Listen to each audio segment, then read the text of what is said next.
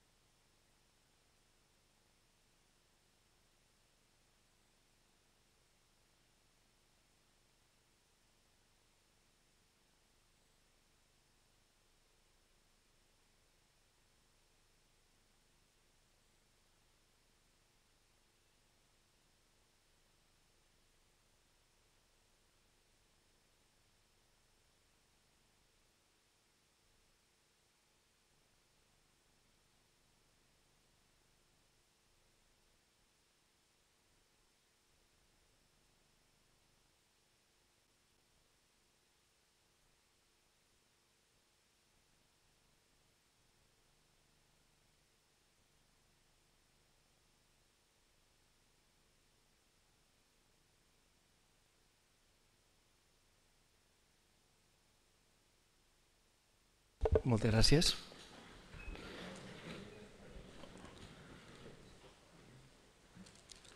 Bueno, molt bona vesprada de nou. Anem a començar el plenari del mes de novembre, plenari ordinari.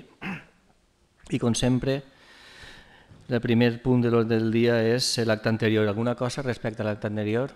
Algun regidor té alguna cosa a dir? Voleu que la donem per aprovat? Presentiment? Moltes gràcies.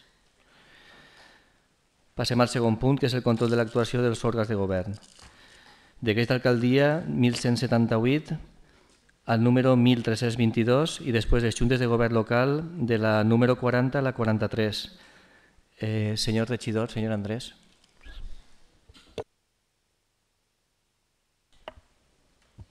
Hola, bona nit. Gràcies, senyor alcalde. Eh, en primer lloc, eh, felicitar a, als jutges o al fiscal que fa la petició de 25 anys per a, per a estos personatges nomenats La Manada, que varen abusar d'esta xica en, en les festes de Pamplona. La veritat que estic content de la petició fiscal, lo que, lo que sí que esperaria és que fora una sentència firme la dels 25 anys i valguera per lo menos, per lo menos ja que no se podrà desagraviar tot el mal que li han fet a la xica, eh, puga valdre com a escarment per a que la gent se ho pense dos vegades antes de fer aquestes burrades que van fent per ahir. Eh, en segon lloc, m'agradaria eh, preguntar sobre les qüestions de la Junta de Govern local perquè són dues qüestions concretes en les quals la persona que m'he de contestar ha, ha tingut que eixir per un motiu urgent i, i m'agradaria que, que estigués així. Gràcies. Bueno, pues si pareix bé, eh, deixem a vostè per al final, per una qüestió d'ordre no passa. Sí, sí, no no ha ningú problema, eh, no passa res. Li dono la paraula a vostè al final i Valentín diu que el disculparà en 20 minuts i són ja i quart, calcula que en 5 minuts estarà així. Anem a seguir el plenari. Senyor Fuster. Sí, gràcies, senyor alcalde. Bona nit. Bé, eh, jo volia pregun preguntar sobre l'acte número 40 en el punt 2.2 decret 1231, que és la sol·licitud de pròrroga de l'execució del local cívic social del Parc de l'Alteró. El per què se demana una pròrroga, perquè no s'ha acabat a temps, quina és la qüestió, si ha hagut algun problema en l'empresa o a què se deu que se té que sol·licitar una, una pròrroga. Ho veiem en, en el punt 2.2 de l'acte 40 i ho veiem també en el 3.2 que hi ha una certificació d'obra número 5 l'aprovació, però veiem que al mateix temps que s'aprova se prorroga, entonces que ens expliquen per què no, no s'acaba. Bé, en l'acte 42 és en el punt 2.2 contracte privat de patrocini publicitari en el documental L'últim brigadista. Eh, avui, durant el plenari, eh, veurem com se li dona una, se debatirà una ajuda eh, personal a dos, dos músics de Silla i així se li dona un patrocini de, de 2.000 euros eh, per al documental a aquesta persona. Entonces ens expliquen eh, per què no se du o per què s'ha fet directament i ja està. És el que volia preguntar, bueno, poso preguntes. Després, en els decrets, en el decret 1277, que és pago de factures, n'hi ha tres, tres factures a Quasol Levante, per un import, juntant les tres, de 4.000 euros, 4.001, E de productes de la piscina, eh, piscina municipal. Entonces que ens aclarisquen si és la piscina municipal la descoberta o és la coberta, perquè jo tinc entès que la coberta paga tot el manteniment, el material s'ho paga l'empresa adjudicatària. Entonces, que, que aclarisquen si és de la de d'estiu, perquè això és un pago del 20 del 10, per saber exactament això. Ja està, gràcies. N'hi ha, ha una, una de les preguntes que la contestarà el senyor Melero, que és sobre el tema de la pròrroga, i n'hi ha dos que ara quan vinga Valentín li les tornem a fer si li pareix a vostè, que són de manteniment. I després el senyor García... El de lo que comentes de les factures és de la piscina d'estiu. Vale, pues ja queda contestada. Faltaria només que li contestaren a lo que són els diners de l'últim brigadista. Senyor Melero. Eh, la pròrroga se demana perquè, si recorda vostè, eh, la empresa va fer una, una baixa que va sobrar i que nosaltres demanarem reinvertir en l'entorn de multifuncional. Entonces, espera que fora el multifuncional, dic jo, del centre cívic l'Alteró. Entonces, per a, per a que entrara la pròrroga, la, la pròrroga dels del, eh, diners que havien sobrat, els remanents, ens es donaren i havia que ampliar el termini i això és una cosa que se fa normalment eh, per a que per a que aquests diners se puguen reinvertir. Dir, això és un tràmit habitual en la, en, en este tipus d'històries. Eh, pensa que també van, fet una, van fer una altra, quina va ser? Van demanar pròrroga, no ho sé, crec que en, en lo de l'Avinguda Camp pot ser, no, no la demanarem, no, en, en principi no. Però vaja, que quan, són, quan hi ha romanents, quan hi ha romanents de, de diners, lo normal és ampliar el termini d'execució de l'obra per a que se pugui reinvertir aquests diners, que, per, que ja estan, si ja vostè passa per allí, s'haurà d'anar a compte que estan començant ja a pavimentar el que és l'accés des del parc hasta, hasta la porta del, del, del centre. Bueno, com li dia, senyor Fuster, eh, l'altra pregunta quan vinga el senyor Mateos i la preguntarem. Senyor Navarro? Sí, bona nit. Mira, estrenem micro. Sí, per guardar la, la distància. No sé si, si toca, així o tocarà després en Valentín, però com és un contracte, segurament tots vostès sabran de què va. I és el de servei de manteniment i conservació de pintura d'espais públics. I era hasta on arriba, és a dir, que hasta on arriba aquest manteniment de pintura de serveis públics. D'exterior, suposa que serà. Sí, això li puc contestar jo. Estem parlant, de la... Estem parlant del servei de manteniment que hem contratat recentment. Correcte? Bé, doncs això eh, li vaig començar des del principi.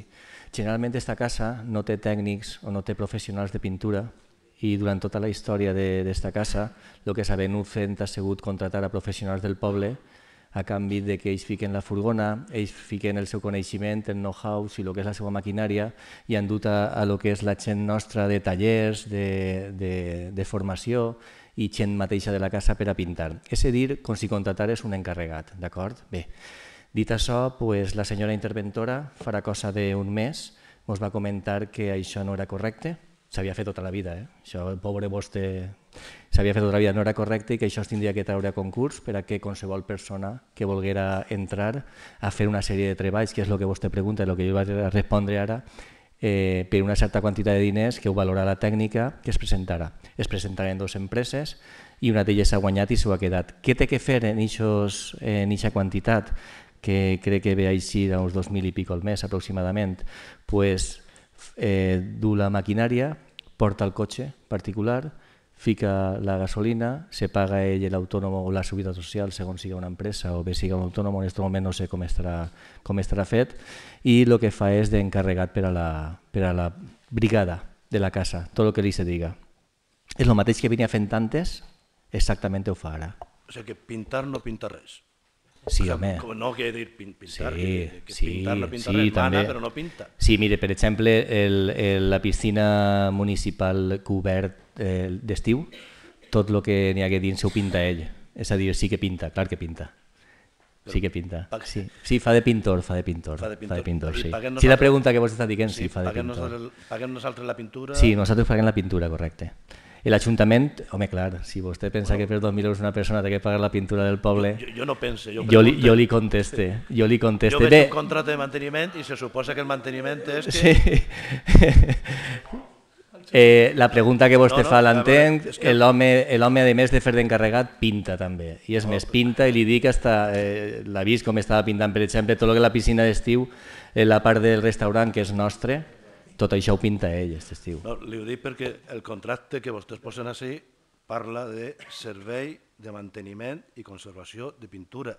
No és contratar un personal per a que dirigisca eh, l'àrea de pintura pública, dels espais públics. No sé com estarà- pintura És, és manteniment i pintura. No, Però esta, bueno. esta persona és el mateix que venia fent abans, durant tota la història, que no era este, sinó era una altra persona que estava en silla, no vaig a dir el nom perquè tampoc és qüestió de dir-ho així, esta persona nova que dura un any o any i mig, pues ve desem desenvolupant les mateixes tasques que venia desenvolupant l'anterior i ahir fins ara. A lo millor la descripció que li han ficat no és la correcta lèxicament, però bueno, és el que jo li he dit. Fa exactament el mateix.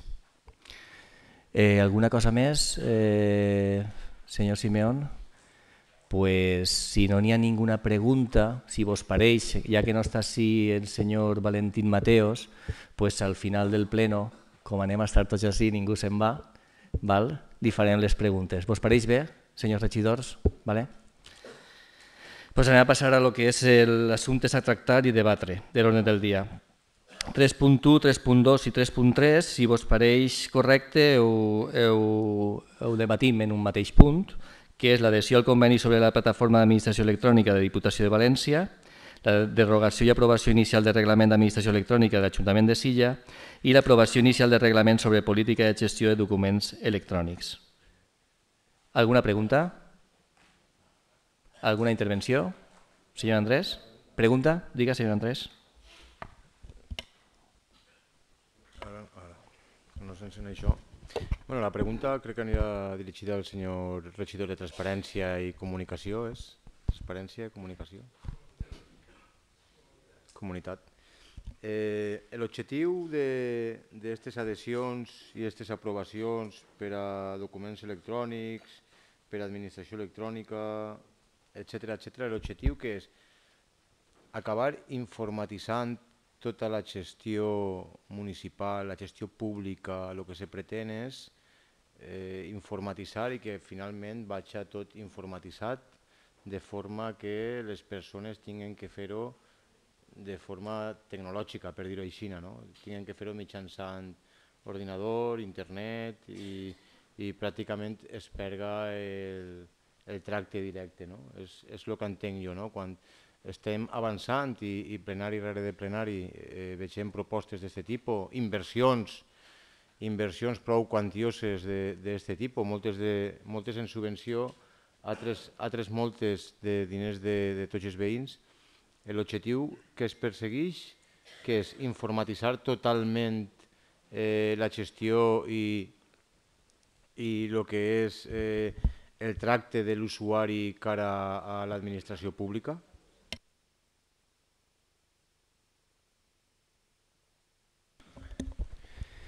A veure, eh, gràcies per la pregunta, senyor Andrés, però jo no sé si el senyor alcalde tenia en ment que, encara que se tractaren els tres punts en, en conjunt, que farà un poc una exposició de, del per què i del com.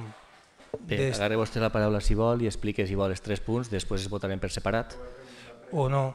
Perquè, clar, efectivament, el que està preguntant el senyor Andrés, en definitiva, se contestaria si farà una xicoteta explicació del per què se duen aquestes tres qüestions.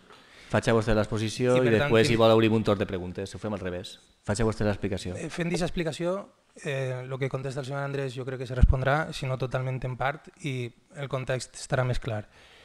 Eh, N'hi ha tres punts. En primer lloc, l'adhesió a la plataforma de l'administració electrònica de la Diputació. En segon lloc, es presenta un reglament de l'administració electrònica municipal i en tercer lloc, es presenta un reglament de la política de gestió de documents electrònics.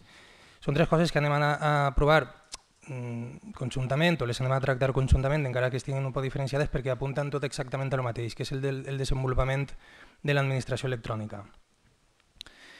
En primer lloc, l'adhesió a la plataforma de l'administració electrònica de la Diputació ho fem més que res per si de cas. perquè és, una, és un conveni que vincula o intenta vincular els municipis de menys de 20.000 habitants. Nosaltres en som 18.600, més o menys, i per tant tenim dret a acollir-nos a aquest conveni.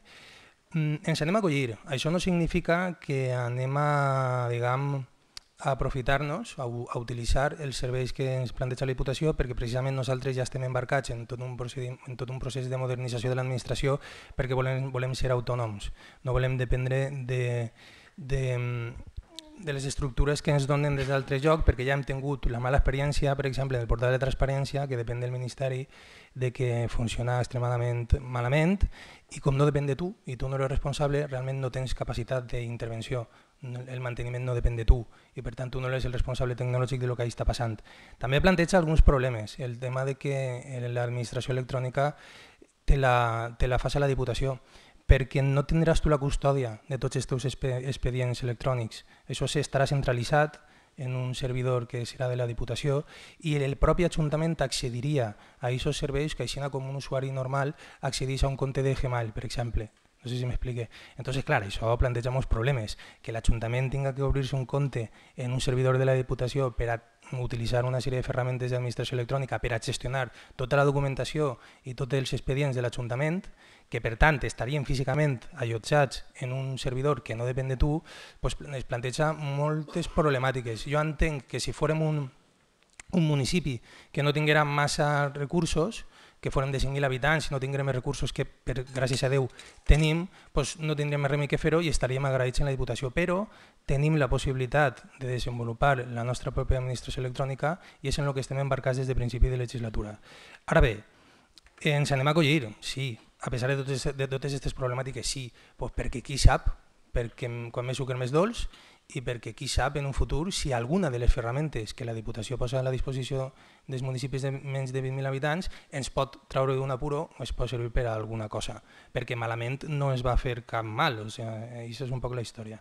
I és el sentit, val? és a dir, per, simple, per sintetitzar ja aquesta qüestió, esta plataforma, esta adhesió, este conveni en la Diputació, el que permet és que els ajuntaments de més de 20.000 habitants puguen desenvolupar l'administració electrònica en els termes en què la legislació vigent ho exigeix. I nosaltres, conscients d'això, ja estem fent l'esforç per a desenvolupar-ho de forma autònoma des del principi de la legislatura, que ara anem a començar, diguem, el que per a mi és la tercera fase, i perquè per a mi la primera és quan vàrem renovar tota la eh, infraestructura tecnològica de l'Ajuntament, fibres, interconnexió de, dels, dels edificis uns en, en els altres, quan vàrem renovar el, el hardware, que anava a pedals pràcticament, i quan vàrem renovar també software i algunes llicències de software especialitzat. La segona fase per a mi és la primera que, que ja és pròpiament administració electrònica, que és la implementació del back office, és a dir, tot allò que no se veu. I el back office estem parlant del gestor d'expedients, del gestor documental i d'un portaforme, del portafirmes més el registre electrònic. Tot això ja s'ha fet, o estem, perdona, estem acabant ara de fer-ho. ¿vale? I anem a enllaçar ja en el que seria la tercera, la tercera fase, que seria el front office. El front office és el que ja diguem que va a veure eh, el ciutadà. Ahí estarà la seu electrònica, estarà la web en accessibilitat eh, per a la diversitat funcional, portal de transparència i la passarel·la de pagaments. Una volta tinguem tot això, que per això també se presenta el reglament d'administració electrònica, que és el segon punt, el reglament d'administració electrònica, el que ens permet és respondre a aquesta necessitat progressiva de l'administració de relacionar-se amb la ciutadania d'una forma ràpida, directa i propera, però també de relacionar-se entre les diferents administracions i hem ens hem d'adaptar a la nova legislació en matèria de procediments administratius, que aquests procediments administratius estan ja legislats a nivell estatal, però també ens tenim que adaptar a la legislació europea en termes d'identificació electrònica. I en aquests dos termes de legislació vigent, tant europea com estatal, és a lo que s'adaptem en aquest nou reglament d'administració electrònica. Què és el que anem a intentar en, en quant a administració? Funcionar de forma més eficaç, de forma més eficient, optimitzant recursos i de cara a la ciutadania oferir millors serveis, més ràpids, més transparents i millorar l'accés a la informació pública. Per tant, el reglament d'administració electrònica el que fa és regular les condicions i els efectes jurídics de l'ús de la plataforma electrònica entre l'administració i la ciutadania. Això és un poc el, la qüestió, li dona el marc de referència. I tot això, per suposat, tenim molt en compte el dret a, a la privacitat, és a dir, tenim molt en compte la, la LOPD, la Llei de Protecció de Dades, que, que n'hi ha que ser molt escrupuloses en això. No?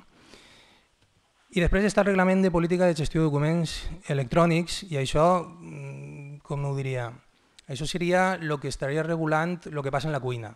És a dir, com anem a gestionar els documents electrònics internament en la casa al, al, veí, al veí, al ciutadà, el que li importa és pues, com un client quan va al restaurant que li servisquen el plat ben cuinat i que se'l pugui menjar ben a gust. Però en la cuina estan passant moltes coses, no?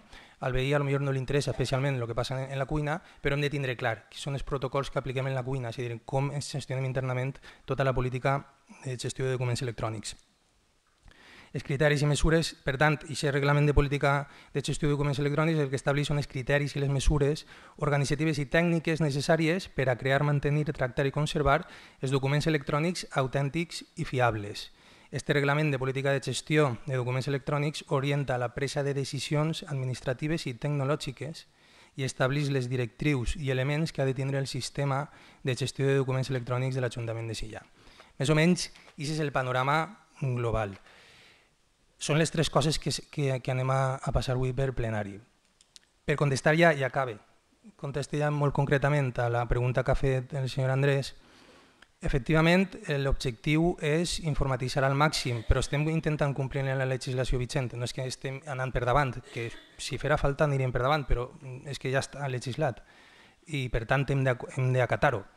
Eh, informatitzar-ho al màxim possible per a guanyar eficiència i eficàcia en tot el que hem comentat eh, també te fa ser més sostenible perquè vas a ahorrar, vas a estalviar moltíssims recursos naturals, això també aquí tindreu en compte, vas a ser més eficaç i més eficient perquè vas a necessitar menys personal enfocat a fer tota aquesta gestió que fins al moment s'ha estat enfocant, vol dir que potser tindràs recursos humans que podràs dirigir a, a, a satisfer altre tipus de serveis en l'Ajuntament, per tant, implementes millores serveis a la ciutadania, però sense mai oblidar, i ahir que tenir molt en compte, que sempre va haver una oficina d'assistència a la ciutadania. És a dir, que de fet fa poc això s'ha reformat i s'ha canviat el nom un poc en aquesta idea. Abans era oficina d'atenció ciutadana, si no recordem malament, i s'ha canviat lo d'atenció per assistència. Per a que quede clar que sempre n'hi haurà un lloc físic on qualsevol veí o veïna d'aquest poble pot anar i dir bueno, jo necessito ajuda en això i se li va assistir. Eh, ojalà pleguem el dia en què tot el món se puga apanyar per, per internet. Jo, crec, jo penso que hi ha moltíssima gent que s'apanya per internet, els nostres majors ja s'apanyen per internet i d'una forma que de vegades hasta sorprèn, o sigui que no és tan raro ja això. Però, de totes formes, sempre n'hi haurà la possibilitat de, de que siguin assistits presencialment en l'Ajuntament. Evidentment, un Ajuntament pròxim no pot deixar abandonat als seus veïns impossibilitant-los fer gestions en relació a l'administració. Moltes gràcies. ¿Alguna pregunta després de l'exposició? Senyor Fuster. Sí, gràcies. Una pregunta ràpida.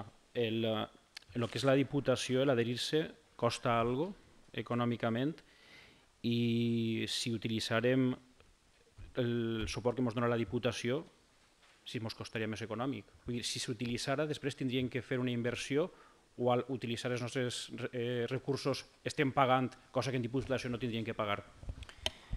A veure, lo de que coste adherir-se al conveni de la Diputació, jo xuraria que no, però vaig a preguntar-li directament si les habilitats nacionals, no, no costa absolutament res. Eh, sí, l'altra la, la resposta és que sí, òbviament, si jo vull ser autònom, com a ajuntament, tinc que afrontar les despeses que això suposa. El que me dona és diverses, diverses avantatges. No depenc d'un altre, tinc control propi, puc custodiar jo mateix les meues eh, la, la meva documentació, els meus expedients, com a Ajuntament estic parlant, i això és important que ho, que ho tinguin clar. Mm, li torno a posar l'exemple de, del portal de transparència del Ministeri, que ens ha causat eh, molts problemes eh, i que tu no pots controlar. I si tu no pots controlar, estàs venut i pues, ja pots estar telefonant. Vull dir, no sé si m'expliques. I, i, i ahí, o sea, que, tota la, que tota la documentació del, del teu ajuntament depenga d'un servidor que està allotjat en Diputació de, que té un servei tècnic del qual tu no pots respondre, en un moment donat jo penso que no és una bona jugada si te pots eh, costejar la implementació pròpia d'aquests recursos.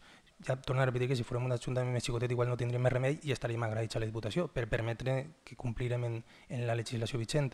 Però anem a ser, anem a ser ahí molt més, diguem, molt més rigorosos i molt més ambiciosos en el servei públic per a que el veí de, i la veïna de Silla tinga un, el millor servei possible en aquest sentit. Alguna pregunta més? Passem al torn d'intervencions. Senyor Andrés. gràcies, senyor alcalde. Eh, en primer lloc, i, i jo vaig a parlar d'algo que no són valoracions meues, són valoracions de l'Institut Nacional d'Estadística. I l'Institut Nacional d'Estadística diu que eh, l'ús d'internet a principis d'este any, entre les edats de 65 a 74 anys, estava al voltant del, del 60%.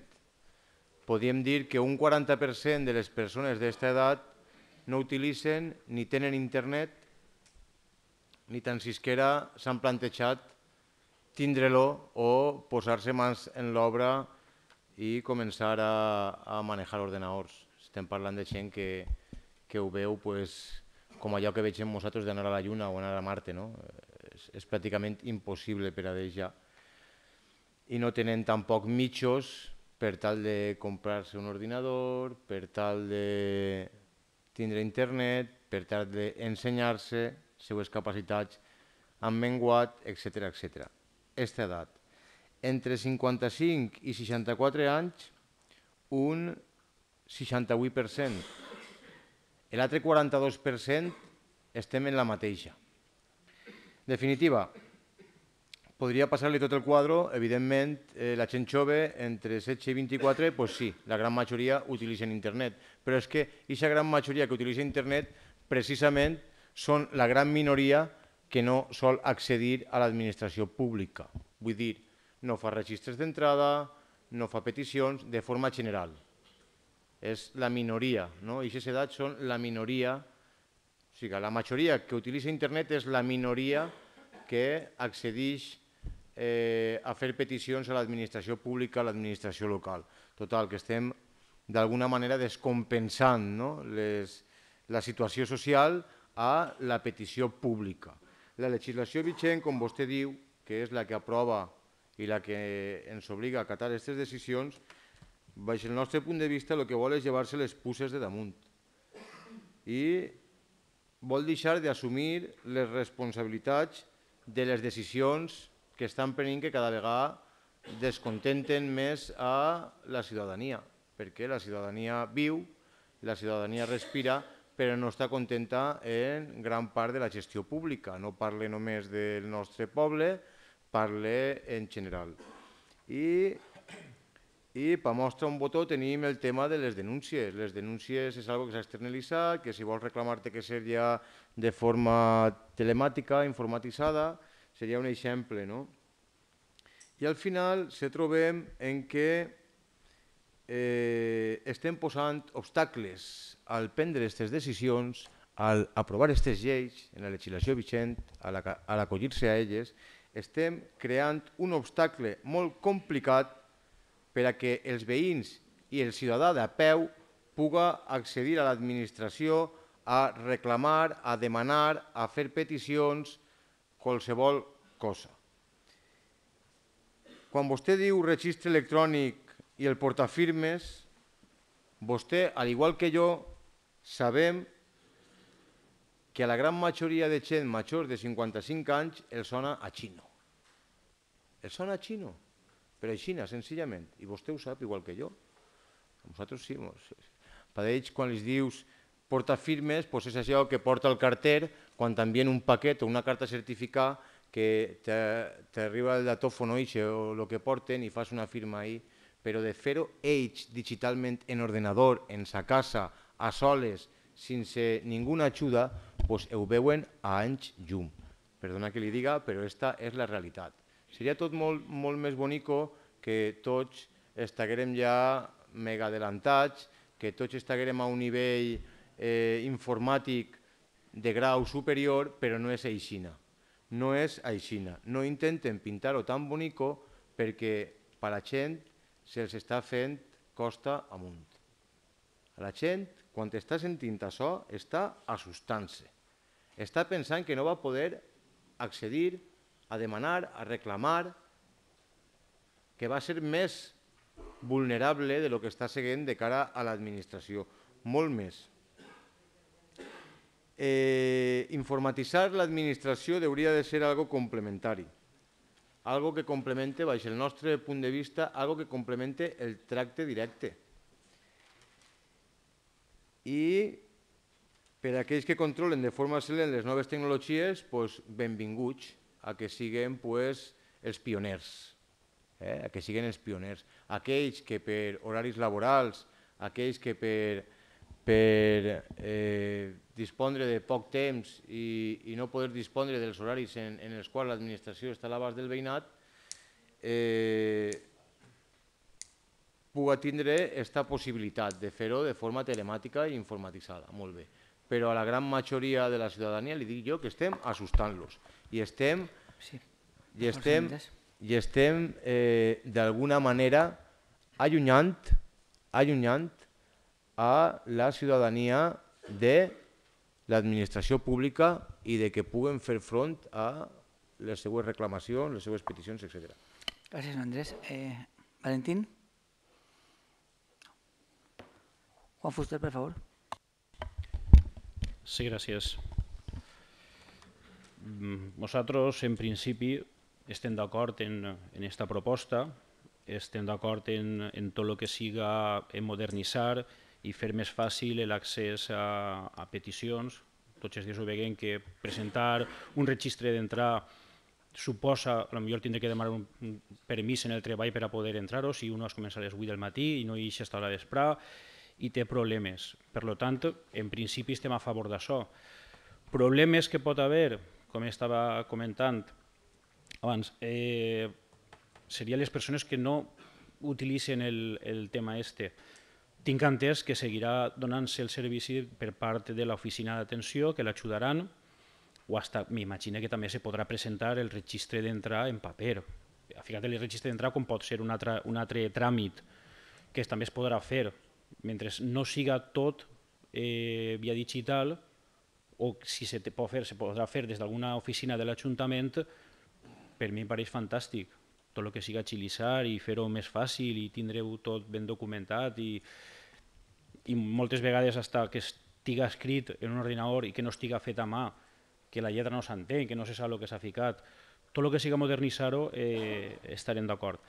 Respecte a lo de la Diputació, doncs veus que en algunes coses eh, s'ha externalitzat, s'ha recorrit a la Diputació eh, per a fer-ho més còmode, pagant un cànon eh, per a que se gestionen les multes o altres coses, i així eh, pareix ser que és, que és al revés i s'anem a gastar els diners. Tindreu controlat?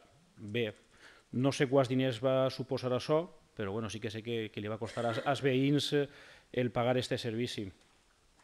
Però no obstant, si diguin el mateix, en principi me pareix bé, que s'adherim a Diputació, que és el primer punt, el 3.1, estic d'acord, i veurem en les següents intervencions que aclareixen un poc més si tota la gent del poble, el 100%, podran accedir sense problemes tant d'una manera com d'una altra. Gràcies. Eh, senyor Navarro. Sí, encara que, se, que siga breument, per explicar el sentit de, del vot. Nosaltres entenem que l'Ajuntament no és un banc i per tant no posarà de 12 a 2 vinga vostè a pagar el rebuig i si és dimarts toca i si no és dimarts no toca i ahí està el calaix no, automàtic. No. Eh, continuem pensant que el nostre, el nostre Ajuntament tindrà les persones i replegaran les denúncies, les queixes, les sol·licituds del personal, aquell que ho entregui en paper i aquell que ho entregui informàticament o telemàticament, pues telemàticament i ja està. Eh, lògicament això és per a millorar la vida de la gent i per a millorar la vida de l'administració local i això és el que entenem. A partir d'ahí, nosaltres en el primer punt, que és eh, adherir-nos al programa de la plataforma de la Diputació, ho creguem convenient, es cobrim les esquenes, ni molesta ni nos costa, per tant, cap problema. En el segon, que és la derogació del que teníem, pues, lògicament, si hem d'adaptar-nos a la nova realitat, hem de derogar el nostre i adaptar-lo al, al nou, i, i el votarem, lògicament, a favor, exactament igual. I en el tercer, el votarem exactament igual a favor, perquè pensem que lògicament el que estem parlant és d'un reglament bàsic de, de, de participació política a l'hora de, de fer les coses de cara a la ciutadania i el que nosaltres depositem en vostès, el que hem fet des del principi en el treball que estan realitzant, en vostès com a govern i en els tècnics de la casa com a tècnics, és que aquesta plataforma és que el millor possible i ja està, i endavant. Gràcies, senyor Navarro. Eh, senyor Melero. Jo és que sí que voldria deixar clar una cosa al senyor Andrés, perquè en la seva intervenció a vostè segurament li s'ha oblidat una cosa. I ha pintat, o per almenys així no ho entès, i si no és, heu desmentís en la pròxima seva intervenció, que això de l'administració electrònica és una ocurrència que hem tingut, és que estem així en esta banda de la, de la, de la, de la banca i que, i que ho fem per fotre el personal. Clar, és una, segons la intervenció que ha fet vostè. Jo simplement li llegiré un text molt curtet i me sobraran minuts i tot. Mire, el, el passat 12 d'octubre del 2016 va entrar en vigor la llei 2039-2015 i la llei 40-2015 que van derogar les lleis eh, 30-1992 eh, i 11-2007 i que deuen suposar? La efectiva implantació de l'administració electrònica en les relacions de la ciutadania amb les administracions públiques i en les relacions entre dites administracions públiques, fomentant, en tot cas, la dinamització i simplificació dels procediments i tràmits administratius. La llei 39-2015 té per objecte regular les relacions entre l'administració pública i ciutadans amb l'objectiu d'implantar una administració eh, completament electrònica, interconnectada i millorar la tramitació de, de procediments administratius. I, per altra banda, la 40-2015 té l'objecte de regular les funcions internes entre les distintes administracions públiques i la resta del sector públic. La seva entrada en vigor, com hem indicat abans, les lleis van entrar en vigor el 2 d'octubre del 2016 i, per tant, nosaltres ja fem hasta, hasta tard, ja portem eh, més d'un any de retard en quant a lo que la llei de l'estat espanyol marca com a obligatori per a les administracions públiques. I per tant, l'únic que hem fet és implementar els mitjans necessaris per a poder complir la llei. Que n'hi haurà un període de transició en el qual les persones que efectivament són, eh, no tenen la competència digital, pues efectivament, hi haurà un període de transició en el qual pues, n'hi haurà que tindre en compte que hi ha persones que no tenen la competència digital. Ma mare no la té, mon pare pues, segurament tampoc.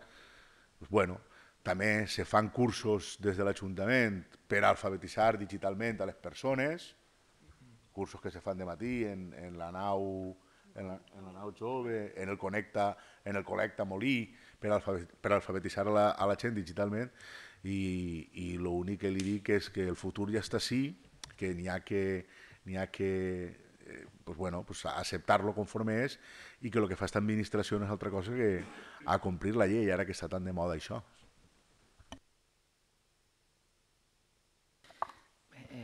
M'autodono la paraula perquè no està el senyor alcalde.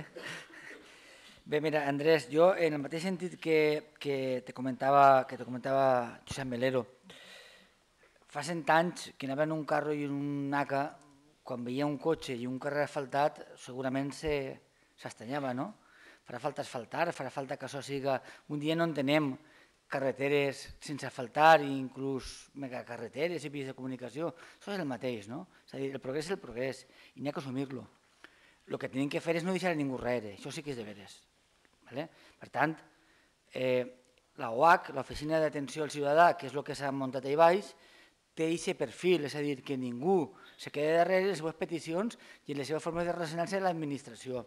Per tant, una llei que el que intenta és racionalitzar el temps de, de l'administració, que els recursos no s'utilitzen en altres coses, sinó pues, intentar concentrar-los, bé, pues, està molt bé, però a ningú se li, se li desgarantissa o se li, se li aparta d'aquest procés, no? Si jo no tinc pares, però bueno, si ma mare tingués que fer un registre, o m'ho diria a mi, o aniria a ella i la tindria allà baix en un mostrador perfectament per a poder donar-li la solució. Per tant, no, no desdenyem, no, mirem això de reull com si fora... Perquè d'ací quatre dies fins els majors ho faran. Per què? Perquè els majors ja tenen un mòbil, ja tenen grups de WhatsApp, ja tenen certes coses, ja poden demanar la cita a lo millor en un botonet o en una app en el metge per a poder anar. És a dir, és el futur. I el futur no ha que negar-li la cara ni mirar-li-la. El que no té que fer és deshumanitzar-se l'administració, això per supost, jo això ho comprenc, però sincerament mm, ni és la intenció d'este d'esta administració de Silla, ni en general que fica les lleis, el que la gent se quede desemparada, tot el contrari. S'intenta que, pues, que la gent que potser ara no té temps per a fer moltes coses, com han comentat els companys de l'oposició, puguen des de sa casa, en una firma digital, presentar un registre d'entrada, pagar una taxa, mil coses més que avui en dia és lo normal. No? És a dir, has començat la banca fa molts anys, has començat a serveis, vull comprar des de casa, venem i demés, i l'administració pública pues, no, queda, no pot quedar res en aquestes coses. Per tant, no ho dissenyem, no ho mirem com si fos algo, algo intrusiu i no pensem que la gent que no té capacitat per, a, per accedir a la, a l'era digital se va quedar en, en, en res. Tot el contrari, si no supera la digital, pues sempre quedarà el servei de l'atenció personal, que s'ha muntat una oficina d'atenció al ciutadà ahir baix en el Col·legi de les Monges, estupenda. Bons professionals, bona atenció, bon equipament i, per tant, eh, les coses igual que abans. Moltes gràcies. Senyor mestre. Sí, gràcies. No? Ah, disculpa, no. Disculpa. Sí, el de fent el senyor mestre, Serafín. Gràcies, gràcies senyor alcalde. Bona nit. Eh, bé, mmm, poc me queda res que añadir dels companys que van a votar a favor eh, els tres punts de, de l'ordre del dia.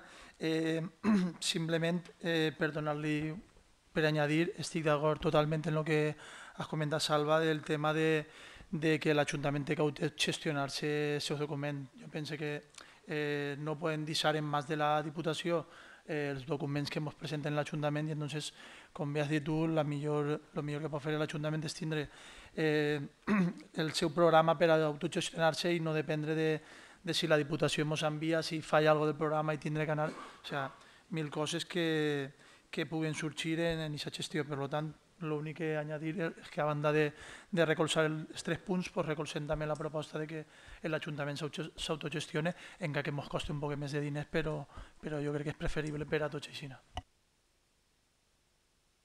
Ara sí, senyor mestre. Sí, gràcies, senyor alcalde.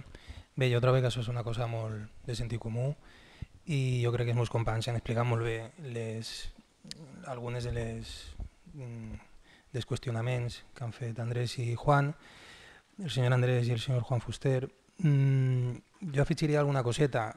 Eh, el senyor Andrés diu que el 60% dels majors de 65 anys sí que s'apanyen en internet. 60% està molt bé, eh? vull dir que això ja està molt bé. De l'altre 40% que no s'apanya en internet, a lo millor la dona o l'home o, el, o el germà o el cosí o el fill o la filla, a lo millor sí que s'apanyen i en un moment donat li ho arreglen. Saps?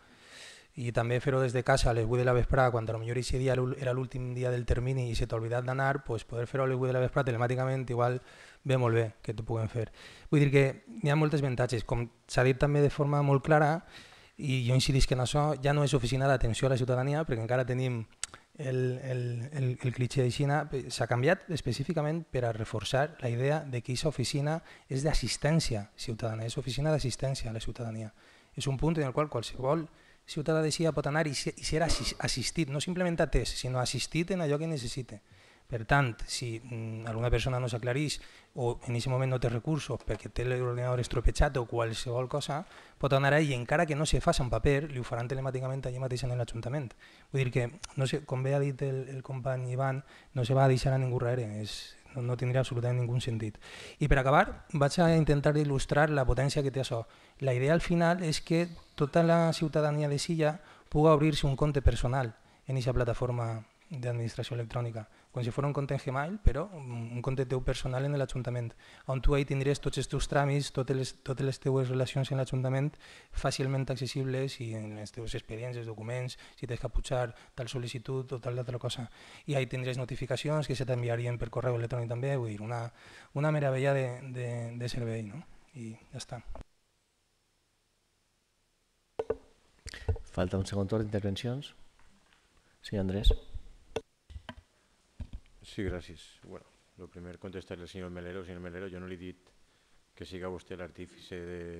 Ja li agradaria a vostè haver-ho haver dissenyat, no és vostè. Jo, jo crec que si no he començat he continuat dient que la legislació vigent i aquells que l'aproven el que volen en això és llevar-se les puces de damunt i no assumir responsabilitats de cara a la gent. Ho he dit. Ho he dit el senyor mestre ha sigut clar quan ha dit que s'estaven acatant s'estaven acatant la legislació. Però clar, jo així Veig parsimònia en vostès, no ha fet res vostè, no, no han alegat, no han recurrit. Eh? Per moltes altres coses sí que aleguen recurreixen legislacions vigents, eh? o n'hi ha vegades que fan força per tal de no acatar-les. Eh? Esta no. Per tant, vostè és part de la complicitat. No diga que no, no, no ho ha dissenyat vostè, però participa de còmpliç en ella sense posar ningú tipus d'obstacle ni, ni, ni de trava. Eh? Senyor Ivan, és de veres, tenim que mirar el futur, però ara estem en el present. I el present diu que n'hi ha un 40% de gent entre unes edats que no ha gastat mai internet, que no tenen possibilitats de gastar internet, que mai podran tindre un ordinador ni mai podran apuntar-se a fer cursos per a saber utilitzar internet i menys per a telemàticament fer gestions de l'administració pública o de cara a l'administració pública. I senyor Salva, vostè me diu que està molt bé que el 60% gasta internet. Estic d'acord, però és que quan diguem que el 60% gasta internet vol dir que gasten internet, no que puguen apanyar-se per a fer gestions tele, telemàtiques, per a fer portafirmes, per a accedir a registres eh, electrònics, gasten internet, vostè ja sap el que és. Jo he treballat uns anys cuidant una residència de nit i de dia i allí hi havia molta gent major. I aquesta gent major accedia a internet. Vostè sap per què accedia a internet? Per llegir el diari, simplement, per veure eh, fotos de pobles que li havia agradat visitar en la seva vida i no ha pogut visitar. Per això, vull dir jo que aquest 60% n'hi hauria que també separar d'aquest 60% qui són els que són capaços de fer. I en això no estic dient que sigui una mala idea aquesta proposta i aquesta legislació, si al final, si al final tenim que ficar-se tots les piles, vulguem o no vulguem. Senyor regidor, per favor, vaig acabant. Sí, estic dient que no va ser fàcil per a una bona part de la ciutadania l'únic que estic dient i que tinguem en compte que això es té que utilitzar com a complement del tracte directe que és eh, l'atenció al ciutadà. Gràcies. Moltes gràcies, senyor regidor. Senyor Fuster, senyor Navarro, alguna intervenció més? Senyor mestre? Bé, jo pense que ha quedat clar que lo electrònic va a complementar lo presencial, que lo presencial no se va a eliminar, això jo crec que ha quedat molt clar, totes formes, jo li agraeix que a vostè la seva preocupació pels nostres majors, li assegura que no anem a deixar a ningú darrere, i el qual seria absolutament insensat. Eh, simplement acabaré dient que ojalà puguem tindre això ja funcionant a finals del, del 2018 en, a ple rendiment. I seria una cosa fantàstica. Dic ojalà, eh? jo no m'estic piant dit perquè després tots sabem que els temps en les implementacions, qui sap, igual ho tenim abans o igual ens retrasem un poquet però que la idea, estem, estem, estem intentant córrer molt, no? o sigui, han passat de d'estar pràcticament quiets a, a intentar fer un sprint i posar-se al dia molt ràpidament i si ho aconseguim en 3 anys pues, pues ja estarà bé, així que a veure si n'hi ha sort i va tot bé. Moltes gràcies, senyor regidor. Anem a votar? Vots a favor? Van per separat. Vale, pues punt primer, anem a votar. Vots a favor del punt primer? Vots en contra? Alçar, alçar la mà? Vale, com ha fet així. Vot, eh, abstencions? Vale. Segon punt, vots a favor? Vots en contra? Abstencions? I tercer punt, vots a favor? Vots en contra i abstencions? Moltes gràcies. Passem a l'altre punt, donar compte. Rendició al Ministeri d'Hacienda i Administracions Públiques de la morositat i del període mitjà de pagament, tercer trimestre del 2017. Rendició del Ministeri d'Hacienda i Administracions Públiques de l'execució de pressupostos 2017, tercer trimestre. Informe d'intervenció sobre els costos efectius de serveis municipals, exercici 2016. Senyor regidor, vol vostè explicar el punt? Senyora interventora.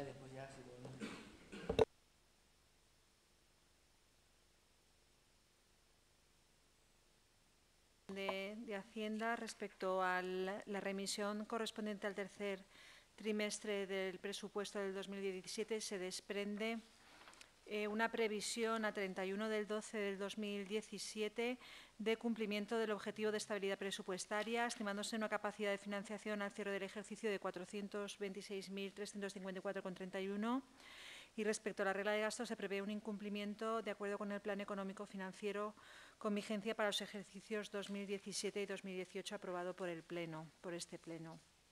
Respecto al periodo medio de pago a proveedores, eh, respecto a, eh, se desprende un, un, periodo medio de pago global, tanto para el Ayuntamiento como el Conservatorio, de 157, con, eh, de 157 días. Respecto al informe de trimestral de morosidad, se desprenden también los periodos que se desprenden del cuadro que se adjunta, que en sistema no se va a reproducir. Y por último, eh, respecto al coste efectivo de los servicios municipales 2017, se ha dado traslado de eh, tanto del informe elaborado eh, sobre los servicios municipales que adjunta los cuadros numéricos que también han sido objeto de conocimiento y que si no tienen ninguna consideración es simplemente dar cuenta y, y ya está. No hay nada más que comentar. Moltes gràcies. Senyor regidor, vol vostè desenvolupar els punts? Sí. Bé, bàsicament, com tots els trimestres, tenim que donar part al Ministeri de la Gestió Econòmica, Eh, la part eh, que sempre fluixeja és el tema de període mitjà de pagament i eh, ve molt, eh, molt acusada per el tema de que estem pagant eh, d'urbanització dels polígons que estan parats, és a dir, els polígons estan parats, no es manegen, però tenim que fer front a les quotes d'urbanització i a tal efecte per poder pal·liar i baixar i ser, i ser deute que és de 157 dies però que no és real en quant a la gestió de l'Ajuntament ordinària, hem fet dos, dos opcions. La primera és anem a, a subhastar dos parcel·les del patrimoni municipal del Sol, ja s'ha publicat i ja està en procés, per a que aquests ingressos, són dos parcel·les que són en, en zones industrials, que no tenen ninguna repercussió per a l'Ajuntament, per tant, a un preu que pugui ser raonable, algú les pot comprar i instal·lar una indústria, directament baixarien part d'aquest període mitjà de pagament i la segona part és eh, transformar aquest deute, que no és un deute a curt plaç perquè no és tesoreria, sinó un deute pactat a llarg plaç, que és com, com creiem que correspon i com la llei ens autoritza. En quan puguem portar i implementar aquestes dues accions, el període pot baixar sensiblement. Seguim tenint problemes, perquè bueno, és una qüestió que jo crec que ja ho he dit moltes vegades en aquest plenari, aquesta legislatura va ser molt difícil plegar els 30 dies, però la veritat és que la gent cobra abans, que hi ha una altra dinàmica, que la tesoreria va responent, en fi, eh, dins del que cap pues, intentem, intentem donar, donar pas sobretot a la gent del poble, no? que és la que fa el gasto i, i, i a la que intentem respondre. I en quant a la regla de gasto, pues, bueno, mm, se la votem constantment, en el pressupost que ja s'ha separat de l'oposició se la seguirem votant, no té una vinculació jurídica especial, és a dir, no implica, pues, no és com votar-se l'equilibri pressupostari o com l'equilibri financer o com l'endeutament màxim permitit. Per tant, creiem que el tema de regalar gastos acabarà pues, el dia que Montoro se marxa a casa i puguem, puguem derogar la seva llei. La meva feia prou feina, pues, bueno, pues ja suposa que no tardarà molt, no? per avorriment o per eleccions, no sé, una de les dues qüestions.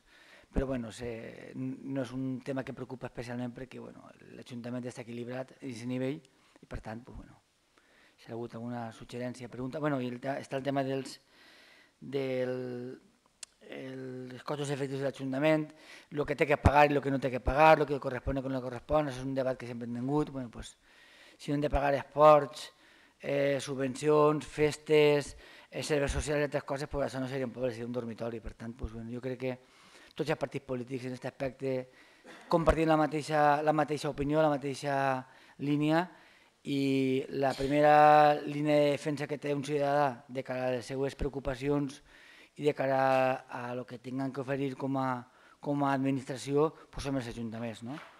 Per sota ara estem més financiats per Generalitat, per Diputació, en el fons dels incondicionats, però encara falta molt. No? Jo penso que l'administració local és el primer front, la primera línia de batalla i hauria de ser financiada en més profunditat, perquè al final som els que més problemes solventem.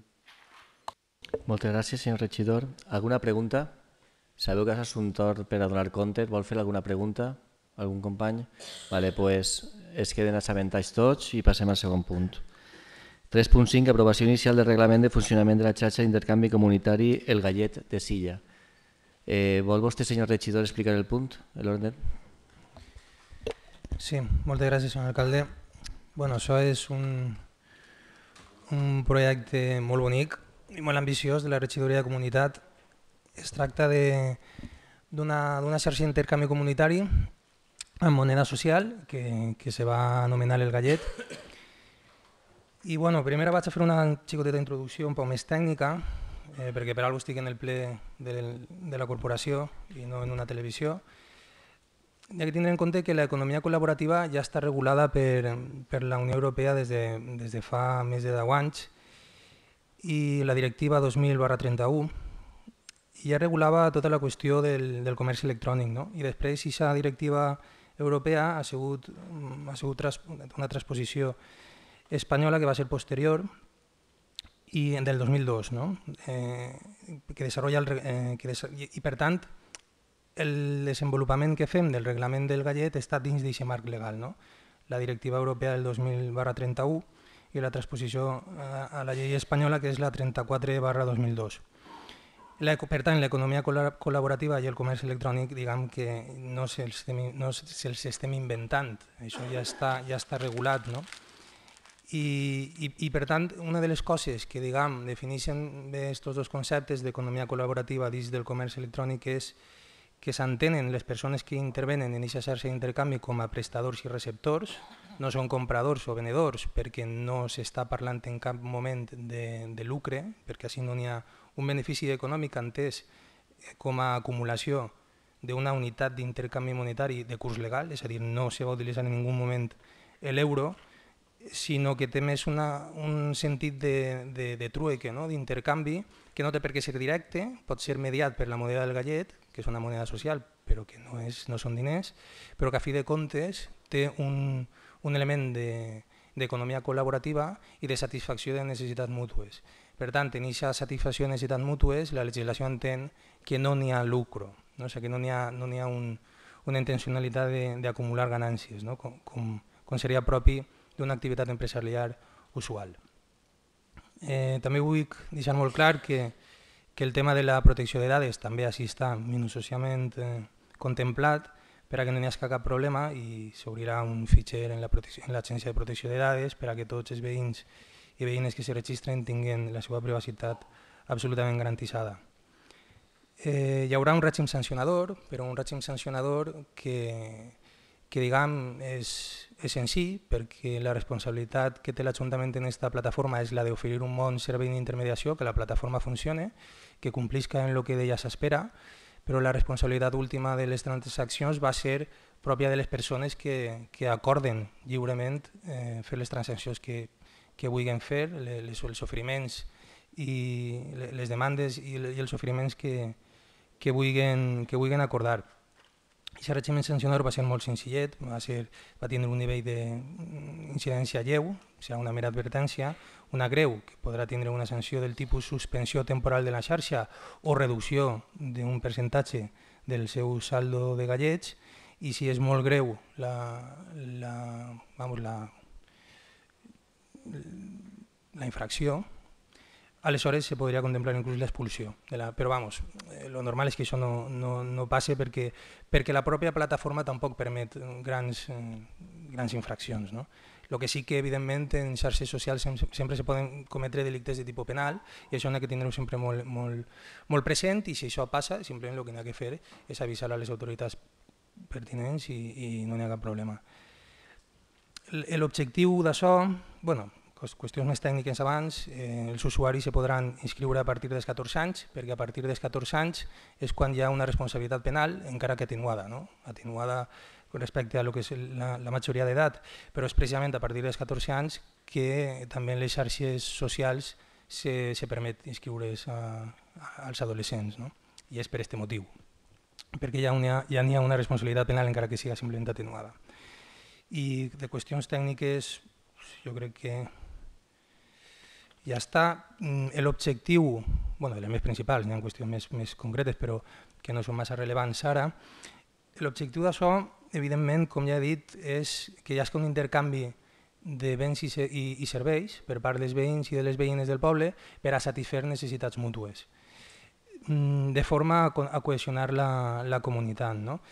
Si, si això se desenvolupa, com jo trobo que va a passar sens dubte, el que anem a trobar-nos és que anem a tenir una societat, una societat diguem, eh, municipal, un, una comunitat molt més cohesionada, podrem recuperar un poc el que el nom del gallet vol recuperar, és a dir, aquest sentiment comunitari dels nostres ancestres, tots els nostres iaios i iaies els hem sentit, eh, probablement, jo trobo que sí, allò de això són quatre gallets, això no val ni un gallet, i donant dos gallets, eh, i, i recuperar aquest sentiment comunitari dels nostres ancestres pues, va dins de la filosofia d'esta xarxa d'intercanvi comunitari. No?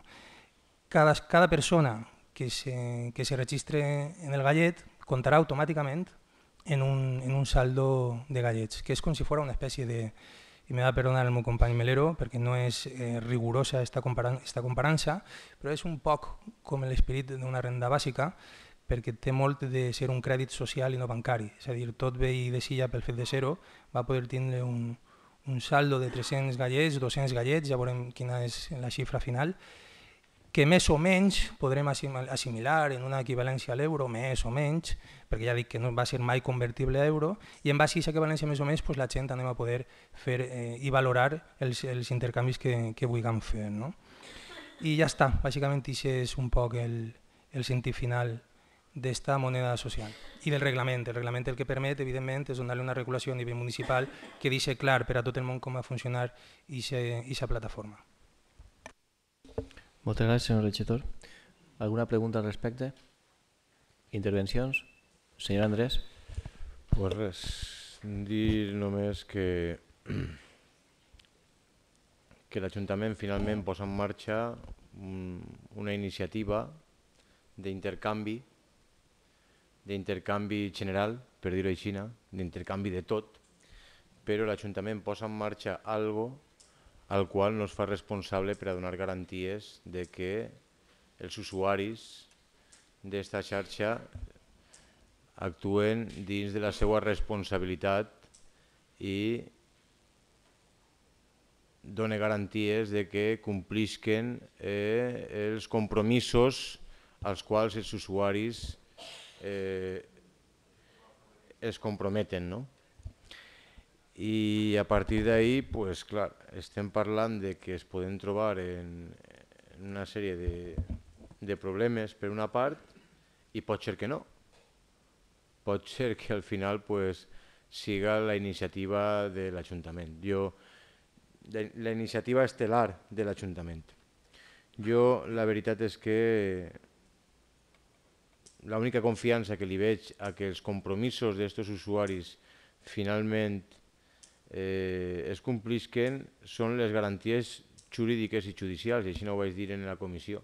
L'únic que pot salvar de que un oferisca algo a canvi d'altra cosa i els dos complisquen verdaderament el compromís és la garantia judicial de que si no ho complixes pues vaig anar al tribunal, al juzgat i te vaig a denunciar. O sigui, es pot convertir en un niu de conflictes.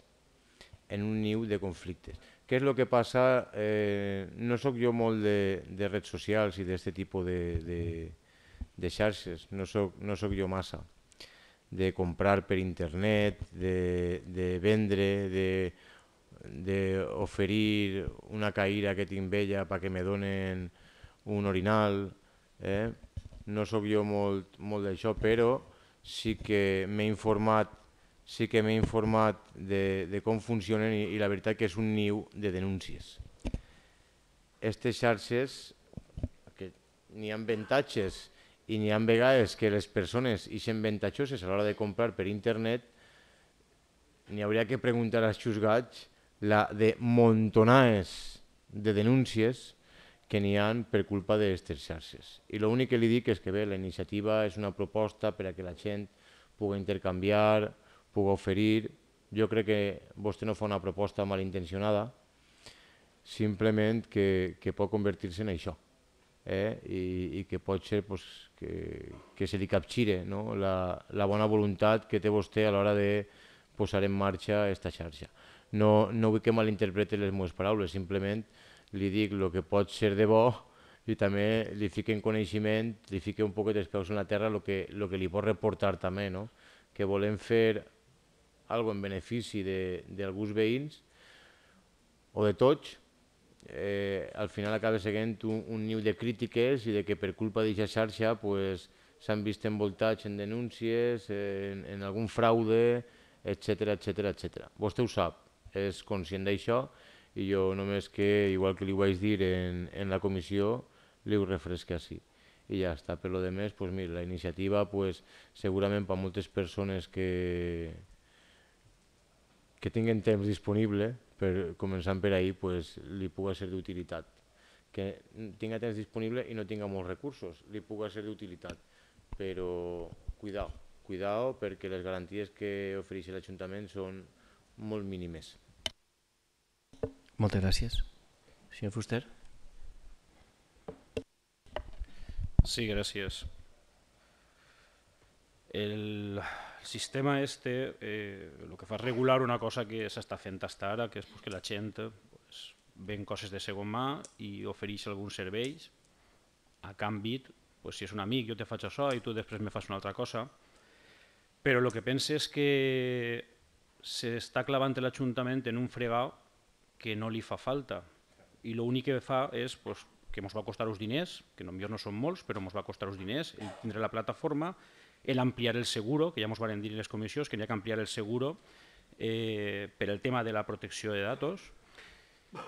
I el que veig és que si jo venc una cosa de segon mà, per el tema de garanties, que també se parla, hi haurà garanties, les garanties són les personals, les que jo dono d'un producte que venc. Ahir, en principi, no, no té per què haver problema, salvo el problema de pues que uno se queixarà i dirà que estem enganyat, eh, però bueno, serà una cosa entre ells. Però jo sí que veig un grave problema en el tema de serveis. Si fins ara sempre hem estat eh, lluitant que si els treballs que se fan en les cases, de neteja de cases, se tenien que regular, que les persones que realitzaven aquest treball tindrien que tindre una seguretat social, que tindrien que tindre uns contractes, i fem que tots aquests treballs o que te puguen pintar siga tot a llei, així, per part de l'Ajuntament, anem a regular tot el contrari. Anem a dir que se pot oferir el treball de netejar-te de casa, en el que vas a netejar de casa i puc tindre un accident, i l'Ajuntament és responsable, però està entre el mig d'una persona que potser té un accident, que no té seguro, que a on vas, a quin hospital vas, és que ha sigut netejant-li la casa a una altra persona, o és que ha sigut pintant-li la casa a una altra persona, m'ha caigut una escala i m'ha trencat la cama. És estar ficant-se en un fregau que no sé per què se té que ficar en l'Ajuntament. El ficar-se en coses que al revés, el que n'hi ha que regular és per a que n'hi ha que encontrar, perquè aquestes persones que fan aquests treballs puguen viure d'això i no tinguin que estar malvivint o de, o de mala manera o que no puguen tindre dret a una seguretat social. Doncs és, crec que això hi ha una inseguretat jurídica per a les persones que ho fan, l'Ajuntament no, perquè se llava les mans, diu jo l'únic que faig és gestione d'ací a allà, l'únic que puc fallar, que ja ens comentaren, és el tema de la protecció de datos, que és greu, perquè és prou greu, però bueno, en principi és l'únic que, que poden fallar, però la relació entre les persones sí que poden haver prou problemes i no sé per què tenim que ficar-se per el mig en, en estos temes. En la primera intervenció crec que ha quedat prou clar, perquè també ha dit que no n'hi ha, no ha ànimo de lucro, és de veres, ha, o, o no és de veres, és ànimo de lucro negatiu, vull dir, no me costa diners. Podem dir que no me costa el pagar perquè m'ho facin el servei, però que estic ahorrant meus diners al que m'ho fa. Entonces, al final és, és un, un lucro negatiu. Però bueno, crec que per ara està prou clar i pense que no sé per què se fiquem en, en estos. Gràcies. Moltes gràcies. Senyor Navarro.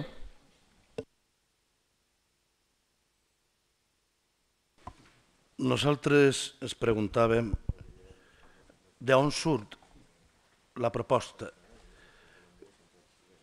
I la veritat és que quan se feien respostes damunt de la taula és una necessitat local? Hi ha una necessitat del poble que esté demanant-nos aquest tipus de coses? O és una necessitat del govern o de Salvamestre per a estar en els mitjos i dir coses. La realitat és que pensaven que era la segona. i no enteníem la proposta. I més quan en premsa una i reiteradament el que s'està venent és una moneda social del nostre poble. I el que tenim damunt de la taula ni res té que veure en una moneda social per a Silla. Simplement té que veure en un mil anuncis, en un balapot, o coixina, en un banc de temps, o no un trueque senzillament sense rebaixes. I això és la feina del govern del nostre poble i de l'Ajuntament de Silla.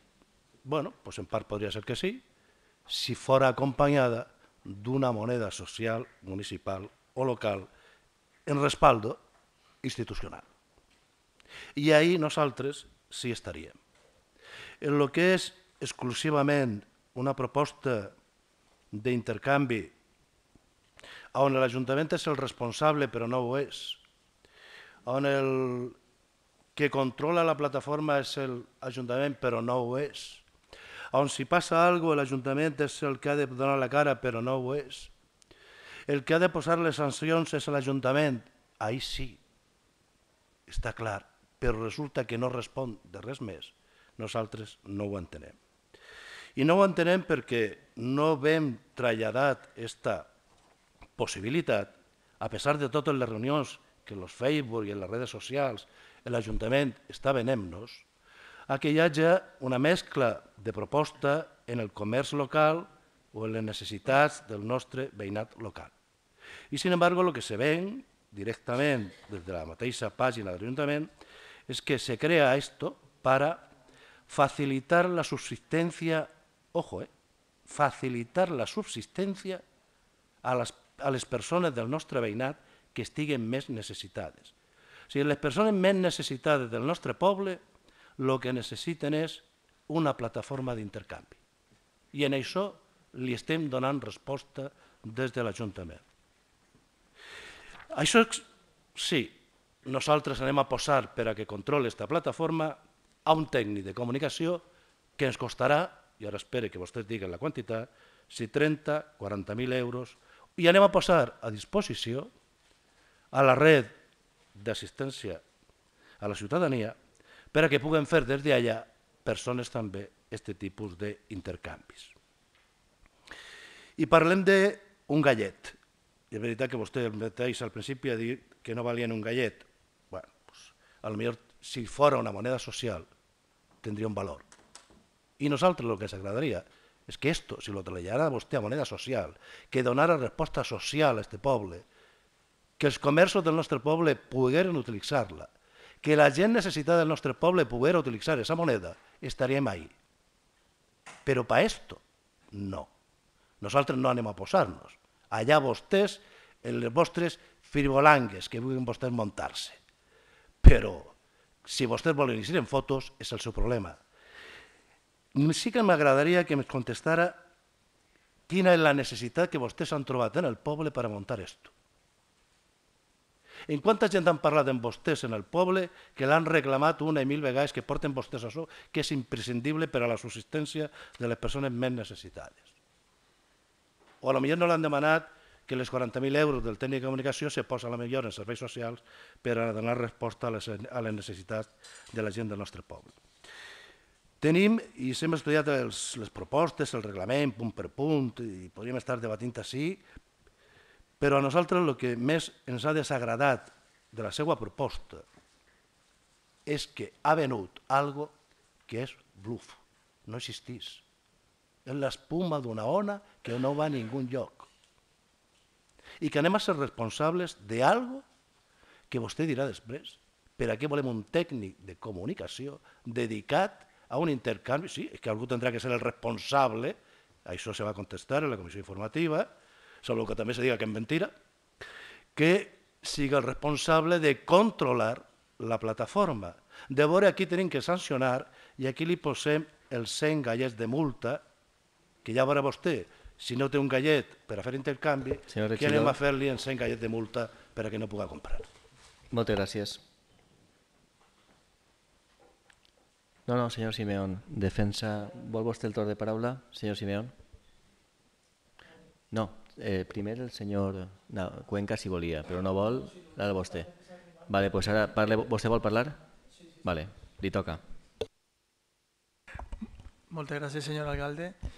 Bé, eh, com en els punts anteriors de l'administració electrònica eh, sí que veiem eh, que n'hi havia una part presencial, que tenia que donar resposta a la ciutadania i una part electrònica que per a la gent que no podia assistir presencialment tenia que donar-li resposta també a la ciutadania. Eh, este, esta nova intercanvi comunitari que presencialment ja, ja s'ha fet en, a Cincilla, en la Nau Xove, sempre hi ha un dia a l'any que se dedica a la fassió d'ell, on qualsevol veí de Silla porta una prenda, te porten un paper, te donen un, un, o sea, un ticket per cada prenda que, que deixes o per cada objecte i, i tu el dia ixe pues, vas, tens cinc tickets, pues, pots arreplegar cinc, cinc peces de lo que siga, o dos o un, o el que siga. Per tant, eh, això mm, és una cosa que l'Ajuntament, pues, a modo d'incentivar tot aquest tema, me pareix molt bé, però eh, pense que clavar-se l'Ajuntament en una pla plataforma electrònica en la qual té que estar pendent d'aquest tipus de coses, pense que, que no, pensem que no s'ha de, l'Ajuntament no s'ha de clavar en aquest tipus d'embolats, de, perquè més que beneficis pense que són perjudicis. Haurà un tipus de gent senzilla que, que a lo millor li vindrà bé, però pense que no és una, una demanda general de la ciutadania, perquè ja n'hi ha molts, moltes pàgines en, en internet per a fer tot aquest tipus de coses, per tant, clavar-se en un berenjenal com este eh, l'Ajuntament pense que no, que no, no tenim per què. Eh, ja la, la plataforma mm, ha costat 1.400 eh, 75 euros, sinó per lo que tinc així en, en, eh, en el reconeixement extrajudicial de crèdit que, que farem en, en el pleno anterior. Eh, S'haurà d'augmentar les despeses de l'assegurança de l'Ajuntament, més a banda pues, el tècnic de comunicació que haurà d'estar pendent, eh, com bé vam comentar en la comissió, d'aquesta pàgina. I això no és, serà entrar avui entre 5 minutets i demà o després demà tornar a entrar. Així, en aquest tipus de pàgines, eh, per, per el, el contingut i per, per el que n'hi ha que fer, haurà d'estar contínuament les 24 hores del dia controlant que no se desmadre això. Entonces, eh, un sueldo de un tècnic de comunicació, pues, entre Seguretat Social i el sueldo, pues, estarem parlant de 40-50.000 euros entre, entre les dues coses. Per tant, una cosa que no és una demanda de, una, de la ciutadania que ens coste eh, més d'un gallet i, i ver l'expressió a, a tot el veïnat, pense que aquests diners se poden emplear per a cobrir realment eh, altres demandes socials de, dels nostres veïns. Moltes gràcies. Senyor mestre. Sí, gràcies, senyor alcalde. Bueno, jo entenc que vostès, com sempre, són molt conservadors, eh, no els parega bé això. Així estem sent pioners, perquè estem sent pioners en donar-li un recolzament institucional a una moneda social. L'informe al senyor Navarro de que el gallet, el sistema d'esta plataforma, està basada en el sistema SOL. Busque vostè en internet, el SOL és una moneda no acunyada social. És un sistema d'organització local. El que hem fet és agarrar un desenvolupament que fa aquest sistema informatitzat a través d'una web. Mm, estaria bé que vostè s'informara un poquet abans de dir-lo que no és. Eh, és una moneda social. Monedes socials n'hi han de diverses tipologies. Esta és una d'elles. Okay?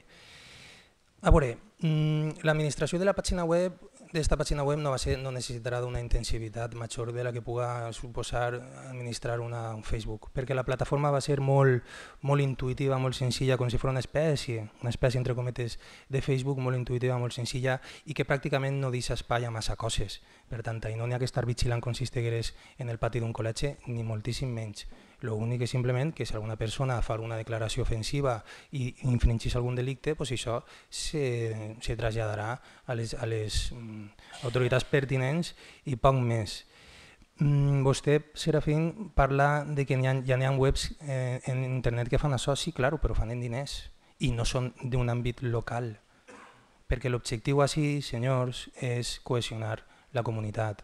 Quina és la necessitat? Que me pregunten vostès, quina és la necessitat per a implementar això? Bueno, què passa? Que en el poble no n'hi ha gent que necessita una empenta per a plegar a fin de mes? Quan cohesiones a la comunitat, els més desafavorits se veuen afavorits. I aquesta és una mesura que cohesiona la comunitat d'una forma complementària, perquè no són diners, però pot ajudar a que les necessitats que moltes famílies tenen i que no els permet plegar a fi de mes d'una forma mm, tranquil·la, pues, puguen ajudar-los. En les reunions prèvies que estem fent en alguns dels col·lectius per a dir-los en què consisteix això i si volen fer alguna aportació, hi persones que estan meravellades. Les persones que més necessitats tenen pues, estan més meravellades. Les que no tenen tanta necessitat també estan meravellades. Perquè diuen, ostres, això pot funcionar molt bé, a tot el món li encanta i vostès no ho veuen. Jo no sé, sempre estan a la contra, inclús en les coses en les que estem innovant. El, el gallet estava en el programa electoral de Cian Democràcia. La xarxa d'intercanvi comunitari estava en l'acord per Silla, en l'acord de govern. Entonces el que estem fent és complir un programa i el que estem fent és complir un acord de govern. Si jo tinc una regidoria que s'hi diu comunitat és pràcticament per això. Quina altra necessitat estem cobrint en això? Pues que si ja no siga simplement un poble dormitori. Que això tots sabem que és una cosa que tenim un poc aquest problema. Si cohesionem la comunitat i entenem que la gent eh, reforça els seus lligams, pues se va sentir més poble, podrà seguir sent ciutat dormitori per a moltes persones, però pot ser que consigam, podem aconseguir que la gent en el poble sen, puguem sentir-nos més poble, més comunitat, que relacionem més entre nosaltres. Si podem relacionar-nos intercanviant satisfacció de necessitats sense euros, molts de nosaltres ho anem a fer, encara que no tinguem una necessitat acuciant. Això és una cosa que és bo per a la comunitat. Des d'aquest punt de vista, jo les seues crítiques no les acabo d'entendre. La crítica que feia el senyor Andrés sobre el problema de les garanties, que també el senyor Fuster ha, ha, ha incidit en això, el incloure la xarxa d'intercanvi comunitari en el segur de responsabilitat patrimonial i civil de l'Ajuntament és simplement per precaució, perquè els tècnics fan molt bé la seva feina i simplement per si hi ha algun risc que en aquest moment ni tan sols te pugues imaginar, cobriste les esquenes així com us adherim a la plataforma de la Diputació per si de cas, pues te poses en el segur per si de cas, simplement. I posar-se en aquest segur, ja veurem el que, lo que incrementa la prima. Si vol, ho podrem analitzar, que jo no tinc cap problema, però segur que serà mínimament res o pràcticament res. Després, el tècnic de comunicació. El tècnic de comunicació no se va contractar exclusivament per això, ni molt menys. El tècnic de comunicació és un, un lloc de treball que s'està creant ara mateixa, s'està seleccionant en aquests moments aquesta persona, està en procés, i va dur molt tot el, tota la qüestió comunicativa de l'Ajuntament, és una cosa imprescindible en els temps d'avui en dia. I a més, una de les seues tasques serà, a més, esta, no s'ha contractat un tècnic de comunicació per a dur la, la plataforma del Gallet, perquè a més és que no fa falta en exclusiva. I sobre este tema de la responsabilitat, que el senyor Fuster i el senyor Andrés ja no s'ho ja acabe, anem a veure. En primer lloc, n'hi haurà un sistema de reputació, que a nosaltres sí que és semblant al Wallapop, és a dir, si alguna persona fa, diguem, desgavells i no complix en la seva part, a l'acabar qualsevol transacció, tot el món podrà avaluar satisfactori, correcte o insatisfactori. Senyor regidor, el 10 segons. E evidentment, eh, tu, quan estàs fent utilització d'aquesta xarxa, vas a veure el perfil i vas a veure si té positius o negatius. Si té negatius, lo normal és que no intervinguis en aquesta persona, de forma que la plataforma té un sistema de selecció propi. I per acabar, molt ràpidament, 10 segons l'Ajuntament posa un mercat municipal, veritat que sí, i ahí n'hi ha, ha eh, comerciants que venen productes. L'Ajuntament se fa responsable de que aquest mercat estigui en les condicions adequades, que, que, que, que el comerciant pugui fer la seva activitat, però de lo que no és responsable l'Ajuntament és de si hi ha algun un problema de no enteniment entre el client i el comerciant, entén? Per tant, ahí fa vostè l'analogia. La plataforma d'intercanvi comunitari el que permet és que hi hagi intercanvis, però l'Ajuntament no té per què ser responsable de, de lo que passa en aquest intercanvi de la mateixa forma que l'Ajuntament és responsable de que el mercat funcioni correctament, de paraula, queda molt clar. però que la relació entre el comerciant i el venedor, ahí l'Ajuntament no és responsable. Vale. Senyor Andrés. Sí, gràcies. Senyor mestre, no és comparable.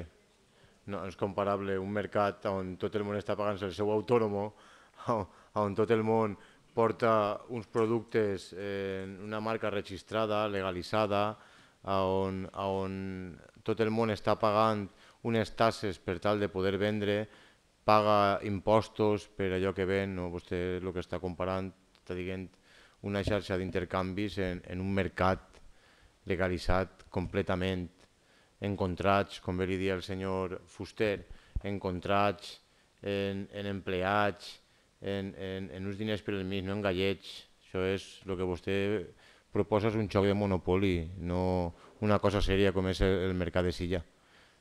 Eh? eh vostè xua en diners ficticis i xua en bones voluntats de la gent per a canviar caire vella per mecedora antiga. Eh, no, no, vull, no vull comparar, siguem serios en, en això i això sí que no cap, cap tipus de comparació. Que li dic que bé, que vostès facin iniciatives. Fa uns mesos, ja crec que més d'un any, el, el senyor Felipe García crear un banc de terres per a coordinar de bona voluntat i així li vàrem dir que bé, que una declaració d'intencions excel·lent, però que no anava a resultar perquè és, les terres que van a posar-se a disposició en aquest banc de terres són terres perdudes que costen molt de ficar-se a l'ordre del dia per a que puguen eixir bones collites. I jo crec que no el varem assessorar mal. De fet, ha funcionat com nosaltres, com l'oposició, dic en aquest moment que anava a funcionar. No, no ha funcionat molt bé per això. Però és una bona declaració d'intencions. Se posa a treballar i feu alguna per, per l'agricultura o intentar fer-ho. Vostè intenta fer alguna per, perquè allò que la gent ja no vol tindre en casa, eh, que ja no es val per res, pues, se puga desprendre per algo que li puga aprofitar millor, eh? puga intercanviar-ho per algo que li puga aprofitar més que el que té en casa que ja és un trasto. És així de senzill, ja està. Eh, el del mercat és comparable. Si li han ficat un tipus d'exemple, el senyor Fuster ha donat eh, en, en el centre.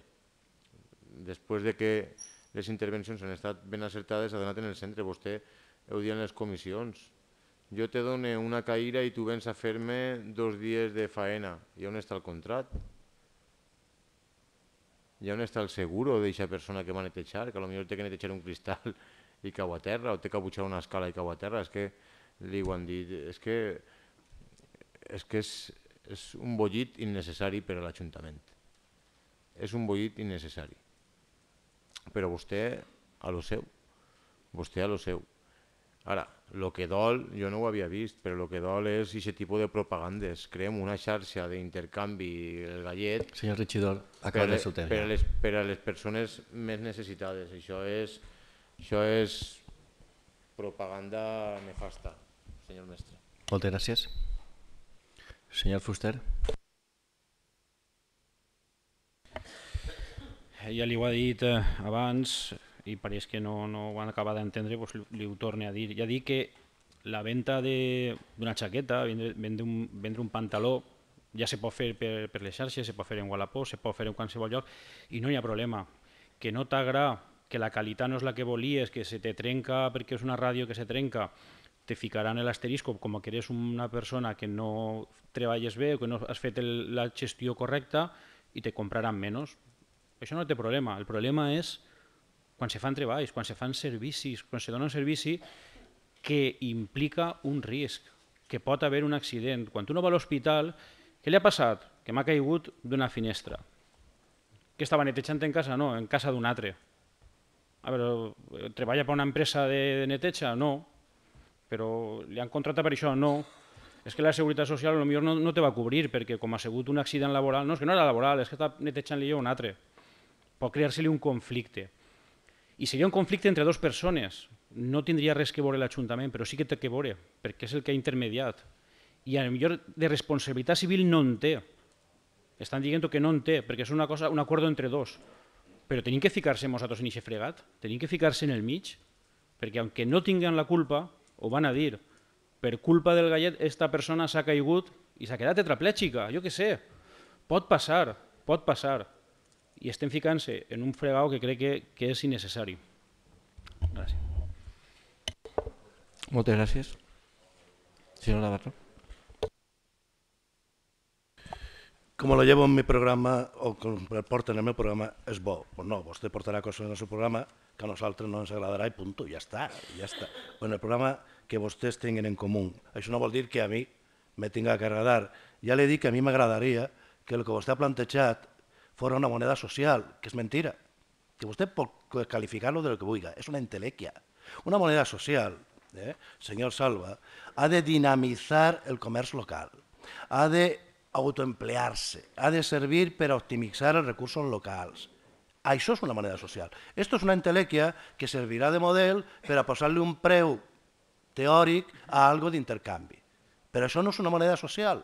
Ahí no intervé cap, cap comerç local i no intervé el teixit social no intervé el teixit social nostre. I a més, fixes vostè si ho té plantejat que era per facilitar la subsistència a les persones del nostre veïnat que estiguen més necessitades. No, mire, per això no. Vostè planteja una moneda social i nosaltres estarem ahí. Però un ajuntament, una entitat pública, ha d'estar en un sistema de trueque? Vostè està venent un banc de temps, exclusivament. I què ocorrís? Que vostè, l'Ajuntament de Silla, està posant, està posant, segons el seu reglament, els mitjos i els costos per a que altres municipis l'utilitzen. Això ho diu vostè. Nosaltres ho paguem i altres se beneficien. Vostè va tindre una documentació pública de personal privat per a que no puga interrelacionar-se en altres plataformes privades, perquè esto és una entitat pública i no podran relacionar-se. Les plataformes privades se, se, se, centralitzen, se reuneixen en redes, que no, la nostra no podrà ser, perquè vostè no podrà utilitzar com a ajuntament documentació de les persones per a donar-los a una entitat privada. Per tant, vostès estan creant així, pues, senzillament propaganda, que me pareix molt bé, però no enganyen vostès a la resta del personal. Van vostès, parten d'un banc de gallets per a repartir al personal de silla. De on? Quina infraestructura té vostè darrere? Sanciona vostè a qui incomplisca les normes. Tenen vostès en el reglament més fulles, més pàgines de sancions que el propi reglament. Per què? Pues senzillament perquè no s'ho creuen. No s'ho creuen. I anem a destinar personal d'esta casa a que estiguen resolguent els problemes entre particulars en una xarxa pública. Això no té sentit.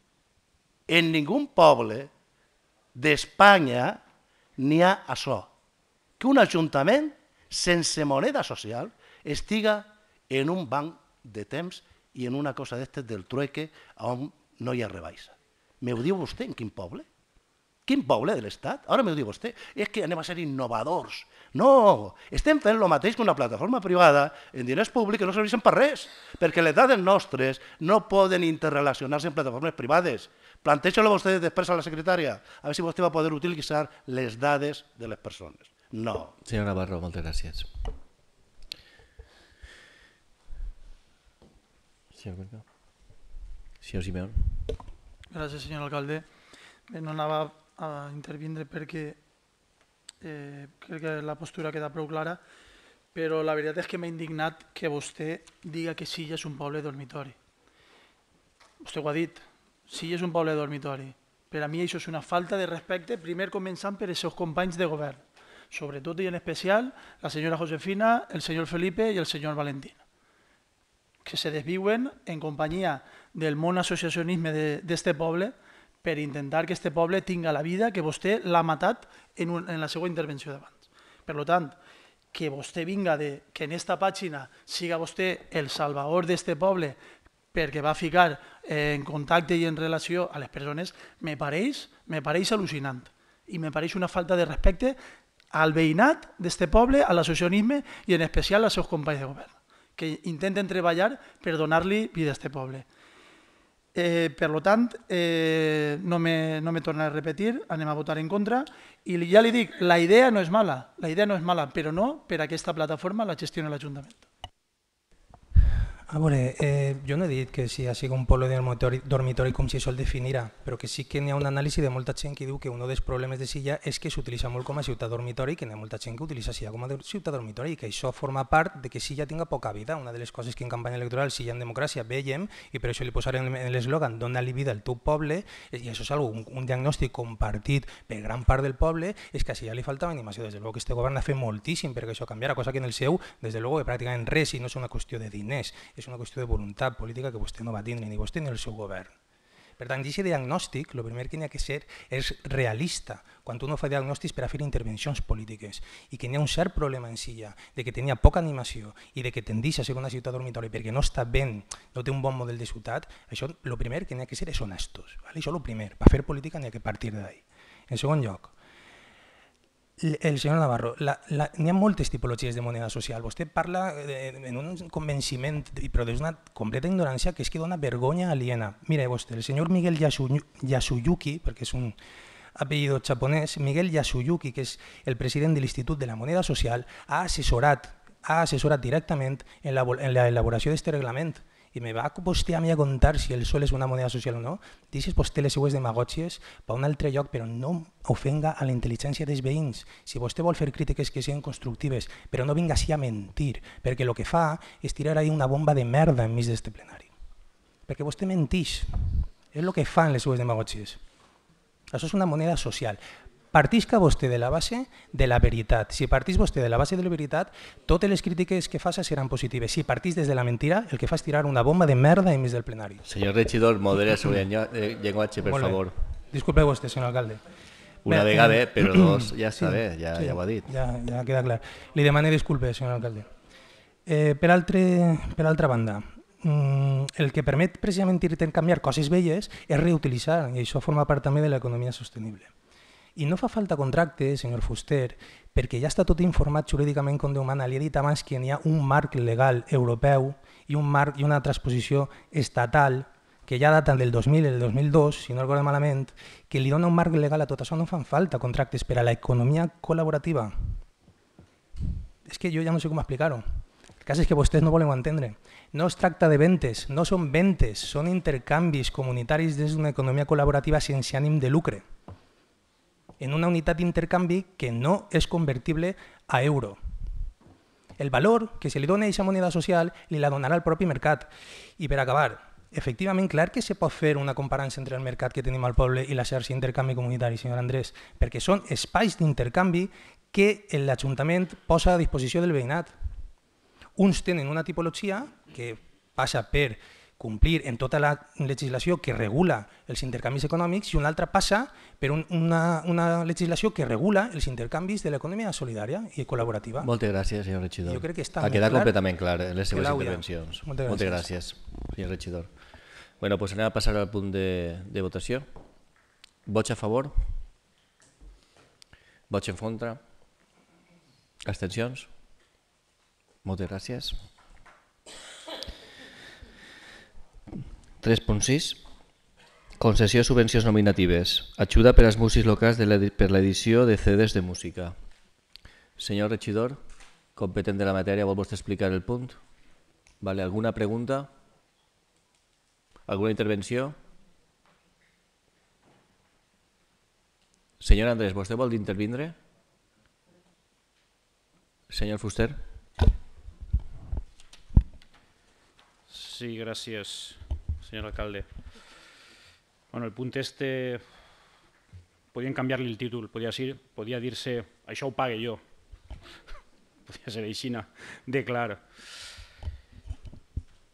Per a que la gent ho entenga un poc, eh, associem ben com a que és un apoyo a la música, que és de veres, s'apoya la música, s'apoya la cultura, però n'hi ha moltes maneres de fer-ho. I així en aquest cas pues, se fa eh, pagant-li a, a dos autors, dos eh, músics de Silla, eh, les còpies d'este CD que ja han fet i han dit pues ara eh, te vaig a pagar el 80% d'aquestes còpies. I jo pense que això no és la manera de, de promocionar eh, la cultura o promocionar la música.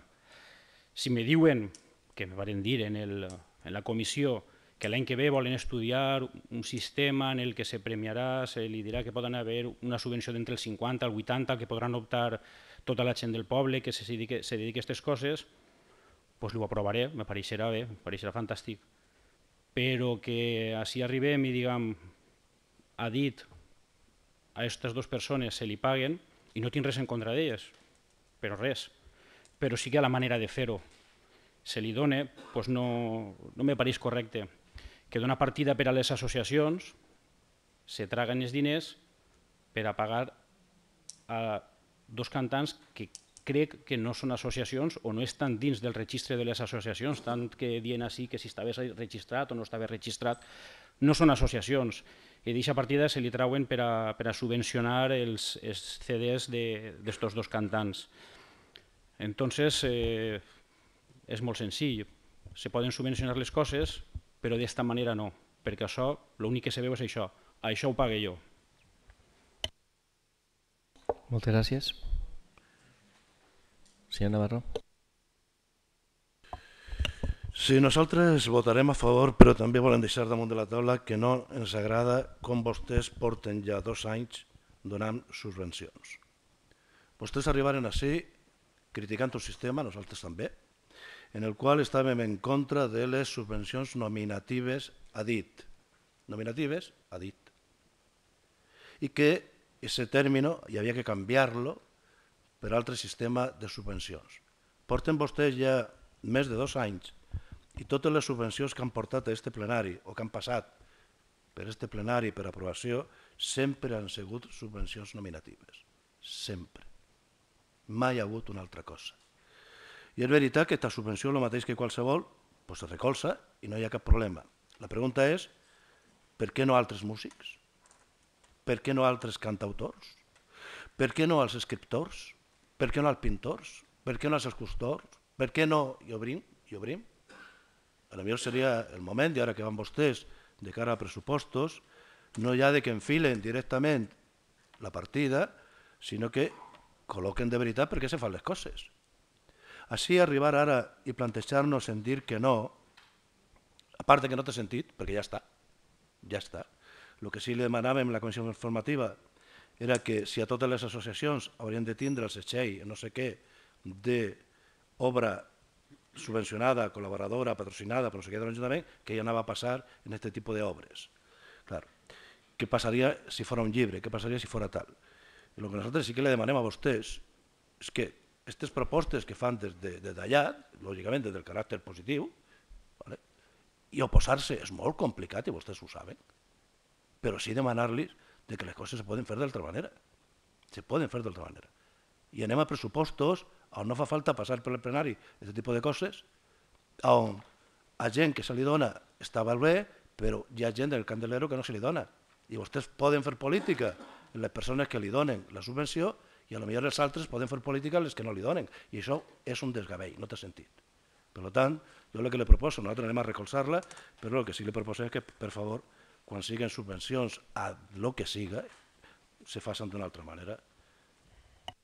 Moltes gràcies. Senyor Simeón. Bé, moltes gràcies, senyor alcalde. Bé, nosaltres eh, mm, nos feia gràcia el que havia comentat el senyor Antonio Navarro abans, que el que en l'oposició se criticava, ara en el govern se, se fa. Entonces, una cosa es veu des de la barrera i altra cosa és eh, torejar.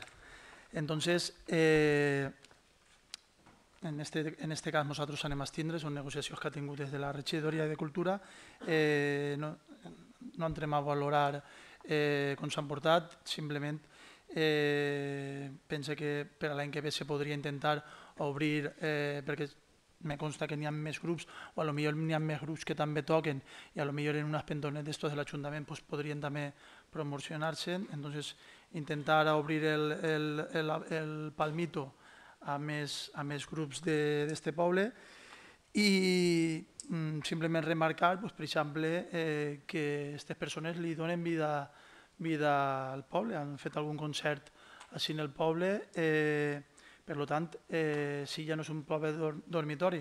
La legislatura passada es veu que eh, vostè no, no me seguia, però li puc assegurar que eh, els 365 dies de l'any ha tingut activitat com a, com a regidor, eh, eh, com a alcalde és quatre anys, perquè si ja, encara que vostè no eh, se pense que no és un poble viu, és un poble molt viu. I si vostè en aquesta legislatura acudirà qualque cap de setmana, igual que me troben els seus companys, a actes que organitzen en el poble totes les associacions desinteressadament i oberta al públic per a, o algunes eh, baixungos mínim, vostè se donaria compte de que Silla és un poble molt viu, però si no existís a res, doncs vostè se pensa que Silla és un poble mort. Moltes gràcies, senyor regidor.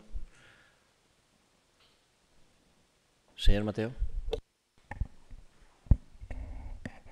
Sí, muchas gracias y buenas noches, señor alcalde. Bien, eso no pague yo, señor Juan.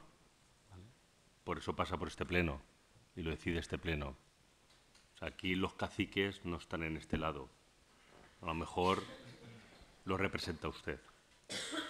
Cuando dice que pagamos de la partida de asociaciones, le digo que no, que pagamos de la ponencia de cultura. Entonces, por favor, cuando diga algo, pues asegúrese en cuanto viene el expediente, porque es muy dado hacer afirmaciones y luego la realidad es bien distinta. Yo acepto la crítica con respecto al tema de estas subvenciones nominativas y lo dije en la comisión, o sea, yo creo que no es ninguna sorpresa. Yo dije que la manera en que estamos trayendo esta propuesta no era la forma en la que a mí me hubiese gustado.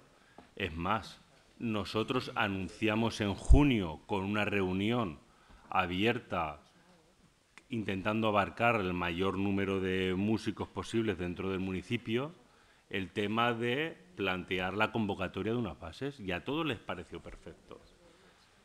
Y esa era la propuesta que traía esta concejalía, pero sí que es cierto que al final el propio funcionamiento del ayuntamiento ha hecho que nos hayamos metido en unas fechas en la que un compromiso que tenía la Concejalía de Cultura de que era haber sacado las bases en el ejercicio 2017 no ha podido ser.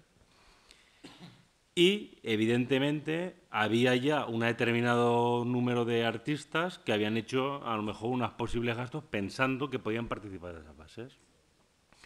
Como evidentemente aquí nadie de los que inicialmente planteados podían o, pensaban que, que, podía quedarse fuera de la propuesta que estábamos teniendo, realmente nosotros hemos traído aquella propuesta con aquellos que han hecho los gastos correspondientes al ejercicio 2017. Que para el año que viene las formas deberían de ser a través de una subvención con unas bases, con una convocatoria en pública concurrencia, pues evidentemente. Pero yo creo que eso tiene que ser también el compromiso de todos los que estamos aquí para consensuar qué criterios son los que tenemos que poner. Pero, ojo, este ayuntamiento lleva mucho tiempo haciendo, subvencionando actividades concretas como puede ser las ediciones de libros. Y nadie ha dicho nada hasta la fecha. ¿Vale? Lo hemos hecho también, ha habido concursos asociados al el evento que celebra la Asociación de Poesía, que el ayuntamiento, de alguna manera, también financia. Por tanto, sí que hay otra serie de actividades que el ayuntamiento participa, que a lo mejor deberíamos de buscar criterios que se puedan asemejar más a las bases que se pueden establecer con el poesía, pues a lo mejor lo podríamos plantear. Pero yo creo que la realidad que tiene cada evento o cada actividad la hace diferente. Y esa realidad es la que hace la que nosotros nos tenemos que, de alguna manera, intentar adaptar. Que todo aquello que este ayuntamiento pueda realizar a través de una base, de una convocatoria pública, es mejor que lo que estamos haciendo, evidentemente. Pero es que lo que estamos haciendo nosotros ahora, yo creo que mejora la manera en la que se venía trabajando con años anteriores, donde cualquier asociación, cualquier actividad que se desarrollaba, se emitía la factura y el ayuntamiento la pagaba. ¿Hemos mejorado? Sí. ¿Que nos queda por mejorar? Evidentemente nos queda por mejorar y ese es el camino en el cual nosotros nos encontramos. Muchas gracias, señor regidor. Señor Fuster. Sí, gracias. Bueno, me reconoce que, que, lo que he dicho tenía razón. Que el año que viene, cuando hagan lo que está diciendo que van a hacer, yo le he dicho que le apoyaré. Entonces, en eso estamos de acuerdo, en que las, cosas se hagan como toca, que se haga un procedimiento, que se abra a todos, a todos los cantantes o cualquier tipo de acto, y es lo que yo he dicho. Entonces, y eso le apoyaré. No sé por qué habla de caciques, enseguida tira la pelota afuera. Yo no he dado dinero a nadie. El gobierno lo ha dado, no lo ha dado usted, claro. Es una forma de hablar. Igual es que no conoce la cultura del capitán Moro. Pero bueno, en lo que sí que le tengo que dar la razón es que me he equivocado. Era subvencions entitats culturals. Al veure entitats o associat a les associacions. Li dono la raó, era entitats culturals. Però bueno, la partida de 1.877 euros. però seguís dient el mateix, si les coses les fem bé, s'apoyaran. Si les fem aixina, aunque el fi siga bo, aunque aquestes persones ho mereixen, aunque siga per a patrocinar la cultura, per a eh, patrocinar la música, però o les coses se fan bé o no poden tindre el nostre apoyo. Moltes gràcies. ¿Algún torn de paraula? Sí, per favor. Señor sí, Navarro. alcalde. Eh, disculpe, señor Navarro. Señor Mestre. Sí, gràcies, senyor alcalde. Bueno, així s'està parlant d'unes subvencions nominatives que són un instrument de les administracions públiques per a dinamitzar la vida cultural, associativa del, del, del, del poble i, i se pot utilitzar bé per a incentivar eh, les activitats culturals de la música, de la literatura, de la poesia i així és com se fa. Se podrà millorar més o menys, però bueno, eh, no, és mala so no és mala cosa que se faça, se podrà discutir com, però a millor no el fet de que se faça, perquè això és el tipus de coses que també, senyor Serafín, col·laboren a corregir la tendència que té Silla a ser un poble dormitori, perquè quan dinamitzem la vida cultural i associativa podrem invertir un poc aquesta tendència que té el poble de Silla a ser poble dormitori. Si vostè no és capaç de diagnosticar aquest problema del poble, a és que vostè no vol veure la realitat i precisament perquè no la veu o la ignora, a per això se tirà una legislatura sencera sense fer absolutament res, res de participació, perquè potser és que vostè la participació l'entén eh, com anar als actes i, i a les festes i a les inauguracions i a les celebracions, que per cert, demà en la Biblioteca del Poble sí que estarem allí per a inaugurar-la perquè és un hit absolut precisament en la vida cultural del poble, confiem veure-lo allí. Però des de luego que la participació no s'entén senzillament assistint als actes. La participació i promoure la participació és el que s'està fent ara des de la regidoria de participació i per a fer-ho no me fa falta anar als actes. No és el mateix una cosa que l'altra, molt bé anar als actes, però la participació política, política de la ciutadania se fa des d'una regidoria o que vostè tinc entès que la responsable de participació me pot dir a mi què és el que crec que sí, ho posava en un acte, i si no era vostè era amada no ho tinc clar. En qualsevol cas el seu govern en participació no va fer absolutament res i li vaig donar una dada. El procés de participació que se va fer per a remodelar el tram de l'Avinguda d'Aracant va costar 374 euros. 374 euros. Sap què passa, senyor Serafín? Que quan tu es pensa que el poble està perfecte, aleshores no fa res. Que és el que va, vostè, el que va fer vostè, i no sóc jo que ho diu, eh? no sóc jo que ho diu. En tota la seva legislatura se va dedicar a no fer res. Si el poble està perfecte, si no n'hi ha ningú problema, si el diagnòstic és que està tot bé, aleshores què hi ha que fer? anar a, a, als actes, simplement. I potser és el que s'hi dedicava vostè a fer en la seva legislatura. Així treballem pel poble, tratem de dinamitzar-lo i donar-li vida i que la participació augmente i que cada vegada la comunitat estiga més cohesionada. Mentrestant vostè vaig als actes, es veurem de tant en tant. Moltes gràcies. Senyor Navarro. Eh, senyor Valentín, nosaltres estem d'acord, la subvenció hi ha que donar-la i a més a més en aquest cas me pareix que està perfecta perquè coincideix en el que nosaltres sempre demanem, que és que és allò que faça. Per tant, si és una edició de CDs, pues, lògicament se justifica el que estan fent, no en altre tipus d'associacions com se dona la subvenció. Però continuen vostès fent-les exactament igual. Nominatives s'ha dit, no ha canviat res. Solament que ara aniran en els pressupostos el llistat en la subvenció, no ha canviat res. Abans se feia així, mire, Fa temps no. En algun regidor de Cultura, en el govern del senyor Baixauli, ho recordaré, va haver un regidor de Cultura i de Participació que es va decidir a fer unes bases i les associacions totes tingueren que presentar tota una sèrie de propostes i a partir d'ahir se repartia la partida econòmica. És veritat que a partir d'ahir se va morir i ja s'acaba. I en quant a l'edició de llibres, he de dir-li que si era per este regidor, quan va estar de regidor de Cultura, va ser l'últim any en què se va fer concurs de novel·la, de poesia i d'història local a partir d'aleshores tampoc, però un concurs, i lògicament, clar, s'editava, i era el compromís. Lògicament. El que nosaltres li demanem és que, a part de que siga nominatiu, pues, que a la resta del personal també pugui haver algun tipus de competència, perquè si no, no té sentit. Senyor Simeón. Moltes gràcies, senyor alcalde. Vaig a refrescar-li la memòria de lo que varen fer la legislatura passada. Mire, quan entrarem, val? La empresa de neteja portava tres mesos sense pagar als treballadors. La empresa de neteja dels edificis municipals, i mes, deixava de pagar als treballadors. I només entrar, eh, tingui una reunió en en el despatx perquè la empresa ja no es pagava la nòmina. els treballadors de l'Ajuntament, els treballadors de l'Ajuntament, i se mes no cobraven la nòmina. N'hi havia 231.000 euros en el compte per a pagar la nòmina del mes de juny. I com vostè veurà en el decret d'alcaldia, la nòmina del mes de juny, que és la paga doble, és algo més de 231.000 euros. Val? Això per ahir. Més a banda, més de 6 milions i mig d'euros en factures per pagar. ¿Val? Entonces, eh, después de una legislatura con la que varen tindre, eh, eh, després de sanechar, o quasi sanechar l'Ajuntament, que vostès encara es queda faena per fer, eh, no dic que nosaltres serem els salvadores de la pàtria, eh, així i tot organitzarem una infinitat d'actes i i participar moltíssima gent durant tota la legislatura. En menys diners, més econòmics, vostès ara tenen la sort de disposar molts més diners doncs, per poder fer un dia de les paelles a lo grande, per a poder fer eh, moltes activitats, en festes gastar-se més diners i per poder donar participació a la gent eh, i, i tal. A banda d'això, a, banda de mitjanejar l'Ajuntament, vostè en esta legislatura eh, arrastren més de 6 milions d'euros en, en obres que s'estan eh, fent durant aquesta legislatura. Per tant, l'herència que vostè ha recibit i que afortunadament per a aquest poble se pot disfrutar, pues, eh, el govern anterior en la cara ben alta.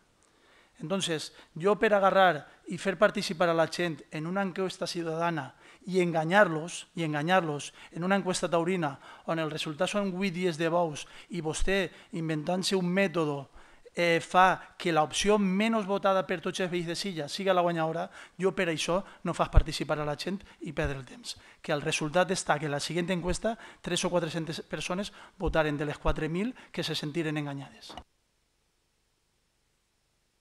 Moltes gràcies. Senyor... Señor mestre... Ay, disculpe, señor mestre, no. Señor Mateo. Sí, alcalde. Eh, vamos a ver. Yo poco que decir, solamente decirle al señor Juan Fuster, que me parece esto reiterativo, que lo que usted ha dicho, yo ya lo dije en la comisión, es decir, si usted cuando venga a los plenos va a repetir mis intervenciones en la comisión, de la comisión, pues evidentemente yo le daré la razón en la parte que copie de mi intervención en la comisión. Por tanto, o sea, pero bueno, si vamos, si llegamos a eso es a lo que llegamos al pleno, pues tampoco vamos a pedir más. Yo, señor Antonio, le acepto su propuesta y creo que todo lo que sea mejorar para la actividad cultural de este pueblo, este concejal está dispuesto a abrirla. Incluso yo desconocía que cuando usted estuvo ese, había un concurso de novela, pues una propuesta que creo que podríamos estudiar para ver de qué manera se puede relanzar incluso en colaboración con los institutos, con la concejala de educación. Me parece una idea muy interesante, por tanto, este equipo de gobierno, este concejal, está dispuesto a todo lo que sea mejorar la actividad de esta concejalía y que implique una mayor actividad cultural del municipio, será bien recibida. Muchas gracias. Bueno, eh, a pasar a, a les votacions. Vots a favor del punt? Vots en contra? Abstencions? Moltes gràcies. Passem al segon punt. Perdoneu, estem en el plenari. 3.7. Proposta de limitació de l'àmbit del port de Silla, sometre a informació pública. Senyora interventora, senyora secretària, per favor, senyora regidora.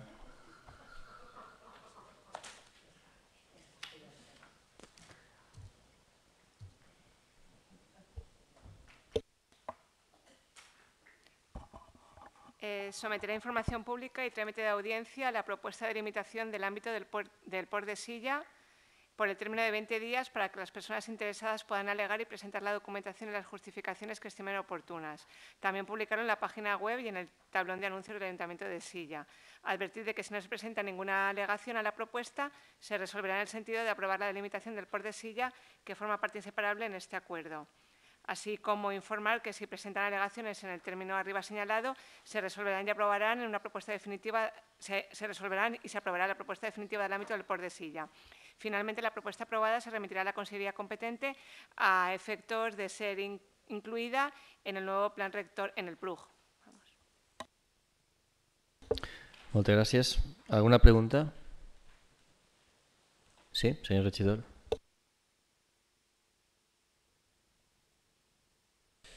És una pregunta proposta, a lo millor, i, i si m'enganya perquè no ho he detectat jo en l'informe, pues que se me diga.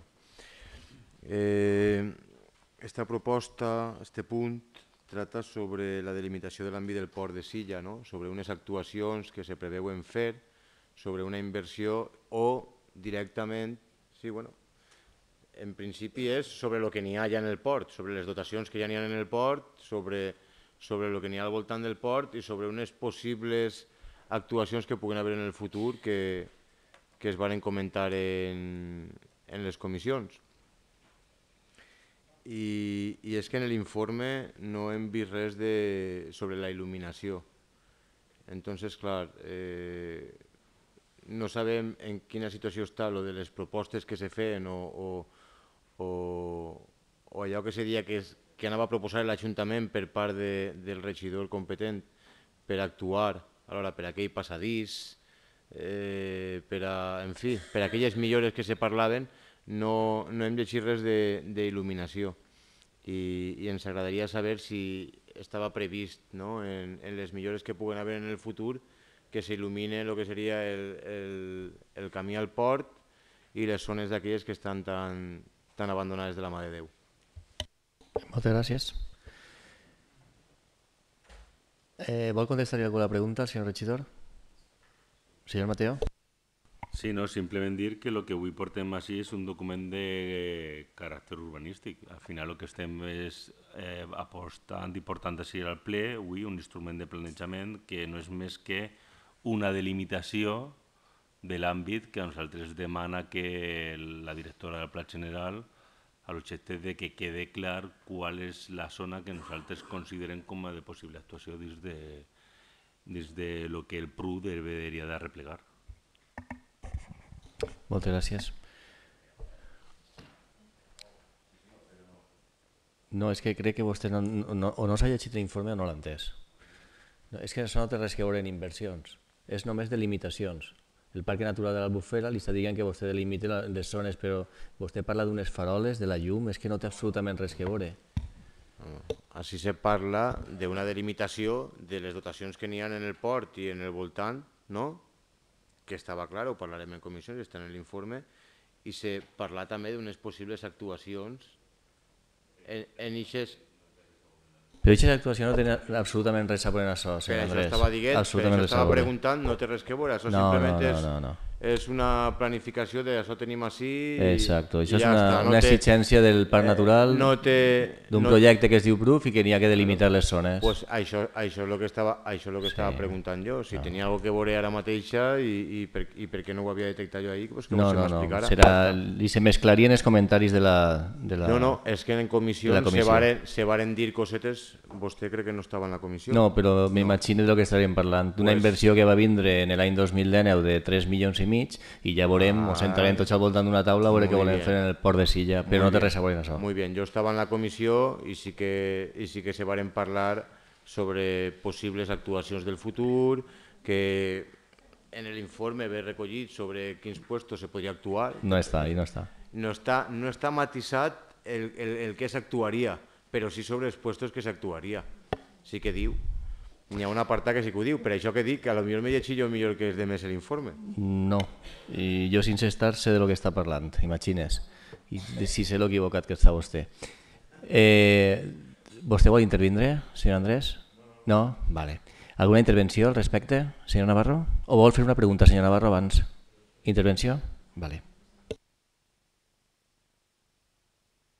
Sí, eh, nosotros intervenimos para dejar de manifiesto nuestro voto en contra al considerar que la delimitación que se plantea para el puerto nosotros la creemos insuficiente y que no lleva con, ello, salvo que ustedes ya tengan algún tipo de acuerdo o demás, ningún tipo de, digamos, mm, alcance para el municipio de Silla.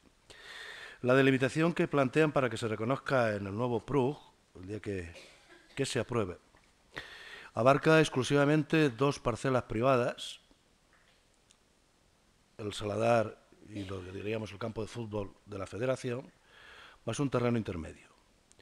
Nosotros creemos que, ya que ustedes están y nos han vendido en prensa reiteradamente que tenemos ahí 3 millones de euros en un proyecto del puerto, que nosotros preguntamos en comisión informativa dónde estaba en esa partida y que no está en ningún lado, pero que hay una entelequia que dice que sí, que vendrán, y usted lo acaba de repetir ahora, en el 2019.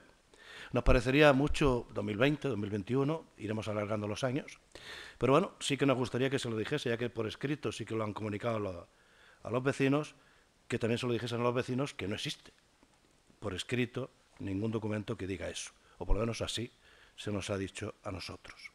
Pero vamos, si es así, como decían ustedes, nosotros no entendíamos cómo, si ya había un proyecto de puerto en este municipio, es verdad que cerca de unos 8 millones de inversión, más dos de expropiaciones y demás, ¿por qué no en la delimitación que ahora se planteaba para el PRUG ya no se incluía pues, una previsión de por dónde podía ir ese tipo de proyecto con los aledaños a lo que ustedes exclusivamente plantean.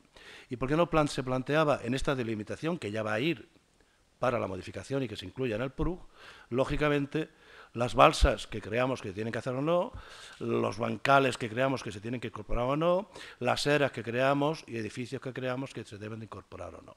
Entonces no entendemos por qué en esa delimitación que se hace ahora no va incorporada otro tipo de delimitación mayor. Como tampoco entendemos que lógicamente ya podríamos avanzarnos de que si es porque se va a derribar o está en peligro la zona del Saladar, cosa que nosotros no creemos, la intervención pública, vamos ahí en ayuda de dos motivos privados sin que nosotros entendamos por qué el proyecto que este pueblo necesita no se incorpora o no lo vemos planteado en esa delimitación. Entonces, como no sabemos más que teorías de 3 millones, proyectos de puerto que venden pero que no vemos y lo que sí que llega a la casa es una delimitación del puerto para incorporar dos instituciones privadas dentro del PRUC, pues nos gustaría saber por qué lo otro no y por eso nosotros, como lo otro no está, votaremos en contra.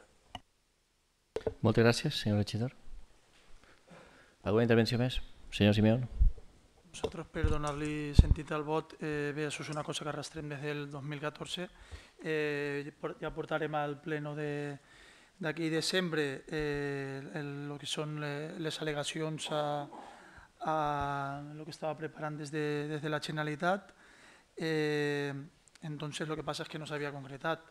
Eh, bé, cert, s'agradaria votar a favor, anem a estindre's, mm, perquè és una cosa que no sabem les negociacions que han tingut vostès en el parc, si han ficat aquesta delimitació perquè, digamos, el parc ho veu en bons ulls, i si ampliaren les delimitacions a lo millor ficarien pegues, no ho sabem. Entonces, per tant, eh, quan no, no sabem eh, fins a la cuina eh, les converses que han tingut, pues, eh, en aquest sentit s'abstindrem. Moltes gràcies. Eh, va defendre vostè el punt? Vaig a parlar jo en nom de, del PSOE, abans de vostè. Respecte, el senyor Antonio Navarro estava fent una sèrie de preguntes, igual pues, per desconeixement, jo li vaig a contestar absolutament totes. Molt bé, vostè diu que si en un futur van a invertir aquests 3 milions i mig, perquè no han, eh, han, mos han avançat i han fet la distribució la distribució en el parc de les Ceres d'on vaig anar invertits. I vostè ha nombrat, ha nombrat el que són edificis i el que són eres. Efectivament, quan nosaltres anàrem a la sèquia del, quan nosaltres anàrem a la Confederació Hidrogràfica del Xúquer a València eh, i des 10 milions, 8 milions i pico, quasi 10 milions que n'hi havia, resulta que ens trobaren que n'hi havia 3 i mig en un pla de conques que havien llevat. Això està en la base de dades. Vostè diu, no n'hi ha res per escrit, pot entrar a la base de dades, demà li ho enviaré si vol per escrit i veurà on estan aquests 3 milions i mig pa, pa silla. Entonces, dichos 10 milions quasi, deixarem 3 milions i mig, que era un pla de conques. Varen dividir els 10 milions i digueren, així ja li toquen 3 milions i mig per un pla de conques. I aquest pla de conques sols seran per actuacions de la Confederació Hidrogràfica del Xúquer, és a dir, tot allò que té que veure en tot el que la Confederació treballa. No fem ningú tipus d'edificis ni anem a fer ningú tipus de meravilles. Així les obres faraòniques s'han acabat.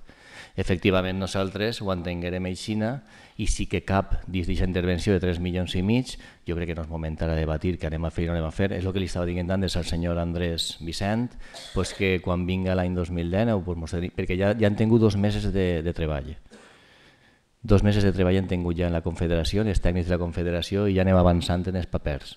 Entonces, quan arribi el dia de que tinguem que veure què és el que anem a fer en aquests 3 milions i mig, quan hi ha una agrupació d'usuaris del port, ens juntarem tots, juntar tots els equips, de, tant de govern com de l'oposició, i veurem en aquests diners que podem fer i què ens deixen fer. Té raó vostè quan diu, no ho previst, clar que ho han previst, el que passa és que no dona pa moltes floritures, també li ho dic, no dona pa moltes floritures. I això és el que volia contestar-li. Vostè preguntava que va votar, en, vostè dia que va votar en contra perquè no sap on estan aquests diners i no sap què se van invertir, pues jo li dic que vote a favor, que aquests diners vindran i aquests diners s'invertiran. I en la seva ajuda, lo millor, ben invertits. Señor regidor, señor Mateo. Bien, muchas gracias. Vamos a ver. Eh, ¿Esto de qué viene? Pues no surge de que un día se levanta el concejal de urbanismo y dice, pues voy a delimitar el por de silla. No.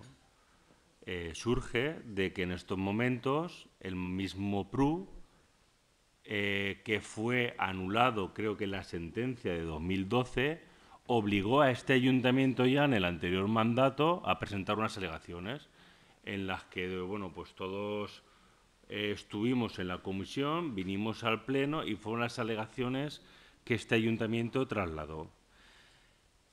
Eh, lo que ha hecho este concejal ha sido, uno, preocuparse por el estado del PRU, después desde que el 2012 todavía no se ha hecho la revisión y no se ha hecho la aprobación definitiva. Y en esas reuniones que tenemos con la directora del Parque Natural, lo que nos traslada es, estamos estudiando las alegaciones, pero eh, os solicitamos a vosotros, como al resto de municipios que linda con el Parque Natural de la Albufera, que delimitéis claramente vuestro ámbito de actuación o vuestro ámbito de alguna manera de, dotaciones o de infraestructuras que vosotros tenéis en estos momentos. Y nosotros lo que hacemos es estudiar la situación que tenemos. ¿Qué tenemos? Lo que ya nuestro propio plan general recoge. Y nuestro propio plan general recoge dos equipamientos. Dos equipamientos que es el, el Camp del Port ¿eh? y el Saladar dos equipamientos totalmente mm, desunidos de un ámbito que sería el por de silla. Y evidentemente, si nosotros entendemos que lo que más valor tiene de esa zona es el por de silla, es lo que tenemos que intentar delimitar como zona de prioridad en cuanto a las actuaciones del municipio. ¿Que hubo gente en los años 70 que planteaba que había que hacer 40 torres en el Saler? Pues sí. Que hubo gente que después de ver en plena burbuja planteaba que había que construir la albufera, pues sí. Que hay gente que el ámbito que nosotros hemos delimitado en el par natural, uniendo los dos equipamientos deportivos, tiene que ser tres veces esa superficie, cuatro veces esa superficie, pues bueno, ahora nosotros lo que hacemos es hacer un periodo de información pública Tendremos las reuniones y en coordinación con la Concejalía de Participación, con las asociaciones que hacen uso del POR, tanto también los propios particulares afectados y que cada uno plantee las alegaciones que se tienen que plantear. Esto en ningún momento es un documento cerrado. Es más, por parte del Parque Natural se nos planteaba pues bueno, que hiciésemos bien mediante aprobación de Junta o bien mediante aprobación de un decreto la delimitación del ámbito y nosotros creíamos que era más coherente iniciar el procedimiento trayéndolo aquí para que todo el mundo pudiese conocer un ámbito tan prioritario como es el por de silla y que pueda surgir del debate cuál es el ámbito que queremos coger las parcelas que lindan a los ejes, tanto el canal de salida del port como el cami del port y también el cami del Saladar. Pues bueno, eso que salga de la participación, que se defina, pero evidentemente lo que sí que nosotros estamos planteando es que el ámbito de actuación es un ámbito evidentemente reducido. Y ojo, reducido no quiere decir que a nosotros el parque natural nos permita que lo que en ese ámbito esté incluido como, humedal como zona de trabajo, como zona de arrozal, se pueda reconvertir en un solar y un equipamiento, ni mucho menos. Todo lo contrario, o sea, son muy estrictos en que las zonas de humedales se tienen que mantener. Pero sí que es cierto que también estamos marcando claramente que el saladar, para tener una viabilidad, tiene que unirse funcionalmente con el port y el camp del port también tiene que estar unido al equipamiento del saladar y del port. Por tanto, eso es lo que nosotros marcamos en la delimitación. Que luego las inversiones de infraestructuras sean unas, pues serán las que este ayuntamiento, esté quien esté en ese momento, sean las que definan. Que usted, señor Andrés, quiere iluminar el camino del port, pues será una actuación que usted planteará y el concejal correspondiente que esté asumirá si esa actuación se hace o no se hace. Pero evidentemente estamos delimitando un ámbito que marca una unidad funcional y una unidad de prioridad de actuación en el municipio. Muchas gracias, señor regidor. Señor Fuster. Sí, gràcies. Volia escoltar primer a veure què dient per a poder dir... No, perdone, si no repetisc. Si vostè s'inventa les coses, jo li dic que estic a favor de lo que va dir, això no és repetir. Si vostè no, no vol que estigui a favor seu, perfecte. A partir d'ara estaré tot en contra. I jo més content que content. Content. Bé, si parlem d'aquest tema, i no me talla, li diré que el problema que veig és les limitacions. Són les que presenten, d'acord, però veig que són escasses. Jo no vull que el projecte que circulava de fa uns quants anys, que era massa gran, que agarrava olla de cas d'arròs, que se volien fer balses, que se volien fer infinitat de coses que pense que no tenia, que no tenia sentit. Però sí que veig que queda un poc limitat l'agarrafar de lo que és el port a soles a les dues zones esportives i dos cas d'arròs entremig. Bueno, un entremig i un en el cantó del Saladar. En canvi, per lo que està dient que possiblement l'albufera no deixa eh, canviar l'ús d'escàs d'arròs, però sí que en fiquem dos dins d'aquest àmbit, i eh, camps o eh, espais que ja estan edificats o que tenen formigó, com és el pàrquing que n'hi ha allí, que això no se, que se deixi fora, que no se puga eh, valorar el poder fer alguna cosa. Estem parlant que és un àmbit, no és fer una obra, però sí que pense que si delimitem l'àmbit, possiblement estem deixant fora a unes parcel·les que a lo millor sí que podria interessar en el futur, a qui estiga, el poder eh, tirar avant el port, fer-lo més turístic, i no dic de fer torres, ni de fer edificis, ni de fer restaurants, però sí que eh, donar-li més valor al port i poder utilitzar-lo per, a, per a tots els veïns de Silla. I ja que n'hi ha unes altres parcel·les, i no dic això en concret, però sí que si agarrem el que és el port a una banda, per què no podem agarrar un poc també a l'altra? El límit, no ho sé, no l'animal que n'hi havia abans, però sí que pense que en aquesta delimitació es queda un poc curta. I si és per el tema d'agafar eh, camps, ja li dic que n'hi ha unes quantes parcel·les que se queden fora que no són camps. Eh, per tant, eh, s'estindrem en aquest punt perquè pense que se queda curt. Gràcies. Moltes gràcies. Señor Navarro. Sí, a nosotros nos parece perfecto que la Confederación estén los 3 millones ahí asignados en una partida. Le recordamos que antes había 10, luego 8, ahora 3. Lo que esperamos es cuando está en la partida en nuestro pueblo. Pero lo que ustedes han vendido, y AESI se sumó enseguida y ustedes lo vendieron con AESI, que no sé qué, ahora, ahora de esto, si lo han planteado ustedes con AESI, también esta delimitación, era que los 3 millones iban para la modificación o para aquel proyecto del puerto. Sí, eso lo han vendido ustedes, lo podemos leer directamente en sus redes, en su punt y demás. ¿La sorpresa cuál es? La sorpresa es que ahora resulta que los 3 millones ya en principio ya no van para allá y que tenemos una delimitación de puerto que no es el que se nos había previsto. Bueno, pues eso se lo contará usted a los vecinos, ustedes a los vecinos de Silla. Nosotros estamos entonces en la parte anterior y es que creemos que la, delimitación del puerto de Silla no se debe eh, minorar a ese ámbito que ustedes plantean, que son exclusivamente el Saladar y el campo de fútbol. Y que, se tiene que ampliar. Otra cosa después serán las actuaciones. Pero claro, si usted ya está diciendo que los 3 millones van a invertir en carácter fluvial, pues explíquelo entonces a los vecinos para qué le han vendido otro tipo de proyecto en el puerto. Nosotros creemos que el ámbito de delimitación tiene que ser más amplio y luego ya veremos si se actúa o no. Y estoy de acuerdo, lo que ya veremos el proyecto no. Pero bueno, a medida que vayamos invirtiendo, iremos ampliando. Pero si la delimitación ya la tendremos, podremos empezar.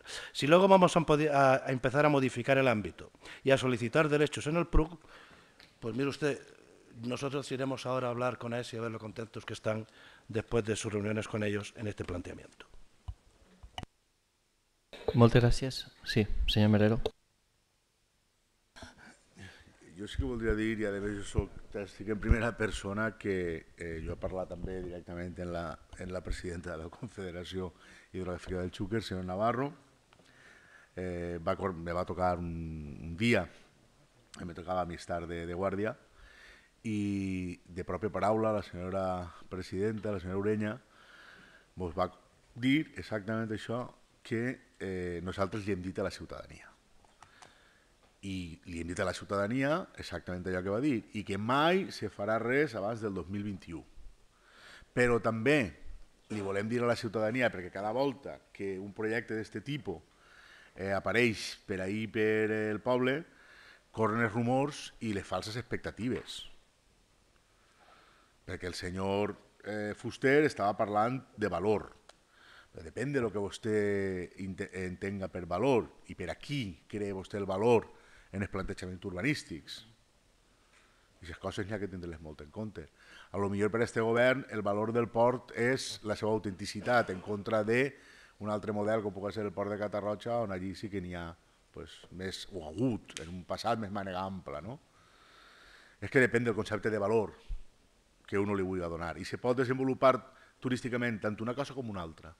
Una, perquè ja està allí i perquè és el que és, i una altra perquè hi ha gent que busca l'autèntic i busca veure un port que encara conserva el sabor d'un port original de, de l'Albufera. Pues les dues coses poden ser valor i es poden interpretar com valor. Però jo el que sí que volia dir és que hem fet mal en mesclar una cosa i l'altra, perquè evidentment quan tu dones aquestes expectatives de 3 milions i mig d'euros que van a vindre al poble, hem fet mal en pensar que el que estem fent ara té una relació directa amb les inversions que se faran en un futur. Perquè les inversions que se faran en un futur, pues bueno, la Confederació Hidrogràfica ja dit que edificis no, asfalt no, eh, etc etc. Què se podrà fer? Pues portar el clavegram, portar l'aigua potable, posar urinaris, acondicionar-lo per a l'ús turístic de les persones. Se podrà actuar sobre una parcel·la privada perquè aquest privat se beneficie? Pues no. Pues no se podrà. I és el tema. Ara bé, el document, com comentava el senyor Mateos, és un document que està obert, que el podíem no haver portat ni tan siquiera a este ple i que, i que està obert a al·legacions. Les al·legacions s'estudiaran, se miraran en tots els interessats i, i al final el port ha de ser una, un bé per a tots, no una qüestió que siga de discussió, però que no alcem falses expectatives, que no vinguem així a muntar-nos el castell en l'aire que després sabem el que passa en aquestes coses. Moltíssimes gràcies, senyor regidor, i en la mateixa línia anava jo. En la reunió dels empresaris jo a vostè no el vaig veure, senyor Navarro. No el vaig veure, senyor Navarro. De la vegada, no volia dir-ho, no vaig a dir-li-ho, però si al final el senyor mestre tindrà raó al final tindrà raó el seu mestre. En la reunió que tinguem en AESI van ser molt cautos i molt prudents. I aquells senyors van dir el mateix que acaben de dir així que a, que a tots vostès i que a tot el món. Dic que aquests 3 milions i mig eren finalistes sols per a actuacions que vingueren de la Confederació Hidrogràfica de Xúquer. Per tant, per favor, me disca vostès les paraules antes que dir-les. No cree falses expectatives. No diga que nosaltres venem coses que no és. Vostè no estava en aquesta reunió per saber el que nosaltres vam dir als empresaris. Tenim la gran, tenim la gran sort nosaltres de que quan diguem les coses les diguem en, en fonament i les diguem conforme són. Altra cosa és el que vostè se fiqui en el cap i el que vostè vulgui dir. Però mira, no vaig a continuar, no vaig a caure en, en l'error. Que hi d'un de que no vull caure i no vaig a caure. Senyor Mateo. Deus. Bien, yo creo que queda justificado el por qué nosotros delimitamos este ámbito. Es cierto que es un ámbito abierto en el periodo de exposición pública que coordinaremos con la Concejalía de Participación para que realmente los principales actores implicados puedan participar y hacer propuestas. Y sí que es cierto que la propia comisión se trasladó que también este concejal, a la vez que hablábamos con la directora general del Parque Natural, eh, le hacíamos una, un avance de propuesta que entendíamos que permitía resolver de alguna manera esa conexión del port de Silla con nuestro municipio y era e intentar estudiar, establecer algún tipo de conexiones ciclopeatonales con el port de Silla y el Saladar. Y se le trasladaba la propuesta que desde el punto de vista que nosotros estábamos estudiando veíamos que las secciones de las calzadas eran reducidas y que evidentemente hoy en día se es muy reacio a iniciar todo un tema de expropiaciones para poder ejecutar algún tipo de carril bici con el sobrecoste que eso generaría, pero que el propio parque natural no veía esa opción y que a lo mejor una opción a estudiar sería ver de qué manera el Camí del Por se podía unir con el Camí del Saladar, que son dos caminos muy próximos, a través de lo que sería la acequia que discurre tanto por el Port de Silla como por el, por el camp de fútbol, y hacer un circuito en único sentido que permitiese una conexión ciclista. Pero eso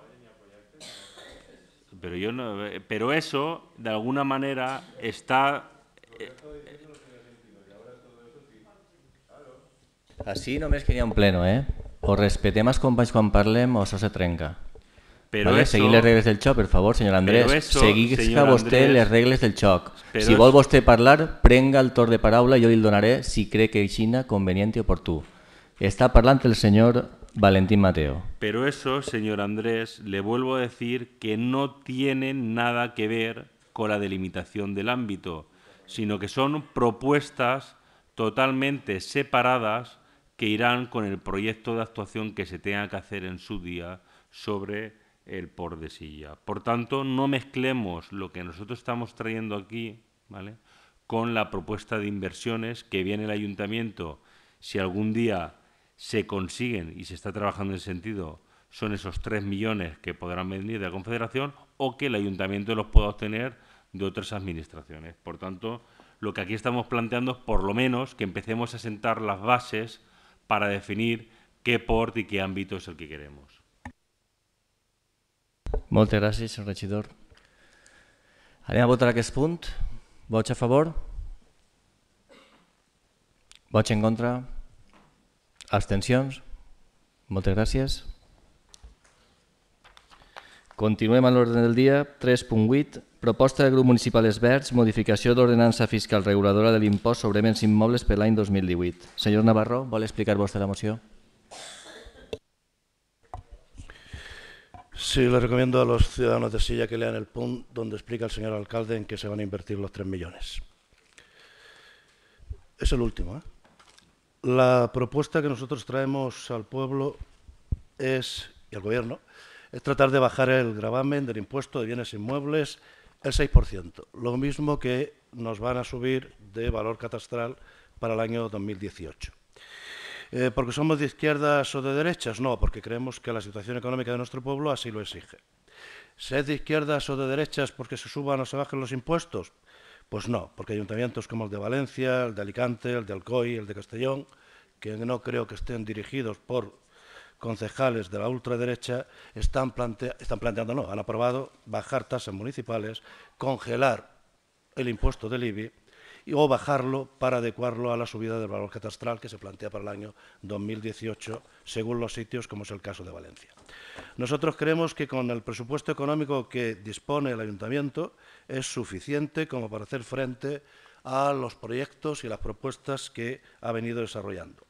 Y más cuando en su mismo presupuesto se hablaba de una disminución en cuanto a personal de cerca de 600.000 euros. Si la excusa era que, como se va a subir a los funcionarios el 1,8 no sé de dónde está, si los presupuestos no están aprobados. Hemos de subir entonces el 1,8, aunque de los presupuestos de los funcionarios se habla del 1,5. Hemos de subir entonces nosotros el impuesto del IBI para así poder pagar la subida de los funcionarios. Es verdad que utilizando ese tipo de demagogias, señor Salva, con el olor que usted quiera en el plenario, para quitarle el 0,25% que le han subido a los pensionistas y jubilados. Con ese 0,25 les podemos subir nosotros el 1,8. Entonces, creemos que se pueden hacer recortes dentro de, o gastos dentro de los presupuestos que ustedes plantean, o ninguno, porque ustedes mismos hablaban de 600.000 euros más en cuanto a personal, de ahí, lógicamente, se puede utilizar ese gasto del IBI. La propuesta, bajar el IBI para el año que viene, si entran en vigor, lógicamente, que entrarán sí o no, esa subida del valor catastral, que por cierto ya va al 23% en nuestro pueblo, bajarlo del 0,715 al 0,674. Ello no supone ningún daño para las arcas municipales, puesto que luego podríamos plantearnos en qué se pueden ahorrar, y eso lo explicamos el pleno pasado, los 125.000, que suponía la subida. Desde pagos en el VEDAT, alguna fiestecita que no toca, o mira, el mismo sombrerito de avance de Semana Santa que nos han colocado en la plaza con el gorro del penitente. Eh, ¿Alguna pregunta? Sí, señor. Vamos a ver, yo si entiendo la moción, lo que se trata no es de bajar el 1,8 que usted está mezclando del IBI, sino de bajar el valor catastral. Valor catastral. Entonces, ¿y mm, qué tiene que ver el 1,8 con bajar el valor catastral? Pregunto. El 1,8 lo que ustedes han subido de IBI para el año que viene, que nosotros creemos que es innecesario, y es lo que ahora mismo, si no se modifica, estará aprobado y ya se incluirá en presupuesto. Lo que nosotros planteamos es que el 1,8, lógicamente, que ustedes han planteado de subida, se elimina directamente y lo que planteamos es la bajada del 6% del valor catastral, que seguramente si entra en vigor. Si no entra en vigor nos quedamos como estamos, pero si entra en vigor bajamos al 0,674, que es lo que se está planteando en los distintos ayuntamientos, dada la subida del valor catastral. Por ejemplo, Valencia. ¿Alguna pregunta más? Señor Mestre. Sí, a mí és que m'ha fet una al·lusió personal el senyor Navarro mm, dient que li llevàvem el 0,25... És que no ho entès, voldria que repetira això, perquè no l'he entès. Perquè, perquè si volem... Però que quan utiliza si volem, usted la palabra si, demagogia, si volem, sí, se la pot si, explicar-solo. Sí, espera un moment. Perquè si volem argumentar bé la cosa i jo després vull que intervenir sobre això, vostè ho ha d'aclarir bé. Sí, sí, sí, lo voy a aclarar perfectamente. Es para que cuando utilice la palabra demagogia, la utilice con sentido. Y cuando utilice que vuela, que vuela en el plenario, lo utilice usted con sentido no visceral, con sentido político. Y yo le estaba diciendo que si quiere argumentos para demagogia, eso que usted nos acusa a los demás, le diré que el 0,25% que le ha subido el PP a los jubilados y pensionistas en este país, sí, sí, que le va a subir para el año que viene, ustedes se lo van a comer con el 1,8% que le van a subir del IBI. Eso es lo que le estoy diciendo. Y ahora usted, si quiere, aplique la demagogia donde quiera. Queda servida. Señor Mestre. Ya está, contestada la, pregunta. ¿Alguna intervención? Pues sí. Pues sí, señor Navarro, seguim coincidint després de més de 10 anys en les mateixes propostes. Sí, després de 10 anys seguim coincidint en les mateixes propostes, perquè portem més de 10 anys, veiem com els equips de govern que s'han anat tornant i s'han agarrat, i agarrat, anat agarrant el testic han anat pujant els impostos d'aquest poble. Cada vegada que les arques, de, les arques municipals s'han flaquejat, el primer que se li ha gravat i ha tingut que pagar més per lo mateix ha sigut al veí.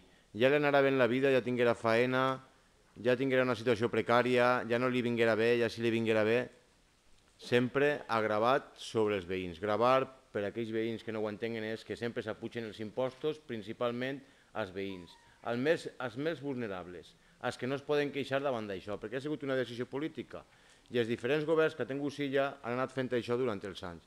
I en això ben coincidit el senyor Navarro i jo durant molts anys. Jo podria haver portat avui així una sèrie d'hasta vuit esmenes a lo llarg dels anys i una sèrie d'hasta sis o set mocions en relació a l'IBI, només estem parlant en relació a l'IBI, per a que feren el favor d'abaixar-lo. Perquè el que ha passat així en este poble i en, i, en, i en este país en general, en molts pobles, és que baix el pretext o l'excusa de que les arques estan mal, de que n'hi ha que sanejar els comptes, s'apugen els impostos i una vegada se sanegen més o menys els comptes, els impostos mai abaixen i mai tornen al seu moment primitiu. Però això passa en tot, passa en el combustible, passa en la llum, passa en l'àuia, passa en l'IBI, passa en els vehicles de tracció mecànica, passa en tot.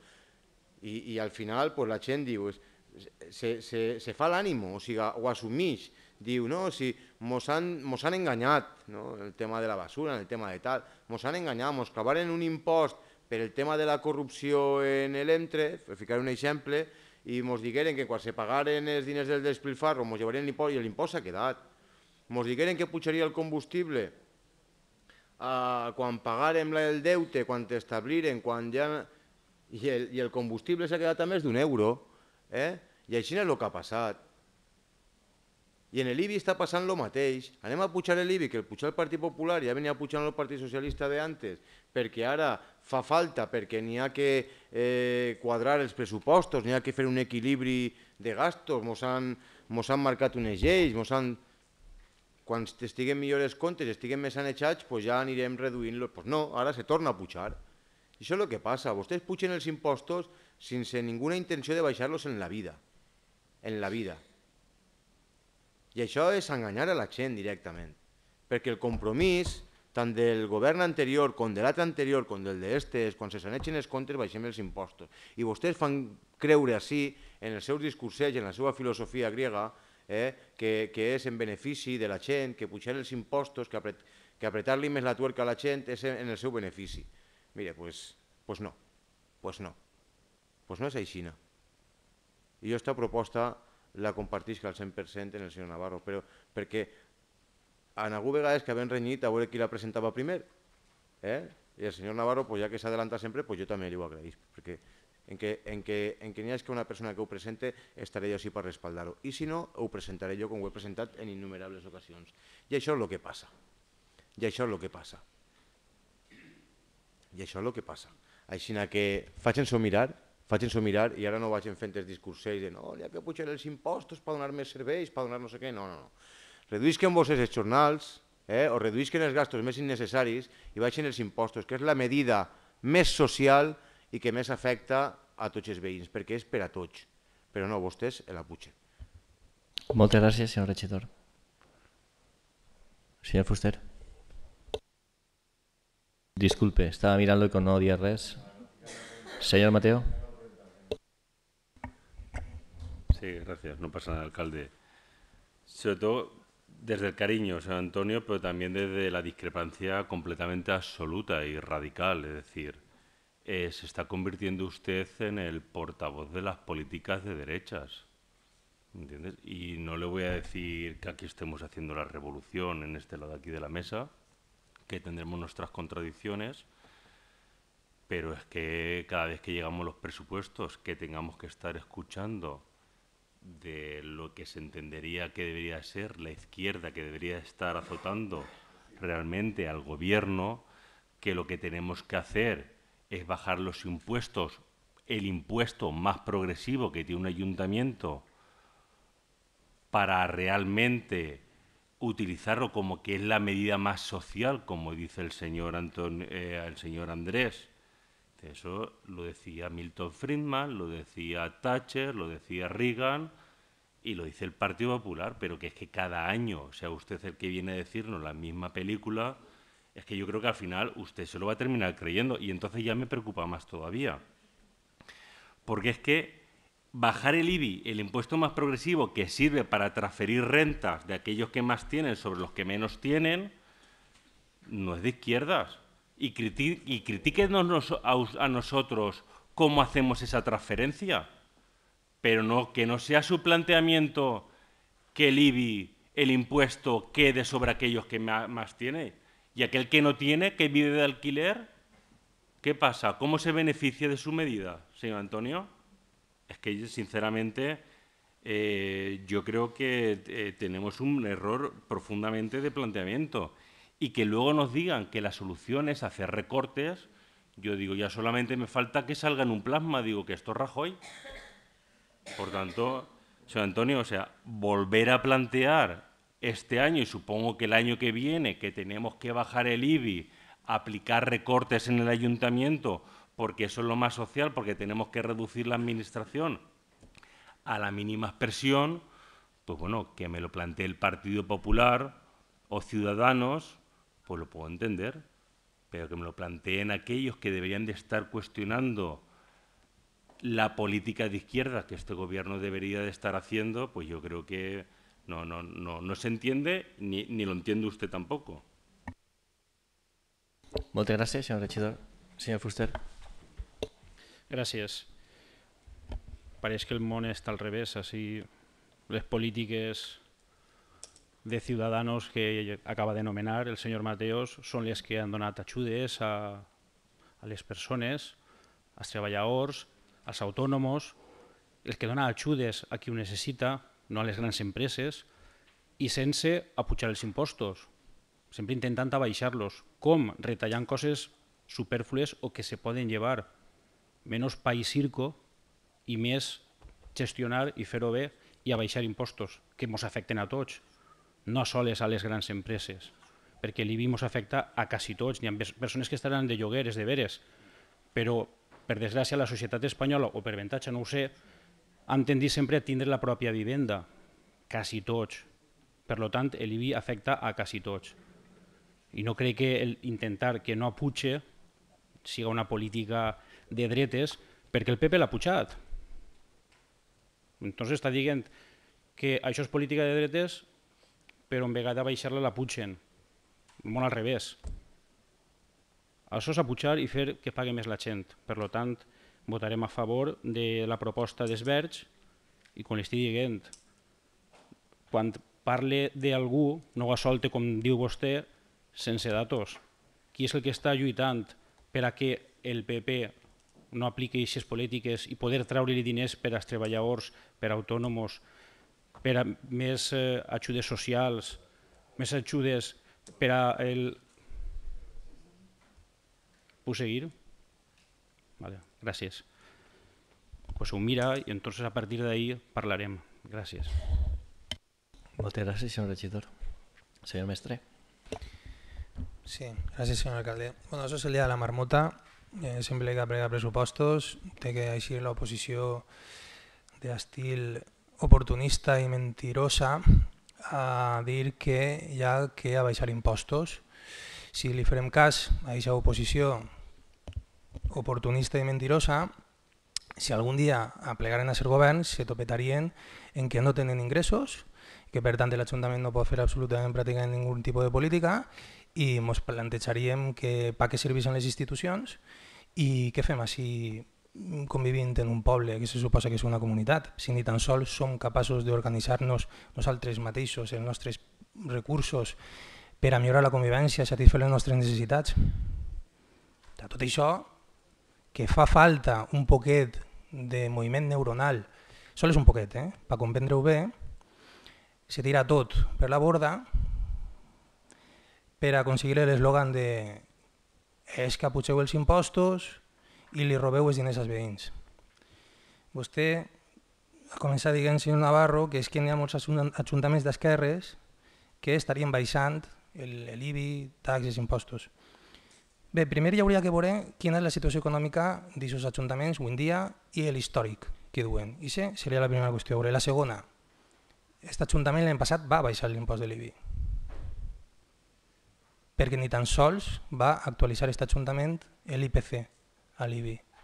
I això eh, se va demostrar així en l'últim plenari, perquè precisament aquest dia va eixir una, una notícia en premsa on se desvelava clarament que la mitja de la, del pagament de l'IBI en aquest poble va baixant de, si no recordo malament, 352 a 349 o cosa semblant, o 353 a 350 l'any següent. Això són dades. Per tant, no actualitzar l'IPC és baixar els impostos i actualitzar l'IPC és deixar l'impost tal qual.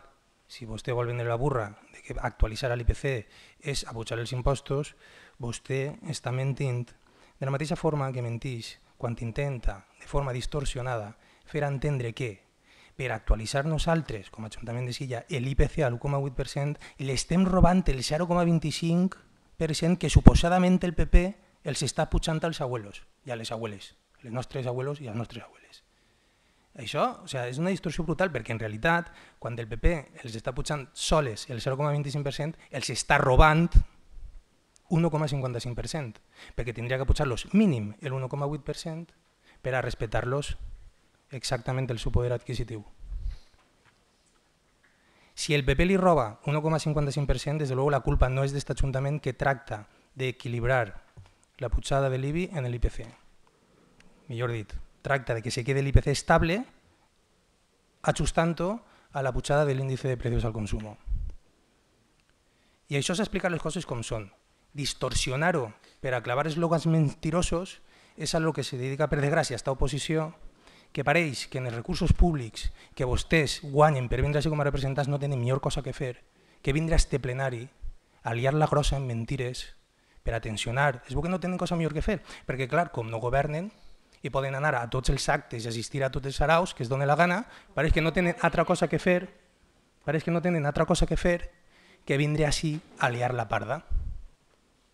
Si tingueren un poc la responsabilitat... Puc seguir, senyor alcalde? Que m'estan interrompint. Señora, señora, por favor, estamos en el plenario. Estamos en un plenario, por favor. Estaria bé que no se posara nerviós el públic quan estem parlant. Sí, bueno. que sea vostè, senyor regidor. Pues, no sé, m'ha tallat un poc el fil. Eh. Pense que estava eh, intentant fer una exhortació moral a l'oposició del nostre poble que fora un poc més digna políticament, en general, en els plantejaments que ha sigut al, al plenari. Seria una cosa molt profitosa per al poble en general perquè vindre així a tensionar simplement la vida política jo crec que no aporta res. No aporta res. Hi ha moltes coses que criticar, eh? se podrien fer moltes crítiques, sempre, en positiu, a que milloren, que tensionen cap a millor. Però crítiques destructives basades en la mentira l'únic que fan és posar entre bancs, no aportar absolutament res i empitjorar el l'àmbit polític del poble que és que inclús les perjudica a vostès, perquè si algun dia vostès venen així al govern, en què se van a trobar? En una dinàmica política absolutament destructiva, que és el que vostès estan criant des de fa anys. De una vergonya aliena de veure com vostès fan això, en sèrio. És una, és una vergonya. És un, com a ciutadà els ho dic, eh, de cor. És vergonyós. Mentires com que este govern apuja el valor catastral al 24%, pues haver dit 48%, ja que estem, vull dir, si per, per fer un eslògan... Moltes gràcies, senyor regidor. Senyor Melero. Jo és que crec que n'hi ha que parlar en propietat i sobretot en aquest tipus de coses per a que la gent pugui entendre conceptes que no són fàcils de, no són fàcils de, de pair i que són molt fàcils de manipular per la falta de coneixement i per la ignorància diguem, generalitzada que n'hi ha sobre el llenguatge econòmic. Pujar el 1,8%, que és pujar l'IPC, ja li ho han explicat, doncs probablement tota aquesta pujada se'n va en la pujada que anem a tindre que fer-li als treballadors de la casa que porten no sé quants anys amb els sous congelats per la crisi que s'ha passat en aquest país. I que enguany, no sé si és per primera vegada o per segona, es van a pujar simplement allò que puja el cost de la vida, com quan vostè fa el conveni col·lectiu, en l'empresa en la que estiga, i a vostè negocia que va pujar el, l'IPC o les previsions són l'1,8 i li apugen l'1,8 i prou, mentre que el sindicat demana el 2,5 per a millorar el poder adquisitiu.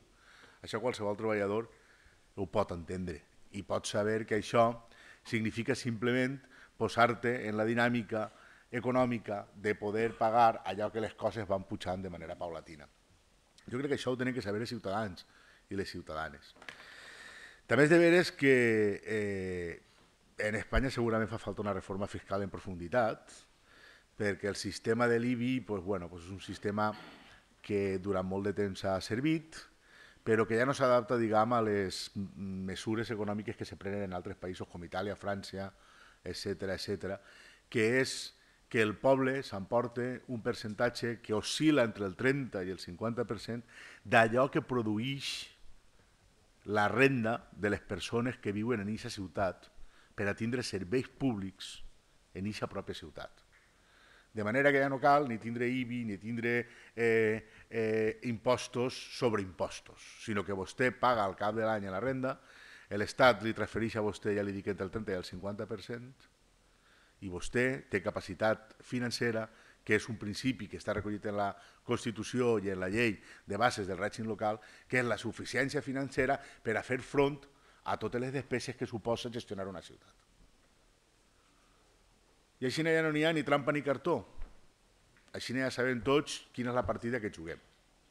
També li tinc que dir que l'IBI, com a impost, és essencialment curt per a la suficiència financera, que té que ser eh, eh, complementada amb les aportacions de l'Estat i amb subvencions de tot tipus d'altres administracions, subvencions de tot tipus, que no deixen de ser diners públics que se recapten per un puesto, se deixen de recaptar per un altre, perquè al final una subvenció de la Diputació no és més que l'aportació que fa l'Estat a la Diputació, per a que després la Diputació li faci a vostè unes bases per a que li diga què té que fer amb aquests diners, quan el lògic seria que tot i ser trasiego de diners i de burocràcia se l'estalviarem en un sistema fiscal molt més eh, barato i transparent. Però com que no és el cas, tenim IBI. Ja li dic que l'IBI no és, en, en Espanya en general, un impost eh, excessivament car. En, en, els, en el Regne Unit, per ficar-li un cas, tenen el Council Tax, la tassa de l'Ajuntament, li diuen allí, que serà una cosa així com 12 vegades el que paga un ciutadà espanyol per l'IBI. Perquè allí se paga mensualment i se paguen per una casa d'uns 50 metres quadrats eh, 500 euros al mes. El que així se ve a pagar a l'any per una casa de 110, de 110 metres quadrats. I ja li dic jo a vostè que per allí no passa ni la basura tots els dies ni el cagrana tots els dies. La basura passa una volta a la setmana i li diuen a vostè a quina hora passa i a quina hora té que deixar vostè la basura si vol que la repleguen i si no la setmana que ve més. No estic defensant aquest model, però estic dient-li que no se pot manipular a la gent en que si se paga molt o si deixa de pagar més o si deixa de pagar menys. Perquè al remat la gent vol els carrers nets, que li repleguen la basura tots els dies, que n'hi ha que llumen els carrers, etc etc etc etc. Per tant, jo crec que en aquestes coses, quan menys liem al personal, molt millor per a tots. Per a que estem ara sí i podríem estar demà allà. Moltes gràcies, senyor regidor. Senyor Cuenca. Gràcies, senyor alcalde. Eh, parlant de tassa de FEM, de replegada de FEM, si ja no paga tassa de replegada de FEM, està inclosa en l'IBI, és a dir, els 30-40 euros que Picassent, Alcácer o altres pobles paguen estan inclosos en l'IBI, per tant és molt més barat en comparació. Però bé, anem a plantejar qüestions, i jo li la planteja al senyor Fuster, eh, perquè ell se va estendre, si no m'equivoco, en el tema de la pujada dels ordenants, o votar a favor, no recorde, se va estendre, veritat. N'hi ha un, un paràgraf en el, en, el, en el tema de l'IBI que diu així, la resta d'usos és l'article 2, tipus de gravament, la resta d'usos indicada apartat anterior serà el 0,78%. En cas de que el Ministeri deixi d'aprovar un coeficient d'utilització de valors catastrals pel 2018 que reduirà els tipus de gravament de 2018 en el mateix percentatge, serà aplicable. Vol dir, això que planteja el Navarro ja està contemplat en l'ordenança. No va pujar el valor catastral de la vivenda i que repercutisca en el, en el, en el, en el rebut directament. Val? Per tant, la gent que no, que no veig més a pujades allà de l'1,8%. 1,8% que m'explica per activitat passiva per què se fa. 128.000 euros o 123.000 euros. Vale? O sigui, en tres anys, aquest Ajuntament ha gestionat, o va gestionar, 40 milions d'euros de pressupost. Baixar el 25% la taxa de les cadires dels bars, perquè era una reivindicació que era històrica i proporcionada. I apuja 123.000 euros el tema de l'IBI. I s'acaba el món? Uf, que curiós. Jo crec que no. Jo crec que no. Esta moció, data 21 de setembre de 2017, el web publica ordre del Ministeri. I aquesta ordre no diu quin increment d'IBI va haver. Sí, no, això és mentira. Mentira. I ho vaig a gravar en un plenari perquè l'ordre isca i la veig. No fica ningú percentatge. se remitís als pressupostos generals de l'Estat. Com que no hi ha pressupostos ni proposta de pressupostos, i aquest 6% pot ser una trampa mortal. Per què? Perquè pot ser que sigui el 4, en el qual vostè se queda dos per damunt, pot ser que sigui el 10. I me compromet públicament a demostrar això que li estic dient. I l'ordre no fica cap indicació de quin és el percentatge que baixa i l'IBI. Cap. Remetís, remetís a, a la llei d'acompanyament de pressupostos la qüestió. Com que no hi ha acompanyament de pressupostos perquè la situació actual no ho permet, no va haver pujada del catastre. I si n'hi ha per algun decret, pot ser del 6 o del 8 o del 10, perquè la suggerència del catastre és el 6, però el Ministeri pot determinar altra qüestió. Per tant, determinar-la és perillós. Què en fem nosaltres a l'ordenança? Si n'hi ha orden que puja, el que puja el Ministeri nosaltres ho, baixarem per a compensar. Per a compensar. Però on ve la seva demagògia, senyor Navarro?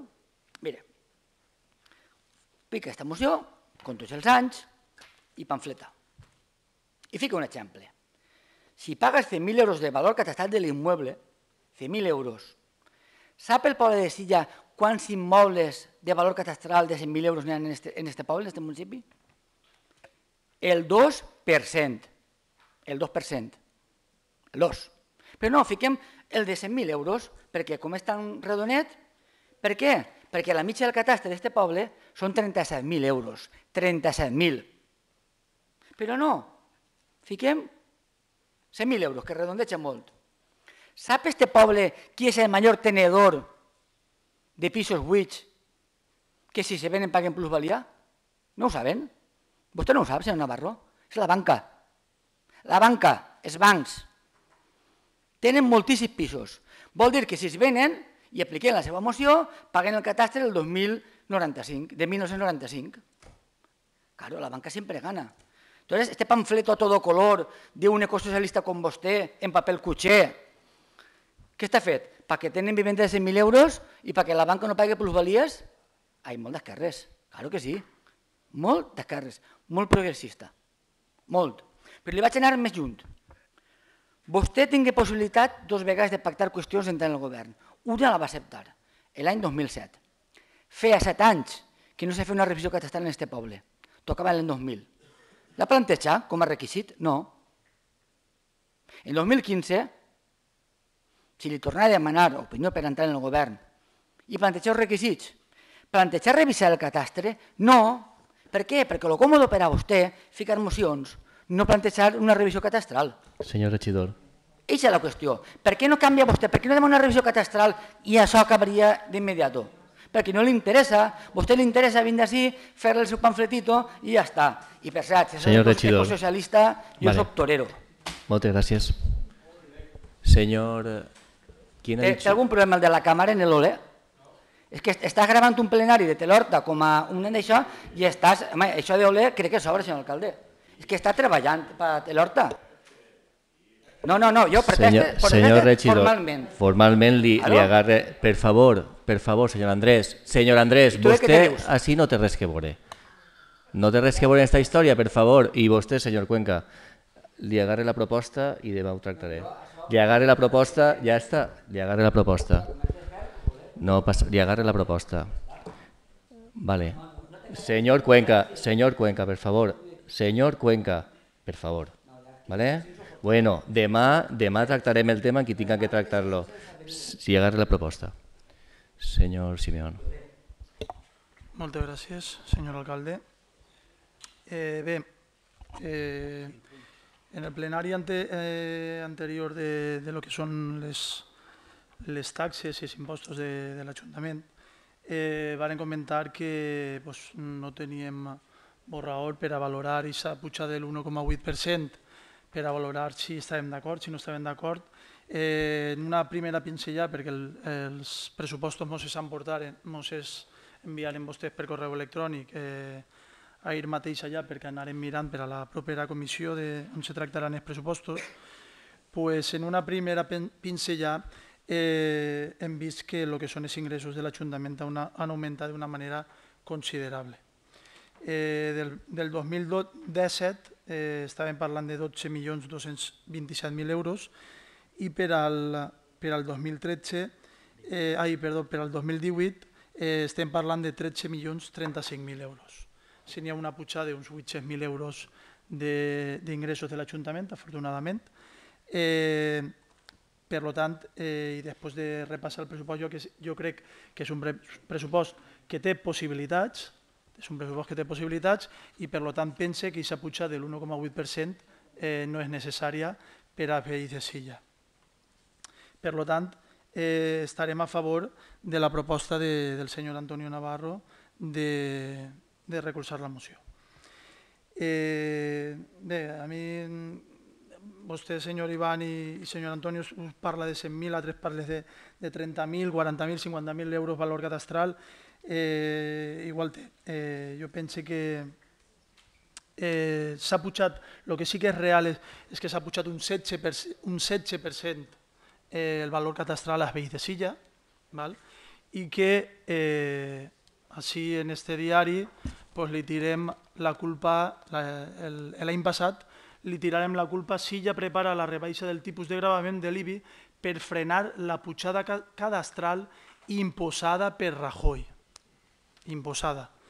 Eh, bé, això no és cert, que el govern del Partit Popular, el govern central, no ha imposat res i, i des d'ací no són mentirosos perquè tenim papers negre sobre blanc, senyor Salva Mestre. En un decret d'alcaldia del 2015, de juliol del 2015, eh, se demanà des de l'Ajuntament de Silla, vostè, vostè com a govern li demanà a Mariano Rajoy que li apujara un 10% el valor catastral de les vivendes de Silla, val? i per al 2016, eh, en el 2016, arribó una carta del Ministeri dient que eh, se, pueden, se van a incorporar en la Ley de Presupuestos Generales para 2017 para ese municipio el 1,06 eh, de, coeficiente siempre que se cumplan los requisitos establecidos. Eh, antes del 31 de mayo del 2016, ustedes tienen tiempo para desistir de la solicitud. Desistir. Eh, y usted en un panfleto diu que Rajoy imposa el valor la, la pucha del valor catastral de l'IBI. Qui és el mentirós? Qui diu mentires? Ho diguem l'oposició? Eh? Si, quiere desistir la si quiere desistir de la solicitud, hasta el 31 de mayo. ¿Desistir? ¿Usted va desistir? ¿El gobierno va desistir? No. Y unos meses después, figuen en un diario municipal subida del valor catastral imposada per Rajoy, per el PP. Això no és cert. Qui és el mentirós? El govern o l'oposició? Ara veurem enguany el que apujarà perquè vostès han recibit la mateixa carteta o l'hauran recibit i no hauran dit res tampoc. Val? I per això veurem el que ens apuja. Eh, bé, eh, vostè, senyor Ivan, ha dit que la gent que estiga tranquil·la perquè els impostos no van a pujar.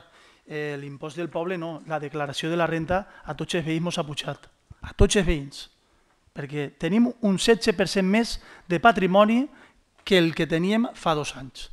I con lo qual, al fer la declaració de la renta, jo conec gent que abans li aixia a tornar i ara en lo mateixet, en lo mateixet que, que ingressa de, de nòmines i de tot, ara li s'ha pagar. Li tornaven molt poquet, però és que ara li s'ha pagar. Per tant, els impostos ens han apujat indirectament, perquè aquests impostos, part proporcional, ens venen en la participació de tributs de l'Estat que ens arriba eh, per transferències. Per tant, sí que han apujat els impostos en silla. I bé, eh, jo la veritat és que no entès tampoc, no entès tampoc lo del tema de, dels pisos dels bancs. Jo crec que si el valor catastral de les vivendes està baix, quan tu no ven el piso, eh, la quan més paga és quan més diferència del valor catastral que n'hi ha arreglo a la venda. Quan més igualat, si el meu piso val 40.000 euros, si jo el venc per 40.000, eh, la plusvalia és molt poqueta perquè no tinc benefici alguno si el meu piso val 40.000 euros i jo el ven per 100.000, ahí és on me peguen la castanya en la plusvalía. Entonces, jo crec que, que la comparació que ha fet del, del banc, jo crec que no és cert. Senyor regidor, si estic equivocat, eh? Senyor regidor, moltes gràcies, senyor regidor. Eh, señor Navarro. Como estamos aquí, somos de derechas y esto está muy preocupado, señor Valentín. No se preocupe tanto, de verdad, no se preocupe. Yo me preocupo por muchas de las votaciones que usted ha hecho. Me han preocupado mucho más que las que estoy haciendo yo, desde aquí, mucho más. Y como estamos aquí y proponemos que se baje el IBI, la subida del valor catastral, que se baje, eso es de derechas. Debe de ser que el Ayuntamiento de Valencia, donde están todos ustedes representados, es de derechas. También lo ha hecho dos años consecutivos. Dos años consecutivos. Los mismos que llevan ustedes. Debe de ser que la Rita dejó muy bien las, eh, las cuentas municipales para que ustedes lleguen allí y puedan bajar el IBI tranquilamente. ¿O es una cuestión política? Ah, que si lo hace el Ayuntamiento de Valencia está bien, o el de Castellón, ¿se acuerdan ustedes? También firmaron su pacto, el pacto del Grau, me parece que se llama. También están ustedes todos allí. También bajan los impuestos. ¿Y sabe cuánto los bajan? Lo que el señor Iván dice que aquí es mentira y que engañamos. El Ayuntamiento de Valencia baja el IBI el 4%, con la misma normativa que presenta el señor Navarro, con la misma norma y orden y de boletín del Estado que presenta el señor Navarro.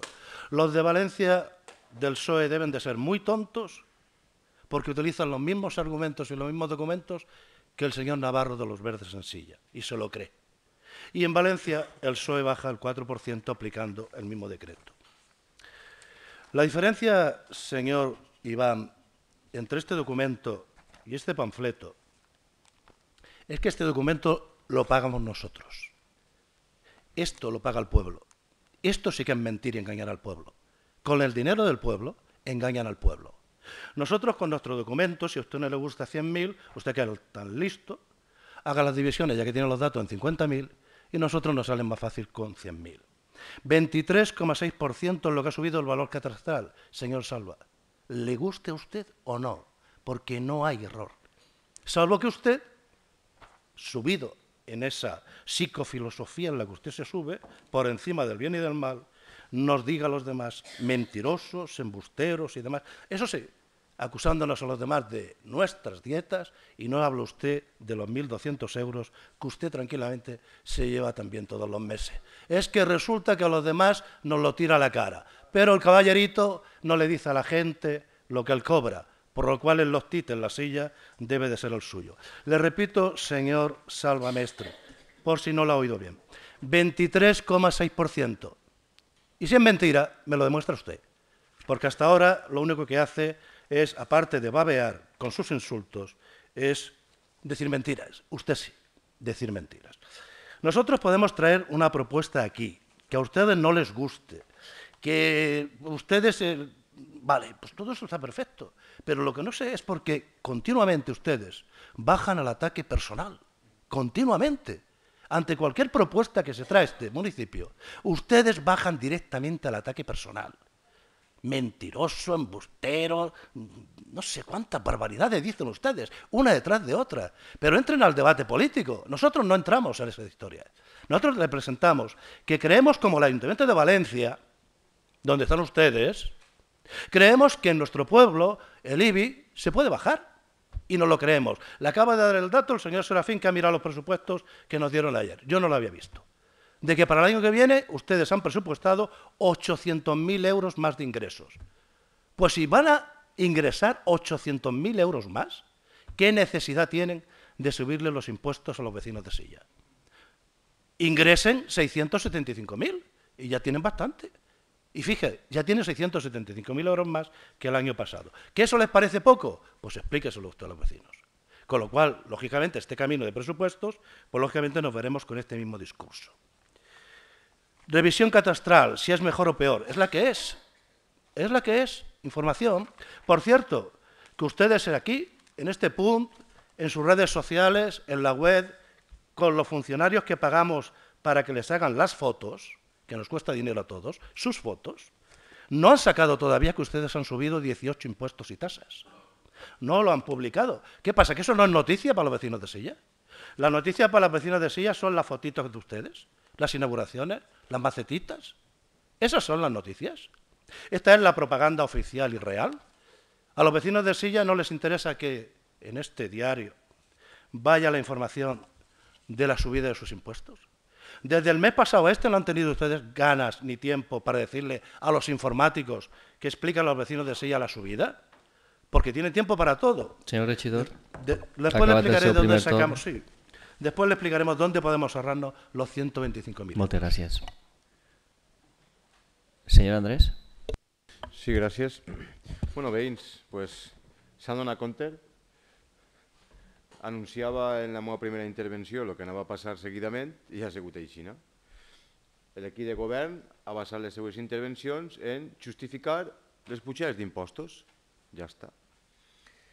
Tot tipus d'arguments, comparacions, comparant en Londres, en Alemanya, en el Congo, eh, ja, sí, ja anem a comparar, anem a agarrar-se a qualsevol tatxa allà cremant, però els impostos n'hi ha que pujar-los, a la gent n'hi ha que apretar-li més el cinturó i nosaltres tenim que justificar-ho i damunt fer-li creure a la gent que pujant-li els impostos és millor. Eh? I aquests són els seus arguments de, de lo que vostès diuen del cuento de l'abuela. Ixes, I diu, perquè vostès voldran els carrers nets. Doncs pues mire, senyor Melero, sabeu que vostè es passeja poc per el poble, però els carrers no estan nets. Molts dels carrers no estan nets. No n'hi ha un seguiment en silla per a controlar que els carrers estiguen nets. I és una queixa generalitzada de tot el veïnat. Això és mentira, pegués una volta i li ho diran. Ara, que vostè ja crec que voltes en pega poques. Voltes en pega poques perquè, perquè ja li diuen quatre cosetes com van per ahí i jo això també ho sé. Jo això també ho sé. Aixina, aixina, que, aixina que no vaig alardejant de carrers nets perquè estem pagant un dineral que ja se pagava antes i ara els carrers no estan nets o no estan tan nets com estaven abans. Aixina, aixina que faig el seu mirar. Però a lo que anàvem, que és, que és la pujada d'impostos i el no voler baixar-los perquè no és només que es pugen, és que es proposem des de l'oposició, en este cas de la mà del senyor Navarro, que siguen tàcits i que, i que ho abaixen, i no ho fan. I no ho fan. Se basen en argumentar i argumentar i fer creure a la gent que pujar-los els impostos, mermar-los el seu poder adquisitiu, és millor per a ells. Això és el que vostès es diuen a ells, als veïns, a uns i a altres. Que llevar-los del seu poder adquisitiu, rascar-li més les bolxaques perquè ja tenen que anar cada vegada més al fons de les seues bolxaques, és bo per ells i és positiu. I això és la gestió. Mire, gasten menys en folklore, gasten menys en destrellats, eh? i facin el favor d'aplicar les medides més generals i que més se van a beneficiar els veïns i a més veïns, que són eixos, baixar els impostos. No vinga en la història de que així no beneficiarem els bancs. No. Està clar, està clar, i així varen fer una esmena a una proposta que presentà Esquerra Unida, varen fer una esmena... Senyor que- regidor, acabat el seu sí, torn. Sí, sí, si me deixa, per favor, per, Sí, sí. per a finalitzar. Varen, varen presentar una esmena a una proposta d'Esquerra Unida sobre pujar el gravamen al 50% als que tingueren més de dos vivendes, nosaltres diguérem que a partir de tres, perquè entonces sí que afectava les banques i no afectaria a certs veïns, eh? i varen presentar l'esmena perquè això se fera. Però vostès varen votar en contra de la nostra esmena. Aquesta esmena la presentà Espanya 2000 així. Molt bé, I per senyor acabar, regidor. y para acabar només dir com s'atreve cómo se atreve señor Valentín Mateos a decir que aquí está la derecha si usted la legislatura pasada votaba con la derecha subidas de impuestos y votaba un montón de propuestas con la derecha medias, subida de AE, Señor subida Andrés, de IBI, ¿cómo dice que Andrés, usted que era el que votava con la li passa el torn i el que està dient no té res a veure en este punt. Moltes gràcies, senyor regidor. Senyor Mateo? Muchas gracias, alcalde. El mundo al revés. Los de Ciudadanos se han convertido en marxistas defendiendo a la clase trabajadora y los verdes, que claro, ya, ya no sabe uno porque hay verdes de derechas y verdes de izquierdas, pero aquí tenemos unos verdes que intentan representar ese 2% de la población pues que más patrimonio tiene porque se ven perjudicados con valores catastrales de 100.000 euros. Pues bueno, pues ya cada uno que entienda a quién representa. Y, y luego encima nos hace eh, responsables si a determinados sectores de la población su sueldo se le ha subido por debajo del IPC. Y claro, Yo siempre he recordado y recuerdo cuando se negocia el convenio en el trabajo, cómo te llegabas a casa y comentabas de que el objetivo mínimo era de que te subiese en el convenio el valor del IPC, porque si no entendías que el que estaba perdiendo en cuanto a capacidad adquisitiva era la clase trabajadora en beneficio, ¿eh? en este caso, del capital. Claro, yo es que siempre he sido conceptos que uno ha intentado tener o lo han dejado claro, ¿no?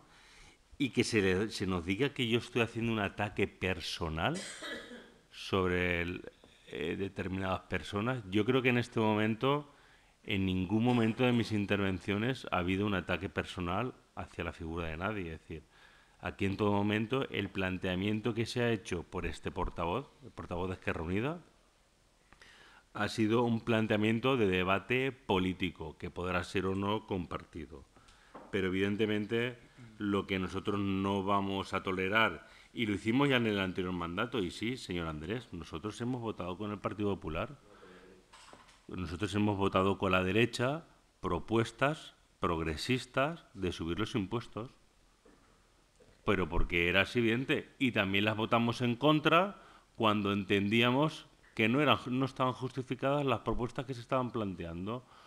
Cuando este ayuntamiento creo que todos conocemos cómo la regla de gasto penaliza toda bajada de impuestos sobre el techo de gasto que se puede aplicar. ¿Que lo hace el Ayuntamiento de Madrid o lo hace el Ayuntamiento de Valencia? Pues me da igual, si es que yo eh, no comparto todo lo que hace Carmena. Cualquiera que siga mi red social sabe de sobra que aquello que no he compartido con el gobierno de Madrid, con el gobierno de Valencia, lo he criticado públicamente, porque además creo, sinceramente, que perjudican en la política como referentes desde el punto de vista de lo que la izquierda debe de hacer. Cuando a determinados ayuntamientos se les llena la boca única y exclusivamente en reducir la deuda, perjudican realmente a aquellos que evidentemente sin incrementar la deuda también tenemos otras prioridades como la que vamos a demostrar mañana inaugurando una biblioteca.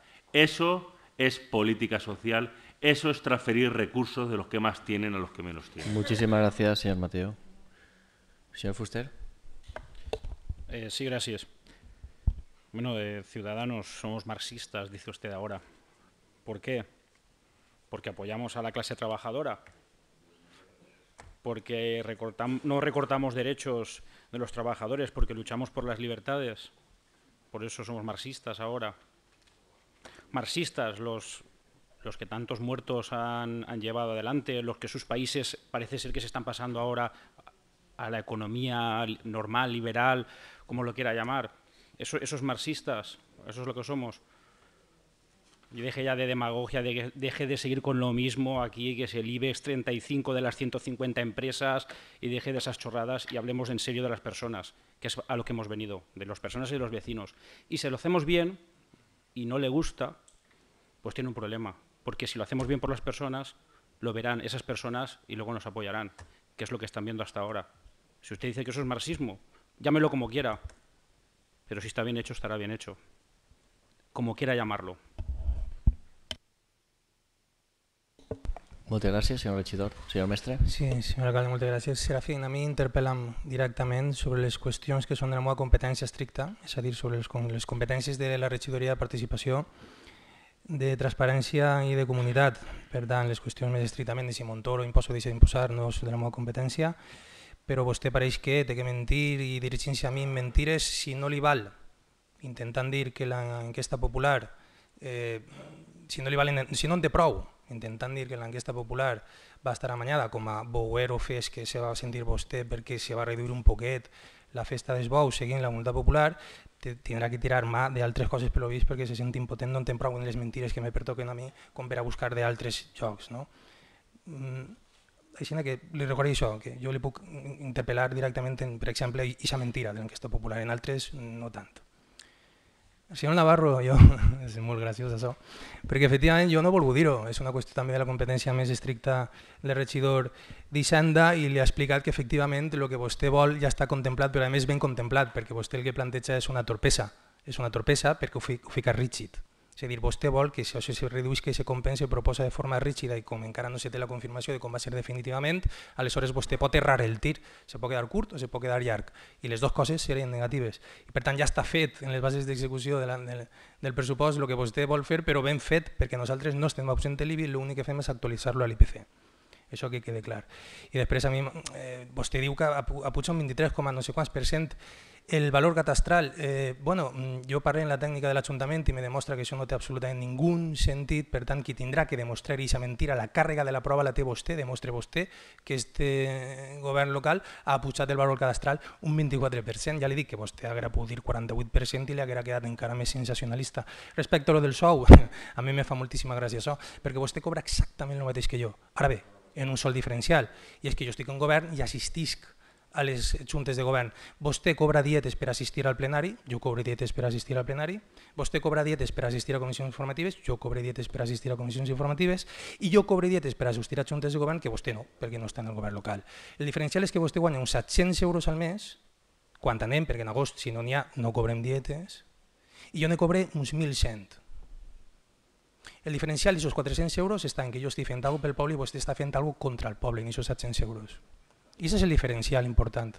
I si vostè està suggerint que jo estic així per guanyar diners, vostè tindria que saber que jo haguera pogut alliberar-me, però jo m'he guanyat la vida sempre com a professor de piano i seguís sent professor de piano. I després de ser polític tornaré a ser professor de piano, o sols professor de piano, o qui sap què faré en esta vida. Però jo no he vingut a la política per fer diners cosa que vostè millor no pot dir, perquè quan vostè va entrar al govern el primer que va fer va ser col·locar el seu fill d'alliberat. Per 40.000 euros va col·locar a quatre alliberats. Va ser el primer que va fer vostè, 40.000 euros a l'any. Així que si vostè va per ahí, mires vostè, les butxaques el que té. Senyor regidor, les butxaques el que té. Vaig acabant. Moltes gràcies. Senyor Melero, vol vostè intervindre? Senyora Sánchez. Sí, bona nit. Nosaltres eh, votarem en contra de la moció perquè entenem que un municipi, un ajuntament, se sustenta de les aportacions a través dels impostos eh, que entre totes les veïnes i veïns pues, paguem a l'Ajuntament. En definitiva, si el senyor Antonio Navarro ha trobat este punt de crítica al govern en este mandat, pues, mm, continue vostè en esta línia. Nosaltres estem per retornar a la ciutadania allò que aporta al nostre municipi i crec que ho estem fent sobradament amb tots els serveis que estem oferint, amb tots els programes d'ajudes a totes les persones que ho necessiten, les ajudes als materials escolars i amb tots els edificis i, i millores que estem fent en el nostre poble i d'això consistís en no caure en el, en el parany de si pugem o baixem els impostos, que és un debat eh, molt, de, de molt fàcil d'enrevessar de, i de confondre, i el que se tracta és d'allò que aporta la ciutadania pues, retornar-li amb serveis i amb projectes, i en això estem treballant. Moltes gràcies, senyora regidora. Senyor Cuenca. Gràcies, senyor alcalde. Bé, s'oblideu un poquet de per què estem en aquest punt, de per què estem encara parlant de pujades de valor catastral i de més. Jo penso que el poble té que saber exactament on estem i què ha passat. Aneu a veure, eh, el decret al que fa menció el portaveu dels Verds indica clarament que sí, ja des de l'any 1995 no ha fet una revisió catastral. Vol dir que pertoca cada 5 anys fer-ne una. Tocava en el 2000, en el 99 n'hi hagué un canvi de govern, que va durar fins el 2007. En el 2007 hi hagué un canvi de govern que durava fins el 2011, en el qual el senyor Navarro formava part d'aquest govern. En el 11 fins el 15 hi hagué un altre govern, al qual este grup municipal li va donar la possibilitat de fer una revisió catastral. El que passa que, senyor Serafín, jo vull que n'hi hagi quatre partits d'això que ens diguen que sí, però si 8 i 4 eren 12, eren dos terceres parts del plenari. Per què no va fer la revisió catastral? Que tenen por? Doncs pues mire, no, sí, tenen molta por, moltíssima por, ¿vale? però no passa res, les coses s'agarren per els bous per els cuernos, eh? anem a gastar terminologia torera, ja hem demanat la revisió catastral. Ja ho hem fet. Per què no pot ser que si ja tinga valor catastral de l'any 95 i que estigui el Ministeri, diguem-nos, apugeu-los perquè quan vingui la revisió catastral vos pagaran un palo que vos doblaran. Perquè ningú govern, hasta ara, ha tingut el que tenia que tindre per revisar-ho. És més bonic presentar mocions, fer-se l'héroe o fer-se el jonques i ficar-se de perfil i no fer la revisió catastral. I això és el que està passant, clarament. Per què ningú li demana? Perquè no és lo políticament correcte, veritat? Claro, que la demana el govern. Així nosaltres aprofitem. Ningú l'ha demanat. I me pareix vergonyós vindre a cimentar eh, apujades del catastre quan des de l'any 95 han passat molts governs i ningú no ho ha fet. Doncs pues miren, s'ha acabat. Este ho ha demanat ja. I sabeu el que s'han contestat? Menys mal que porteu dos pujades, no tres, dos, perquè el 2018 no està clar que s'apuja. Vos ficareu a la cola, perquè ara ja no tinc preferència, evidentment. Ja està tant de temps ho esperat que ara n'hi ha tres pobles per davant. I a final d'enguany, principi l'any que ve, se començarà la revisió catastral. I els valors dels immobles de Silla estaran adequats al temps que corre. Això és fer política. I el que vostès fan és demagotxa, punto pelota, no n'hi ha més. Perquè ningú demana que se faci la revisió catastral, que és el que correspon. Que ho faci el que mane, no? Doncs pues mira, han manat quatre governs, tots els que esteu heu passat, bueno, evidentment, sense Fuster no perquè és, no ha vingut d'enguany, i Andrés tampoc, però tampoc l'has demanat, Andrés, tampoc l'has demanat, sincerament. Hagués pogut demanar perfectament que s'adequi el valor de les cases al temps que corre. No té per què suposar un increment de la recaptació. Si s'apuja el valor catastral, s'abaixa l'increment d'això, i no passa res, i ningú ho ha demanat. No estem discutint aquestes coses i ho haurà fet, però clar, això no és el que políticament interessa. I és la diferència. Moltes gràcies. Això és demagotxa i això es treballa. Moltes gràcies, senyor regidor. Senyor Simeón. Moltes gràcies, senyor alcalde.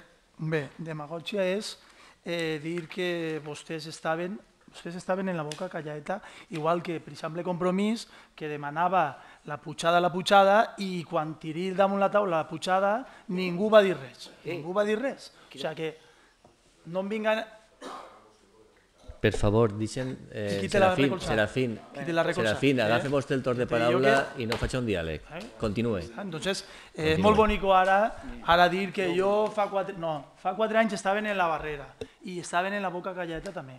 I ara estan torejant i entonces eh, pues, tiren avant perquè el resto de companys ara s'han decidit. Ja està. Però és que fa quatre anys tampoc volien els, els partits que estàvem representant en el, en el, en el, eh, en el consistori. I anàrem la interventora, anar al regidor, anar jo, anàrem allí, anàrem, i a l'hora de tirar el paper damunt la taula, mos quedàrem a soles. Claro, claro. És que és molt bonico, molt bonico eh, dir ara, no, no, jo sí que estava. No, no, no n'hi havia ningú, soles.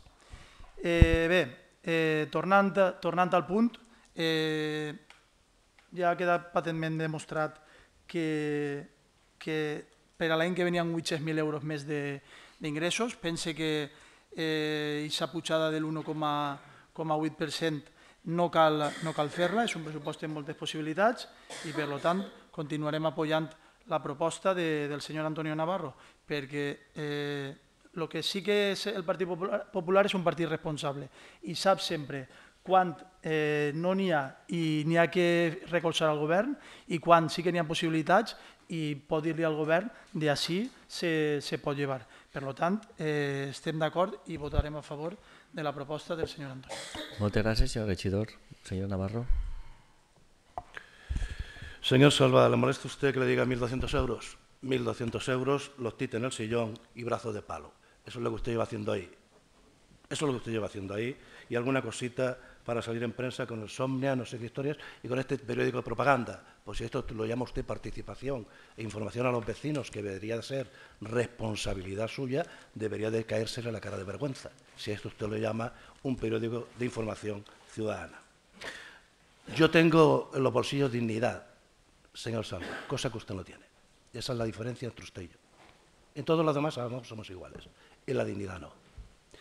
Una mentira repetida mil veces sigue siendo una mentira, señor Salva. Lo diga usted o el señor Iván o quien lo diga. 40.000 euros no eran. Cuando, cuando nosotros entramos en el gobierno, desde entonces y después y antes, había un asesor para el partido de la oposición. Nosotros llevábamos el área de cultura, entre otras, y se correspondía el asesor con el área de cultura.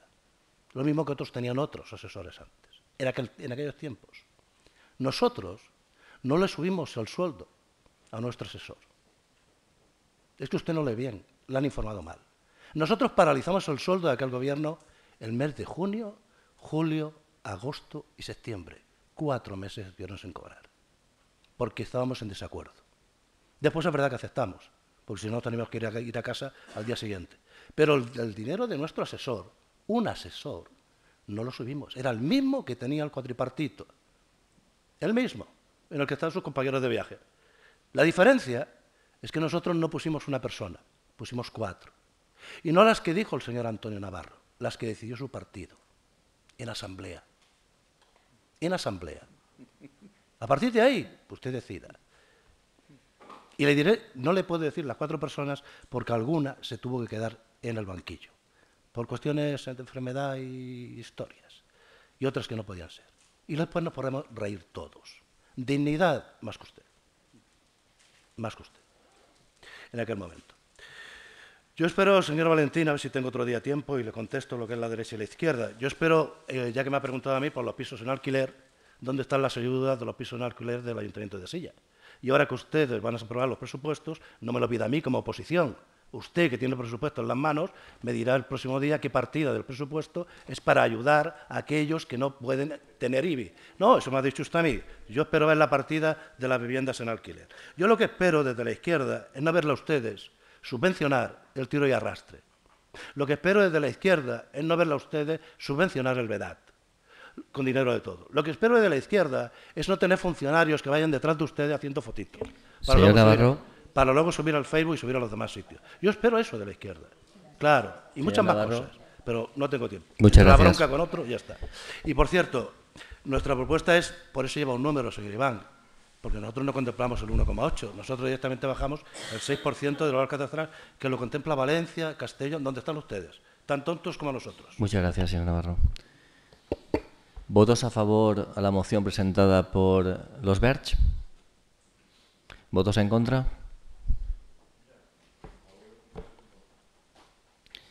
Pasamos al siguiente punto del orden del día. Siguiente y último punto. Proposta del Grup Municipal Silla en Democràcia, model turístic València. Señor Mestre.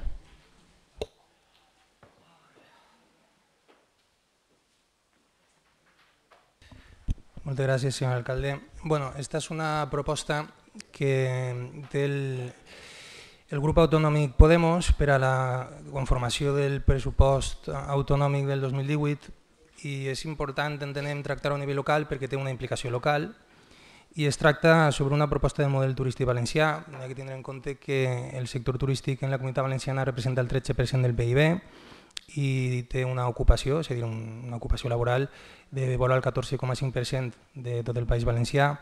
En el 2016 el turisme ha pujat un 16%, el turisme estranger el 16% i el turisme estatal un 5%. Això, això, això està demostrant que després de la crisi l'afluència de turisme a la nostra comunitat torna a repuntar cap, a, cap amunt i per tant això fa replantejar-se, eh, és necessari replantejar-se el model turístic que, que tenim, perquè el model turístic que tenim eh, té diversos, diversos, diversos desequilibris, no? Deguts sobretot a l'estacionalitat. És a dir, ha, com tots sabem, el turisme se concentra en estiu, no? en determinats moments. Aquesta estacionalitat ha provocat una, una gran precarietat laboral, baixos salaris, el 40% dels, dels contractes en aquest sector són temporals i ho representa molt bé a aquest col·lectiu les Kellys, és a dir, les, les anomenades, s'anomenen a elles mateixes Kellys, no? les, les netejadores del sector hosteler, que tenen unes condicions laborals molt, molt, molt precàries. No?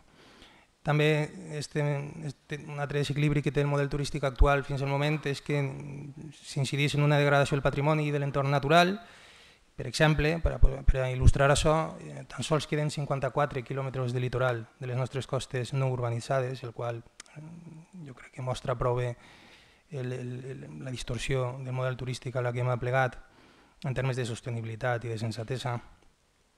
I també un altre desequilibri que té el nostre, estructural del nostre model turístic és el col·lapse de serveis públics en, en, en les temporades altes, no? a nivell d'atenció sanitària, d'infraestructures i de manteniment de l'entorn natural. Aleshores, el que ens fa falta és un model turístic de qualitat i sostenible perquè el, perquè el turisme, a fi de comptes, com he il·lustrat al principi de la meva intervenció, és un motor econòmic del, del País Valencià i per tant hem de corregir els seus desequilibris per preservar aquest recurs nostre, no, no sols a nivell econòmic sinó també a nivell social i això és important dir-ho. Com? Mitjançant polítiques públiques i les polítiques públiques han de ser financiades. No? Eh, sense finançament les administracions no, podem, no poden i no podem eh, desplegar polítiques públiques que, que ajuden a la nostra gent.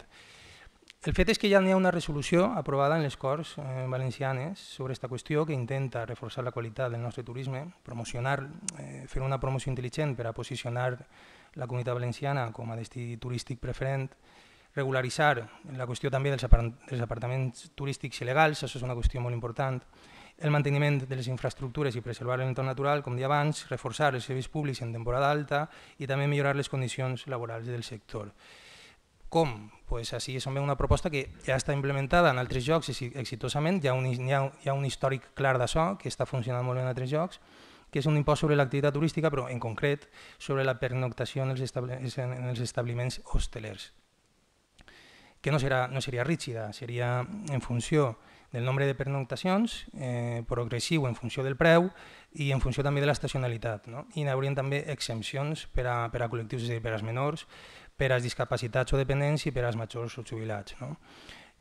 Esta tassa podria oscil·lar de 0,5 euros a 3 euros, a lo millor, evidentment en funció de com he dit del preu, pues, si en un hotel, en un hotel de 5 estrelles a 200 o 300 euros la nit, pues, igual és més car, però en un hotel normal igual pues, són 0,5 euros.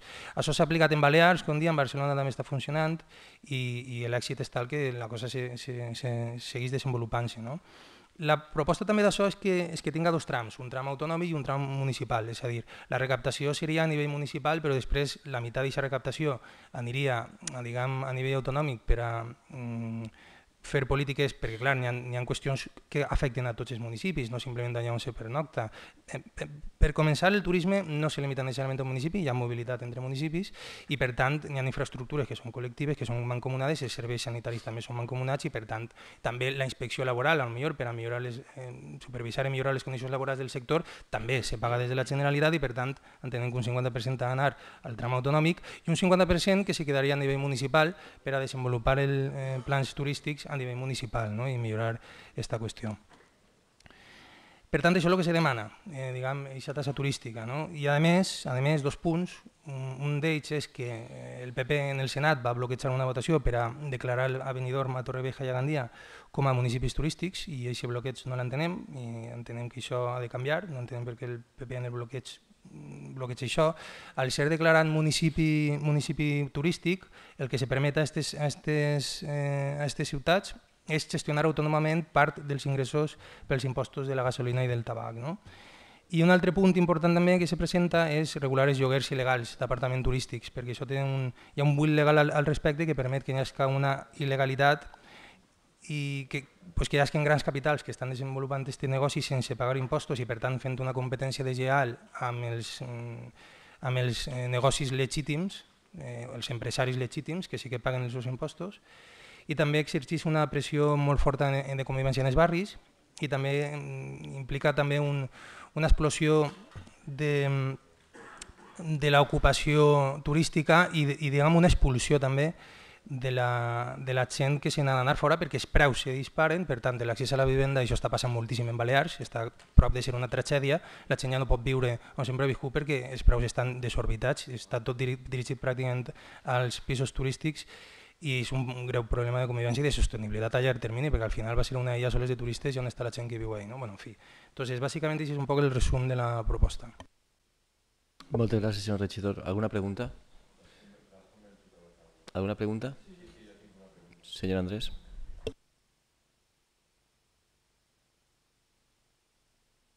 Lo primer, dir-li que València no és ningú país, que vostè està en el món de Yupi. I, i, les, i la pregunta i la pregunta és si quan vostè parla de turistes i, i que paguen tasses complementàries, també se refereix als turistes de Madrid que vinguen a València, també se refereix als turistes de Galícia que vinguen a València, també se refereix als turistes d'Extremadura o de Castella-Lleó que vinguen a València. Vostè vol també que espanyols, nacionalitzats espanyols que vinguin a València també paguen tasses complementàries per vindre a una zona més de la nació. I la... Moltes gràcies. Senyor regidor. M'ha fet dues preguntes, no? La primera és per què utilitza País Valencià? Bueno, pues li dic País Valencià perquè és una denominació històrica molt legítima per a referir-se a la nostra comunitat eh, o zona geogràfica, que també té una, un component sociològic, i per tant puc dir País Valencià amb molt d'honor i molta honra. En segon lloc, eh, s'aplicaria a les pernoctacions en els hotels, és una aplicació universal. Després, com he dit, n'hi ha algunes exempcions. Per exemple, n'hi ha una molt, molt, molt específica. Per exemple, si n'hi ha una família que ha d'estar eh, allotjada en un hotel perquè té a un familiar que està ingressat en l'hospital i són de junt, i tenen que, pues, entonces ahí n'hi ha una exempció. Tu pots demostrar aquest tipus de coses i no se te cobra. Però vamos, bàsicament és universal en excepcions o reduccions o exempcions a majors, menors, discapacitats i aquests casos excepcionals. Moltes gràcies. Alguna intervenció? Alguna pregunta? Senyor Simeón jo m'agradaria saber si han fet un càlcul de quants diners se preveuen recaudar en aquesta mesura i en general, bueno, en, lo, perquè jo entenc que això serà la comunitat o en Silla en especial i després eh, bueno, entenc que la competència per a fer aquest gravament la tindrà la Generalitat. Moltes gràcies. Sí, el càlcul està al voltant dels 30 milions d'euros de recaptació i, i la competència, bueno, a veure, el, el, la recaptació seria mitjançant els propis negocis d'hostaleria. No, el tram, ah, ah ja t'entenc. Eh, hi ha dos trams, el tram municipal i el tram, i el tram autonòmic. Entonces, el 50% de lo recaptat en el teu municipi se quedaria en el teu municipi i l'altre 50% s'enviaria a Generalitat. Moltes gràcies. Intervencions? Senyor Andrés. Sí, gràcies. Una proposta com tantes altres, de, de talent autodestructiu eh, que, encapçalen, que encapçalen els dos grups que estan sentats un al costat de l'altre en, en escorx i que el Partit Socialista no ha respaldat. S'han abstès, alguns han votat en contra, però ara veurem què fa el Partit Socialista sí, perquè tenen molts ajuntaments de la comunitat valenciana que històricament és regne de València, això del país se ho ha inventat vostè ara en una pujada d'estes de testosterona, però ja li dic jo que lo de país no ha existit, això no ha sigut mai un país, un regne si vol i després una comunitat. Però ja té ajuntaments el Partit Socialista on han votat que no, han, han votat que no, ha eixit que no, i en les Corts, el seu partit, a veurem el que fa vostè, a veurem el que fan vostès avui així en, en el, ah, sí, així en el poble, a veurem el que fan, en contra de lo que fa el seu partit. Ja veurem, vostès són els que tenen que guanyar-se la confiança del seu partit i de les peces altes del seu partit. Però bueno, a lo que anem. Una proposta que no pretén res de bo. Només que pretén el que vostès venen pretenint des de principi de la legislatura i des de que tenen una quota de poder, que és el conflicte, l'enfrontament eh, i contar milongues. Proposen vostès, ja que volen destruir també Eh, ja que volen destruir també vostès el model econòmic del turisme, proposen vostès alguna alternativa econòmica per a substituir totes les pèrdues que significaran en mitjà i llarg termini? Proposen, proposen vostès alternatives, no proposen res, només que volen destruir, com ja venia fent el seu partit a nivell nacional, només que volen que destruir sense aportar absolutament res. Com allò de llevar 100 llocs d'aparcament que lleva el senyor Melero en Silla, però no ne, no ne restitueix ni uno. No ne restitueix ni uno. Pues així és com ho fan vostès. Així com vostès ho fan vostès, ja que en valencià, en valencià antic se diu allà on caguen deixen la merda. Així, així és. Així és. Els turistes fa risa. Es fa risa. Es fa risa. És que, és que la resta d'espanyols que senguen les seues propostes no es farà ninguna risa. No es farà ninguna risa, perquè apareixen ja vostès el govern de Puigdemont II, que no ha fet més que destruir, que no ha fet més que destruir la comunitat de Catalunya. Sí, aixina és, aixina és, aixina és, aixina és, i és el que vostès fan. I el que han fet allí, més de 2.000 empreses, fora, sí, ríganse, ríganse, ríganse, més de 2.000 més de 2.000 empreses fora de la fiscalitat de Catalunya, gràcies a gent com vostès, que són els Puigdemont II. Però, però els turistes que són els que venen a incentivar l'economia de la comunitat valenciana i a gastar-se-los són els que vostès es volen apretar també la tuerca. Sempre, sempre propostes en retractivitat. En altres ajuntaments, com estava dient el Partit Socialista, i respaldant en les Corts el secretari autonòmic de turisme, el Francesc Colomer, no ha respaldat aquesta proposta. Espero que vostès estiguen avui a l'altura de no respaldar aquesta proposta només per mantenir un govern i per mantenir la quota de poder. El màxim òrgan consultiu valencià on estan representats tots els empresaris, tots els empresaris i totes les activitats turístiques i sindicats i l'administració autonòmica estan en contra.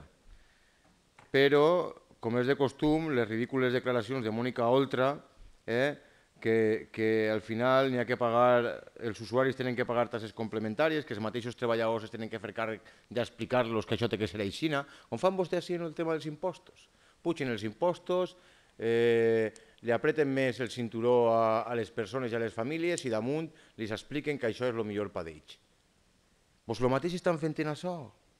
És una tergiversació constant de lo que vostès estan fent només pel seu folklore per col·locar-ne, perquè el deute crec que no l'han reduït en, en la comunitat valenciana, no l'han reduït, no, va en amunt, va en amunt. Al final és això el que fan vostè, folclore i col·locació, i ja està, i ja està. Què se creuen? Que incentivarien i incrementarien el turisme de la comunitat valenciana vostès en aquestes propostes? Se creuen que l'incrementarien? Eh? No, vostès, jo encara no proposa res, jo li estic dient el que vostès fan, jo estic així per controlar, jo estic així per controlar el que vostès fan, no per fer xerrades de la diversitat sexual i explicar-li als xiquets coses que no interessen, interessen educació, no les, el vostre fol, folclorisme, el vostre folclorisme, que no aneu en sèrio, aneu, aneu com en compte el que feu, xerrades, cuentos, no sé què, això és a lo que se dediqueu, a contar cuentos, que això és el que feu, contar cuentos, això és el que penseu en la web de l'Ajuntament, que conteu molts cuentos, i ja està, i ja està. Així que un sinssentit, un sinssentit, demanar una partida de 30 milions, que és el que se recaudaria finalment en cas de que les seues estimacions anen avant, per un pressupost tindria que afrontar-se, tindria que repartir-se en un pressupost de 17.000 milions, repartir 30 milions d'euros. O sigui, per res, no val per res, només que per fotre, per enfrontar, per crear discòrdia entre els partits que estan units formant govern i ja està, però això és la seva tònica general. Així és com estan fent en el poble, en els veïns i en tot. Però la gent no és tonta, ja ho ve, si és que ja ho he dit sempre jo, la millor vacuna és deixar-vos fer. La millor vacuna és deixar-vos fer. I és la millor vacuna contra vosaltres. La gent està... Vostès se creuen que estan Moltes en, gràcies, en el núvol, regidor. però la gent està veient-vos en, en el seu estat pur. Gràcies, Moltes gràcies, senyor regidor. Senyor Mateo, vol vostè la paraula? S'espera el segon torn. Senyor Fuster? Sí, gràcies, senyor alcalde. Bueno, apareix un altre, un altre impost. Els impostos són necessaris. Els impostos fan que puguem donar serveis. El problema no és- són els impostos, és veure quan se recauda, quin percentatge, què se cobra, a qui se cobra, en què se cobra. Què passa? Que quan ja queda mal eh, apujar més impostos, pues, n'inventem uno i, i ja està. Pues, com no anem a pujar este o l'altre perquè ens van a dir de tot, pues n'inventem uno. Si inventem este, com està en Catalunya o està en les Balears, pues anem a aprofitar-lo i, el, i el fiquem també així. Però al final és un altre impost. És un altre impost a pagar que en este cas eh, se diu que és un impost turístic que se cobra la gent que fa turisme, rics, pobres, el que té per un cap de setmana, però també se li cobra al que té que anar a un hotel, a un hostal, per treballar. Que va a treballar, se'n va a un lloc, paga l'hotel i, i, i té que pagar l'impost. O no el va pagar. Vaig a dir, no, és que jo vinc de treball. Jo que sé si ve de treball o ve a veure el poble del, del costat. Entonces, al final, és un impost per a tots. Este impost, com també saben, és el que està creant el problema en, en el govern del Botànic. Se volen aprovar els pressupostos, però pareix ser que no se fiquen d'acord per culpa d'això. Què passa? Que el govern del Botànic no és progressista? Que no volen apoyar-lo? No volen apoyar-lo, per tant, és que no són progressistes, però que diuen fa un ratet. Pues veurem eh, si a Sinsilla són progressistes o no són. I ja veurem en València què passa en els pressupostos, si apoyen o no apoyen. Jo li tinc que dir així que el grup Ciudadanos votarà en contra. Gràcies. Moltes gràcies, senyor regidor. Senyor mestre? Vostè la presenta l'últim. Senyor Navarro?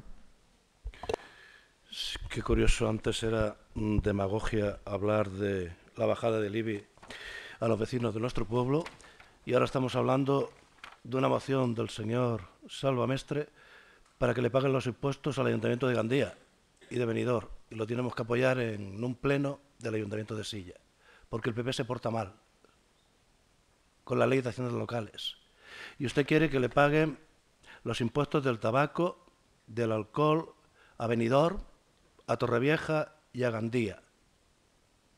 ¿Y por qué Silla no? Porque hemos de aceptar entonces la ley de haciendas locales que hay. Nosotros estamos en contra, votamos en contra de la reforma. ¿Qué pasa? Que son ayuntamientos de más de 70.000 habitantes, por eso no se les da. Entonces, ¿a qué jugamos? ¿Esto no es demagogia? Pues mire, yo cuando se los den, cuando usted ponga que se le va a dar también a Silla, lo apoyaremos. ¿O esa parte de la moción no la llevaban ustedes para presentar en el Senado? ¿O en el Congreso? ¿O qué más da? Aquí podemos perder el tiempo con un planteamiento político porque ustedes tienen un problema. Hoy estamos hablando de aquí, perdiendo el tiempo en Silla, para hablar del turismo y de la tasa turística de Silla. Debe de ser lo importante. Tasa turística de Silla. Debe de ser el punto. Ayuntamiento, local, concejal, problemas locales. Tasa turística de Silla. Y nos trae usted la propuesta porque ustedes no se entienden a nivel autonómico. Y como Podemos a nivel autonómico está peleado con el PSOE y Compromís, ay, si no me aprueba lo de la tasa turística, no te apruebo los presupuestos. Ay, pues entonces me lo llevo yo a los ayuntamientos donde tengo concejales y presento la moción que te vas a enterar. Ay, aquí estamos todos perdiendo el tiempo porque en Valencia el tripartito no se pone de acuerdo y nos endosan el muerto a nosotros. ¿Para qué? Porque si ustedes se hubiesen puesto de acuerdo en Valencia, esto no estaría aquí, todo estaría bien. Nosotros estamos a favor de la tasa turística, pero no de que nos tomen el pelo. Y usted hoy nos está tomando el pelo aquí, haciéndonos perder el tiempo por una tasa turística de silla. ¿Nos puede decir a cuánto, a cuánto ciudadanos de silla nos interesa? ¿Cuál es la repercusión económica que tiene sobre el Ayuntamiento de Silla? ¿Por qué tenemos que estar perdiendo el tiempo para pedirle al PP que le dé dinero al Ayuntamiento de Gandía? Hombre, yo pierdo tiempo para que le den dinero al Ayuntamiento de Silla, pero preocuparme por si el de Torrevieja, no es considerado municipio turístico. Silla ya es considerado un municipio turístico. ¿Por qué no piden ustedes que nos den los impuestos del tabaco y del alcohol? ¿O porque no es eso? ¿Esto no es demagogia? ¿O esto es solucionar un problema que ustedes tienen en Valencia y tenemos que perder los demás el tiempo aquí? ¿Qué pasa? ¿Que si usted mañana aprueba los presupuestos ya nos olvidamos de la tasa turística? ¿Qué es lo que va a pasar?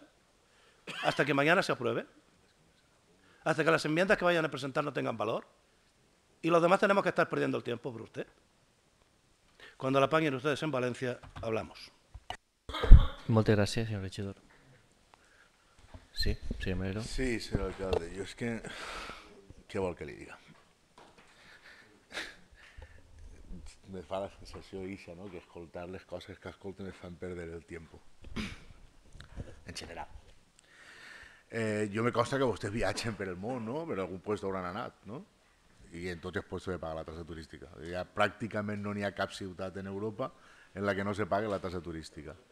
La última, la última eh, en la que vaig estar jo va ser Bolònia, que pagues 2 euros al dia amb un màxim de 7,50 euros per persona a partir del temps que estigues, dona igual, si estàs un mes o estàs 25. I per què pagues la tassa turística? Pues pagues la tassa turística per un simple fet, perquè en el moment que tu vas a Bolònia eres usuari de serveis que el Comune di Bolònia presta a tu també com a ciutadà. I que és injust que els ciutadans que viuen en Bolònia i cotitzen en Bolònia i paguen els impostos en Bolònia, pues, te tinguen que subvencionar a tu, perquè el fet que has anat allà a veure'ls, eh, la recollida del teu fem, si has llogat una màquina, els problemes que es causes en el medi ambient, si has anat a un parc i has estat corrent per allí i has, fet, has xafat alguna planta, la reposició de la planta que has de fer, i és injust que te tinguin que subvencionar al 100% perquè tu en 7,50 euros durant la, la teva estada no te pagues la farda de lo que tu costes a la ciutat en termes mediambientals i en termes de serveis que la ciutat te presta a tu, pues bueno, si això és el debat, pues, què anem a fer-li? El problema de tot això, quin és? que d'ací a no res acabarem pagant tota la tassa turística, però no en València, en València, en Madrid, en Santander, en Bilbao, en La Coruña, en Cáceres, en Badajoz i en Salamanca, perquè això és una cosa normal. Al final és un impost, com vostè dia, eh, de suma zero, de suma zero. Perquè si jo vaig a Salamanca i paga la tassa turística de Salamanca i uno de Salamanca ve, així, paga la tassa turística de la ciutat de València, el remat és una transferència de diners que suma zero si les tasses turístiques són iguals, però que permeten a les ciutats pagar per el volum de persones que arriben a aquesta ciutat. Pagar els serveis que se li presten a aquestes persones, tots els serveis. L'oficina de turisme, que està plena de paperets, si vostè va, me da un mapa i li donen un mapa. La senyora que està allí, que vostè li pregunta, i per anar a veure el museu, quins horaris té? Li trau un paperet i li diu, mire, pues pot anar vostè sí allà al museu este i no sé què, no sé quantos, tantíssims museus que n'hi han de baix, o a preus que no cobreixen els costos. Per tant, jo crec que escoltar certes coses, eh, i més a aquestes hores de la nit, eh, fan mal. Fan mal perquè el que pretenen és llançar eh, ombres de dubte i al final és un manual. Al final és un manual que utilitza normalment el que està en l'oposició, que és el manual del catón del político que no té una altra cosa que criticar, y es, no suba usted los impuestos y el pueblo está sucio. Això agarra vostè el manual, el manual diu, si jo no tinc res que dir-los a estos, què dic? Que s'ha fundit una bombilla, que el pueblo está sucio y que han subido los impuestos. Es que ese, es que ese manual, ese es el que donen en parvulitos, señor Andrés, en parvulitos. Moltes gràcies, senyor regidor. Senyor Cuenca. Gràcies, senyor alcalde. Eh, bé, nosaltres tenim reticències respecte de la tassa. Reticències eh, formals i sèries i dubtoses, és a dir, per què té que ser una tassa autonòmica i no té que ser una tassa local? Que seria com se gestionen les tasses. I això és el gran dubte.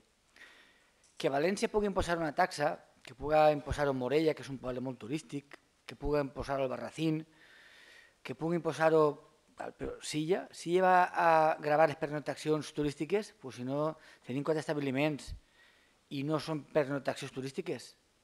Si no tenim una mala oficina de turisme oberta, si el primer pressupost que invertim en turisme és el que s'aprovarà, si s'aprova del 2018. Per tant, jo penso que hi ha qüestions que no es poden fer de cul a la realitat i se tenen que fer de cara, molt de cara. Mm, el sector no està d'acord i quan el sector no està d'acord és molt difícil implantar una qüestió d'este si no hi ha un consens previ.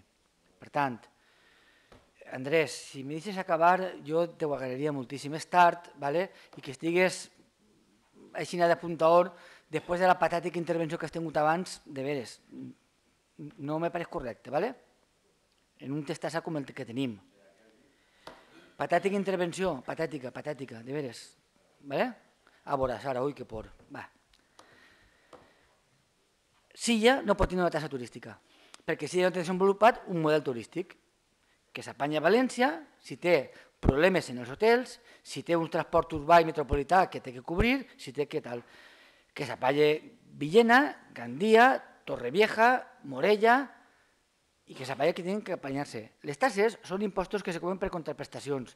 I així, per exemple, en aquest poble no oferim ninguna contraprestació. Com anem a cobrar-la? I la realitat, hem de pensar en global, en conjunt, a nivell autonòmic? Evidentment no. Cada poble, cada ciutat tindrà que implementar el seu sistema. Jo estic a favor de la cotassa a les Illes Balears, jo l'he pagada.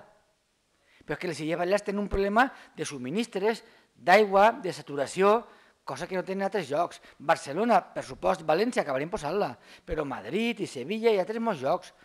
Però generalitzar el problema a un plenari com Silla, a un poble com Silla, com Alcàcer, com Beniparrell, com Picassent, que té un turisme residual, no és el concepte.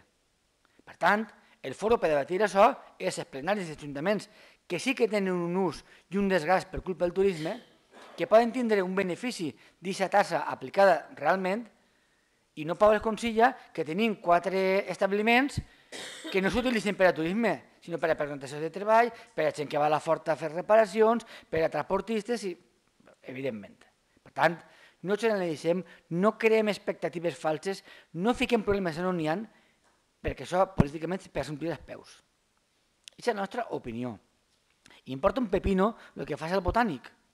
Mentre me pagues 370.000 euros, que m'han dit que me pagaran del fons condicionat i la Diputació, mentre me pagues 350.000 euros del, del serveis socials que me tenen que pagar, que per això el pressupost ha augmentat el que ha augmentat, senyor Simeón, perquè ells ens paguen això, per això ha augmentat, aquesta quantitat.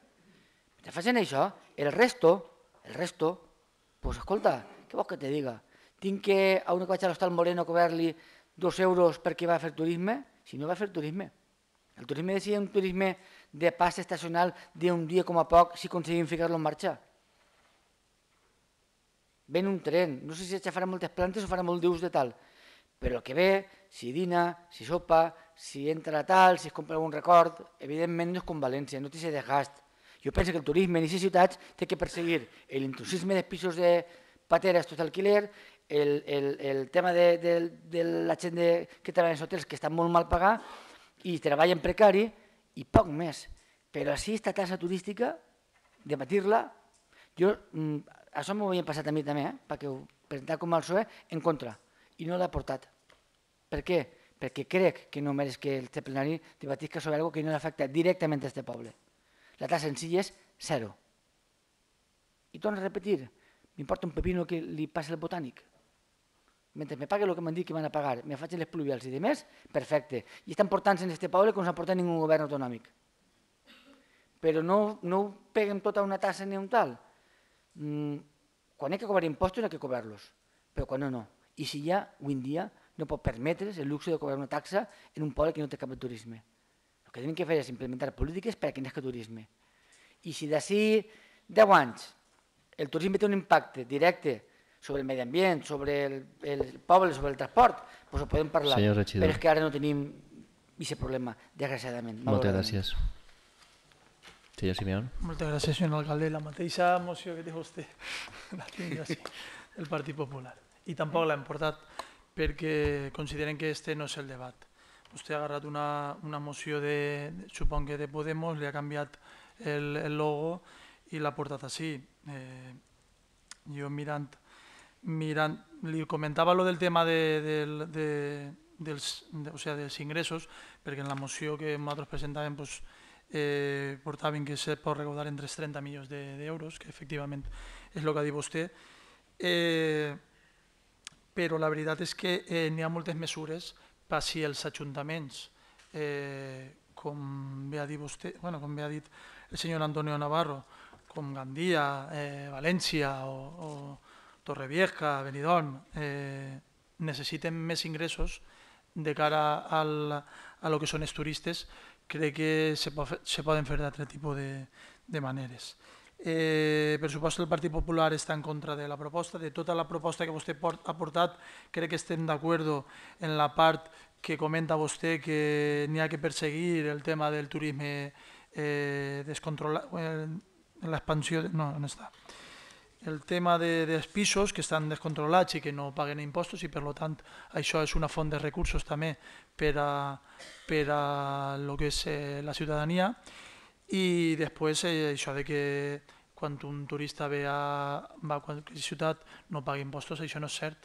Eh, quan van, entren a un restaurant paguen un 10% d'IVA i quan van a, a comprar un bitllet o van a comprar qualsevol souvenir o qualsevol tipus de cosa, paga un 21% d'IVA. Per tant, aquests diners van a l'Estat i part d'aquests diners es transfereixen als ajuntaments. Per tant, eh, els turistes sí que paguen, sí, sí que paguen impostos. Vostè ha comentat de que l'oficina de turisme n'hi ha que repartir folletos, i aquestes eh, ciutats que implanten mesures. Eh, eh, si en vez de regalar un folleto que al ayuntamiento le costa un euro, regalarlo, pues que, que cobren un euro per cada, per cada folleto que vulguin emportar-se del desplegable, lo que siga. Si n'hi ha 20.000 mesures per no eh, eh, agarrar i implementar d'una manera generalitzada en la comunitat valenciana este tipus de mesures.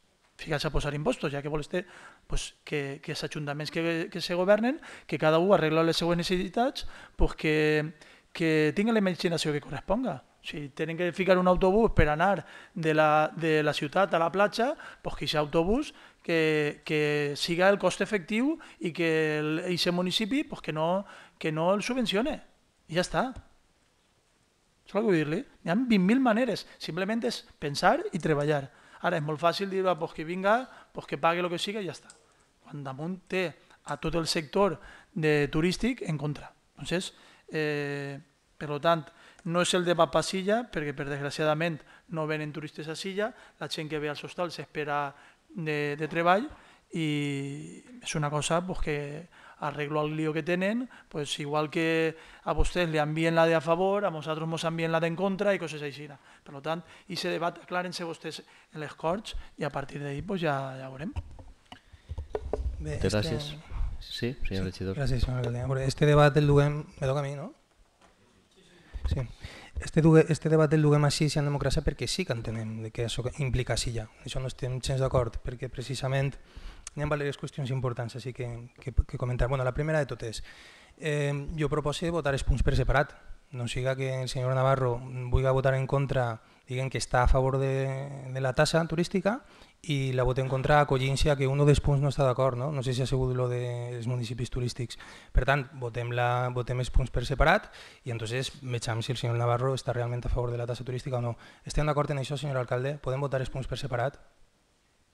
Però perquè, no ha ningú inconvenient. Dic, ho, ho dic també perquè el senyor Serafín també dit que està d'acord en altre punt específic. Que Però jo crec que està desvirtuant realment l'essència de la moció. És una moció que ve dalt cap avall, per tant, aquesta moció no és del poble. Bueno, és una proposta, bueno, això és una opinió seva. Ara que vostè el que vol és veure el que opina cadascú, pues no, no té ningú inconvenient, no, però no, com va transmetre-la vostè cap a dalt? No, no simplement és això, és també perquè jo considero que és important que efectivament hi ha punts que tenen una certa diferència qualitativa i que per tant no s'hi tinga que per què votar en bloc. El PP podrà votar a favor de lo que considera que és negatiu, lo dels pisos il·legals, i en contra de la resta, i jo que sé, això me pareix positiu. Per a mi no hi ha ningú inconvenient, i jo crec que per la resta de companys tampoc hi haurà ningú inconvenient. Vale, perfecte. Vale, entre ja en matèria, si, si me permet, per efectes de temps. Eh. S'ha comentat així que, que no és important per a Silla, jo trobo que no. Precisament en Silla el que tenim pendent és el desenvolupament de tot un model turístic propi. Per tant, implementar aquesta mesura implicaria recursos per a poder financiar eh, precisament aquest model turístic que en Silla ara mateixa tenim que desenvolupar. Per tant, sí que s'implica eh, a nivell local, perquè aquesta proposta el que implica precisament, com ja he explicat, hi ha un tram municipal i un tram eh, autonòmic. I aquesta diferenciació, senyor Ivan, entre l'autonomia i el local és perquè el turisme implica infraestructures compartides, com ja l'he comentat abans, i per tant és important que hi hagi aquests dos trams. Eh, que vostè pensa que n'hi ha pobles on, on, o sigui, que el PSOE, a lo millor, ja no sé si és vostè o no, eh, o si és un argumentari del seu partit, si se pensa que n'hi ha pobles que a lo millor no, no els interessa o que no tindrem per què acollir-se, pues a lo millor és qüestió de negociar-ho i a lo millor deixar que cada municipi vulgui adherir-se o no adherir-se, però això és qüestió de negociar-ho. No? Després, si diu que el sector està en contra, ho ha dit el senyor Serafín, ho ha dit el senyor Ivan, bueno, és que així n'hi ha que entendre què és el sector turístic, perquè el sector turístic, des de luego, no se redueix a, al sector empresarial, que és l'únic que està en contra. I el, I el sector empresarial precisament és el que ha tingut un augment en els seus beneficis de l'11%, mentre que les condicions laborals estan cada vegada més precàries, els salaris són cada vegada més baixos i més precaris i més temporals. Entonces, què entenen per el sector? Si entenen per el sector sols lo empresarial, estem tenint ahí un problema d'enfocament, entenem. No? El sector és molt més que sols els empresaris els problemes són globals i per tant s'han d'enfocar d'una forma, forma global. No? Jo pense que, insistisc, és molt important per al poble, per a cada un dels pobles de, de la comunitat valenciana, perquè fins a cert punt sempre podrà desplegar no sols un, un sol model, un model propi turístic, sinó que la millora de les infraestructures que puguen estar financiades per aquesta recaptació impositiva sempre va a, a afavorir al conjunt de tots els, els municipis de, de la comunitat valenciana o del País Valencià, que les dues formes de, de, són correctes, perquè milloraria les infraestructures, els serveis en, en, en època estival i tota la, la sèrie d'avantatges que he comentat abans. L'acord del botànic és progressista, senyor Fuster? Pues tenia pinta de cero. Tenia pinta de cero. És la, és la idea, o està sent molt més de lo que era l'anterior govern, evidentment però eh, és una forma d'intentar tensionar aquest acord del botànic que Podemos Autonòmic està diguem, apoyant des de fora per fer-lo anar més enllà de lo que fins al moment eh, sobretot el PSOE en aquesta qüestió concreta, pareix que no està molt per la labor d'entendre el sector d'una forma més, més àmplia, que no simplement l'empresarial, i per apostar per una pràctica que està avalada per l'històric, com ha comentat abans el senyor Melero. És a dir, és un model impositiu de finançament de la promoció turística i de, i de tot el model turístic que s'implementa per tot arreu no és ninguna barra basada. I l'exemple que vostè ha posat abans de qui va treballar, de la mateixa forma que se pot eh, fer una exempció que ja està contemplada per el tema de qui va estar en un hospital, en, en un familiar, pues de la mateixa forma, si és una qüestió de, de laboral constant, un certificat de l'empresa, jo trobo que això, si no està inclòs, s'ha de poder incloure sense cap problema, perquè ahir la idea és fer alguna cosa sensat. Si s'està fent en molts jocs, també nosaltres ho podem fer i si n'hi ha mm, aspectes que n'hi ha que polir perquè siguin de forma sensata, pues de forma sensata. I després, lo de municipi turístic, senyor Navarro, és que entenem que n'hi haurà alguns requisits per a complir-los, per a que se te puga donar el, el poder manejar diguem, la part de recaptació de tabaco i de gasolina. Però bueno, si vostè considera que no i considera que sí, ja pot ser declarat municipi turístic i nosaltres tindré també part de lo que se recapta en gasolina i tabaco del poble de Silla, presenta aquesta moció que jo li la vote a favor. Moltes gràcies, senyor regidor. Passem al segon torn de paraula. Senyor Andrés. En definitiva, tornar a pujar els impostos.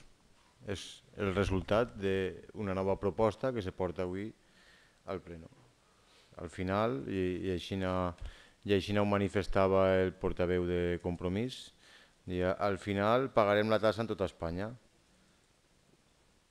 i, i finalitzava la frase, eh, perquè volia dir això, igual que pugem tots els impostos. Eh? És, és això, és, el que vostès pretenen, no? Eh? Ofegar a la gent, ofegar-la perquè vaig a morir a vostès, a donar-li limosnes, i això és la seva política, i això és la seva política, no? Al final, controlar els diners i el que vulgui algo anar tirant com fent antigament, no? Les monarquies, no? Darle pan al pueblo para que se calle, així no i això és al final la seva, la seva estratègia.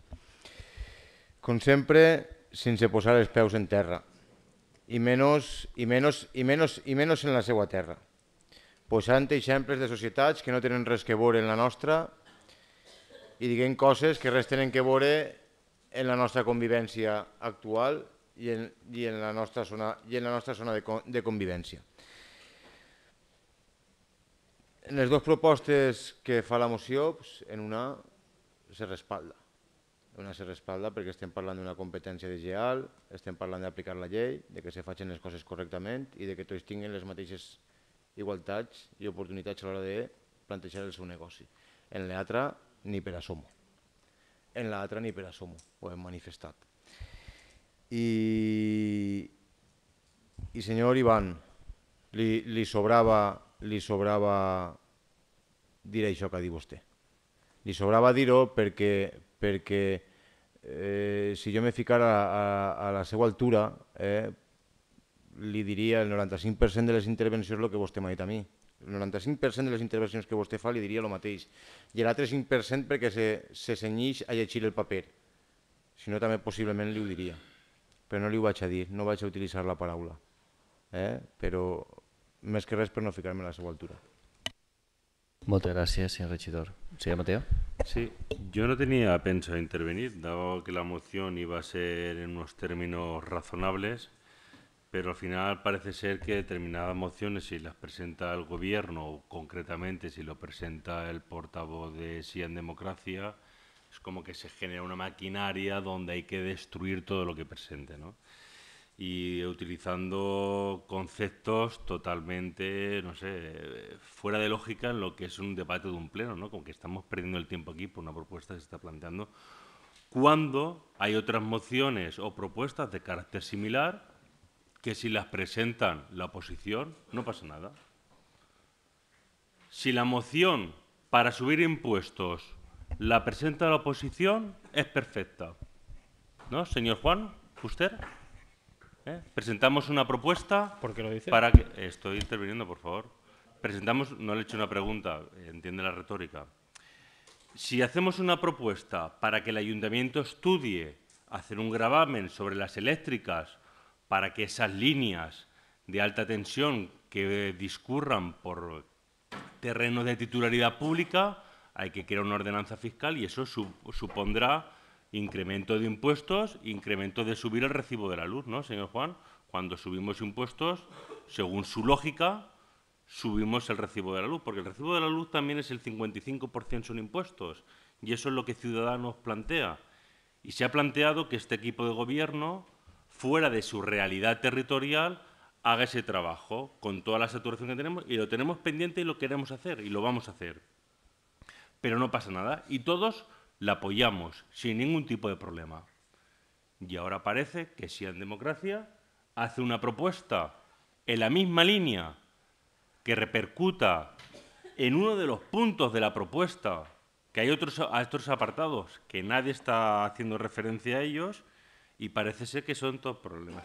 Todos problemas incluso desde el punto de vista, y si alguien es así, que me lo corrija, en ningún momento se habla de que sea una tasa. Habla claramente de que es un impuesto. Y también un impuesto donde dice claramente que no tendrán que recibirse esas transferencias única y exclusivamente sobre los municipios que se definan turísticos.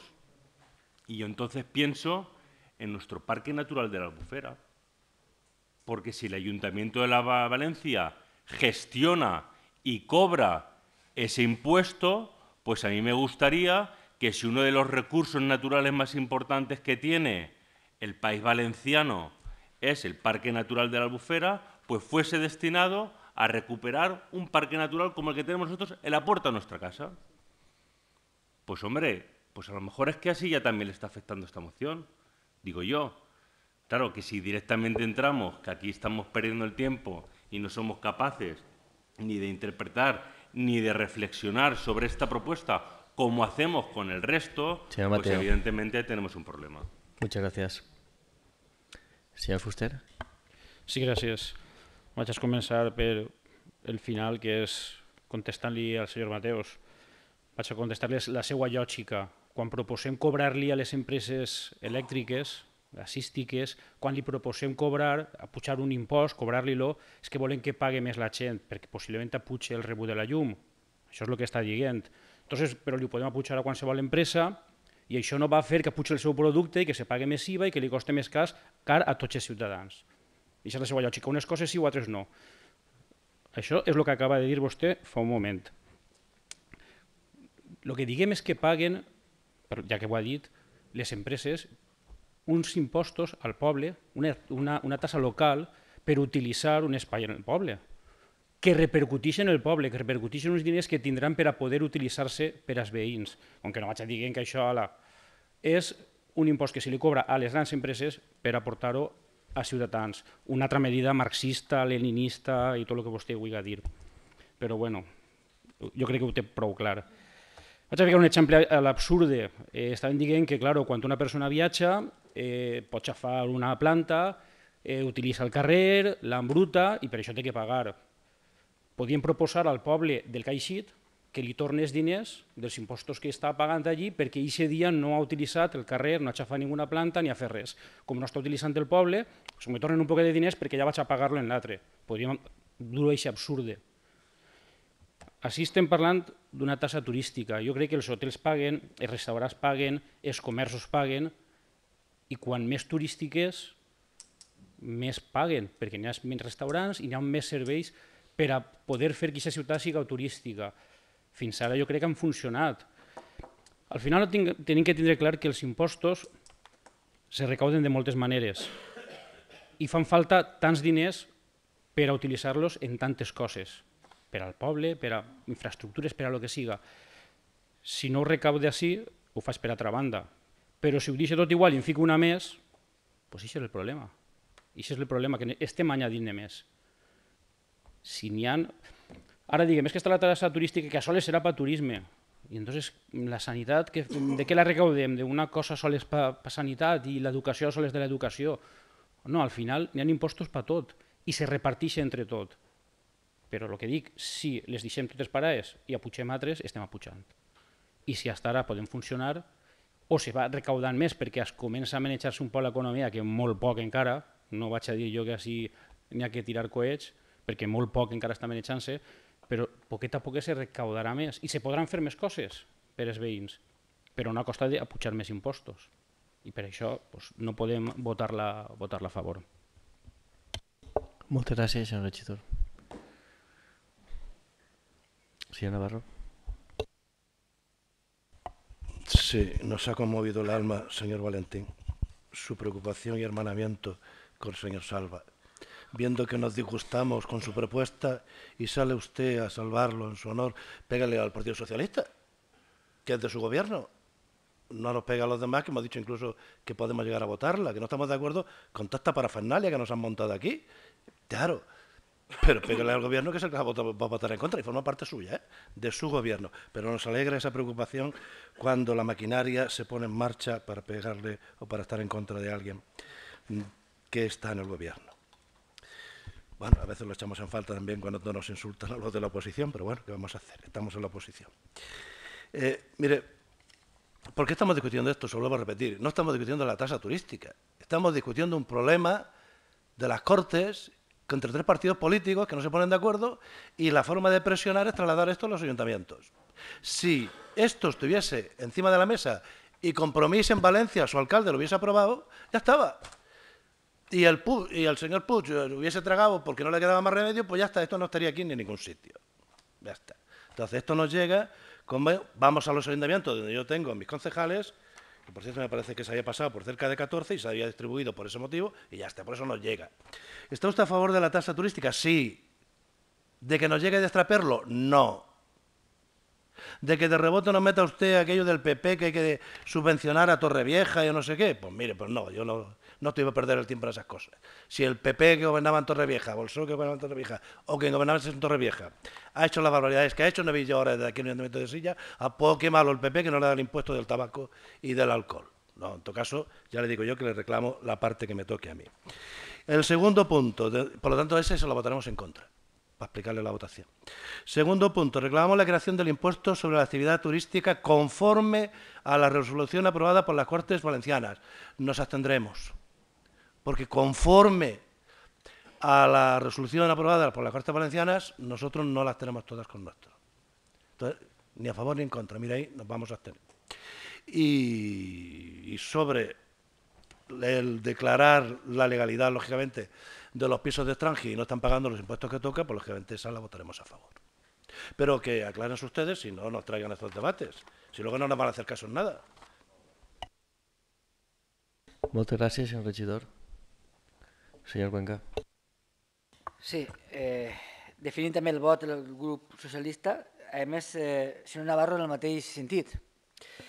Eh, Torrevieja, Gandia i Benidorm són ciutats, grans ciutats, i per tant tenen més impostos que les, ciutats Consella. Si damunt anem a fer que cobren del tabac o cobren tal, més del que cobren, no, jo, vull, jo vull que canviem i fiquem Silla, Beniparrell i el Càcer, va, i Picassent, que tampoc estan tan junts. I això quatre, no fiquem a Torrevieja i a Gandia, tal, que tenen un transport urbà, el cobren per part de l'Estat, que tenen infraestructures que les cobren per, per grans ciutats. I fiquem a Silla, fiquem a Beniparrell, al Càcer i a Picassent. Que, a més, podíem fer una ruta turística interessant. Eh? Claro, de Font d'Olomet a la Bufera. Imagina si podem veure coses. Eixa sí, claro, però esta no. Més diners, els que més tenen, doncs pues no, sincerament.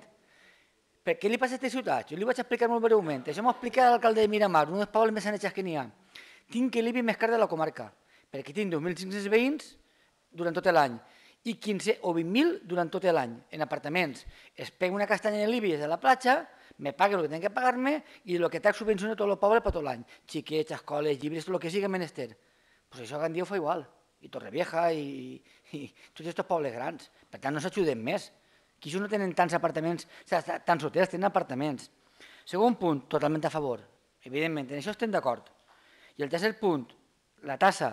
Mentre no hi ha consens, no es pot aprovar aquesta tassa. I el consens serà complicat, però se pot aplegar. Ja per acabar i finalitzar. Senyor eh, d'Espanya 2000, hi ha una diferència molt gran entre el que vostè ha fet i jo he fet. Mentre vostè parlava i explicava, jo estava callat i detenia. No interrompia el seu debat. I una cosa molt curiosa, diu que les monarquies donaven pa al poble per a callar. El regne de València que vostè defèn era una monarquia d'ixes, perquè no tenia res de demòcrata. El regne de València que vostè defèn era una monarquia d'ixes, que donava pa i feia callar. Ara estem en una democràcia. Que que això no li interessa, A vostè li agrada més el regne, el pa, el palo i el garrot. Vale? Per tant, lliçons de patriotisme i de democràcia, per vostè. Moltes gràcies.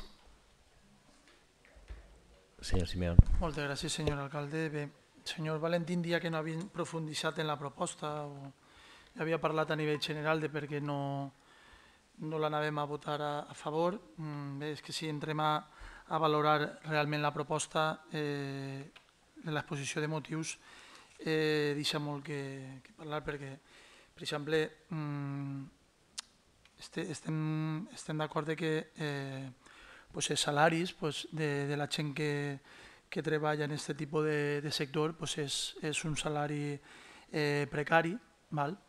Eh, però evidentment en aquesta tassa no li anem a, a donar un augment.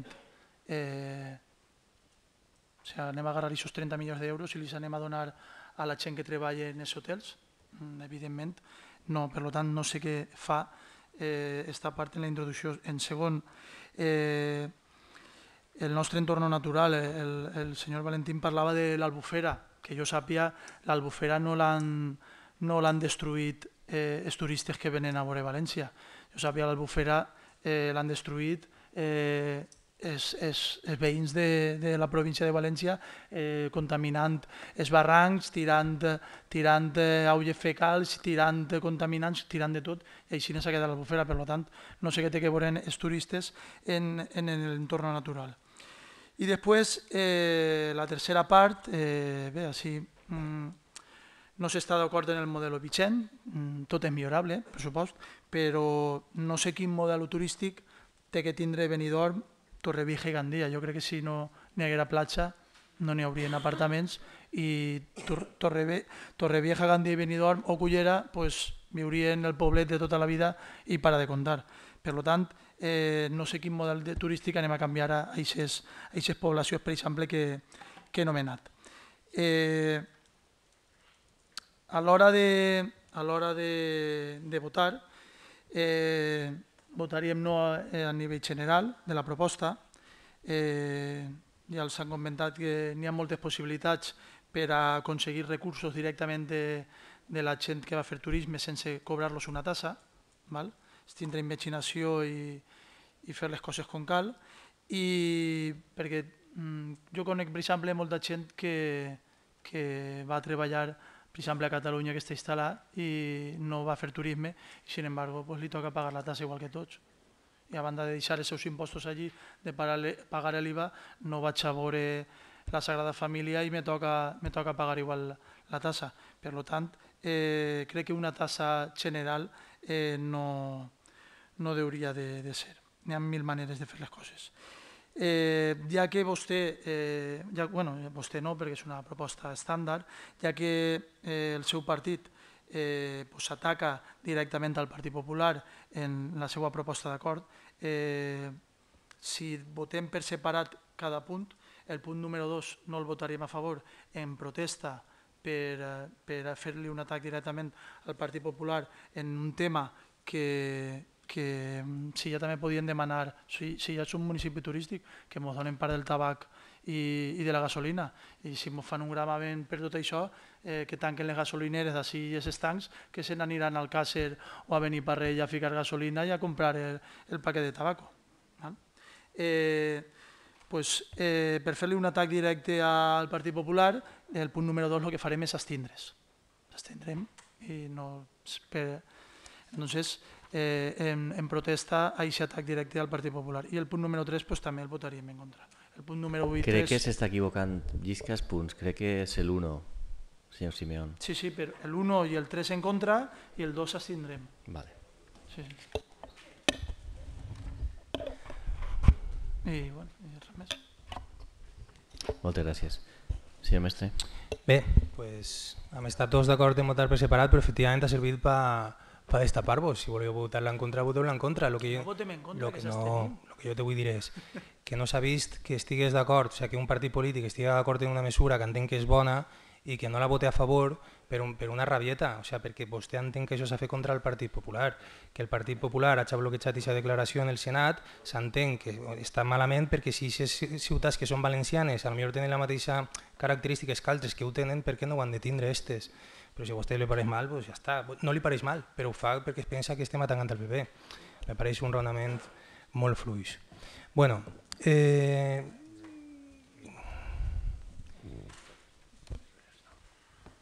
Senyor Navarro, esta proposta té una clara implicació local i per això se du a, lo local.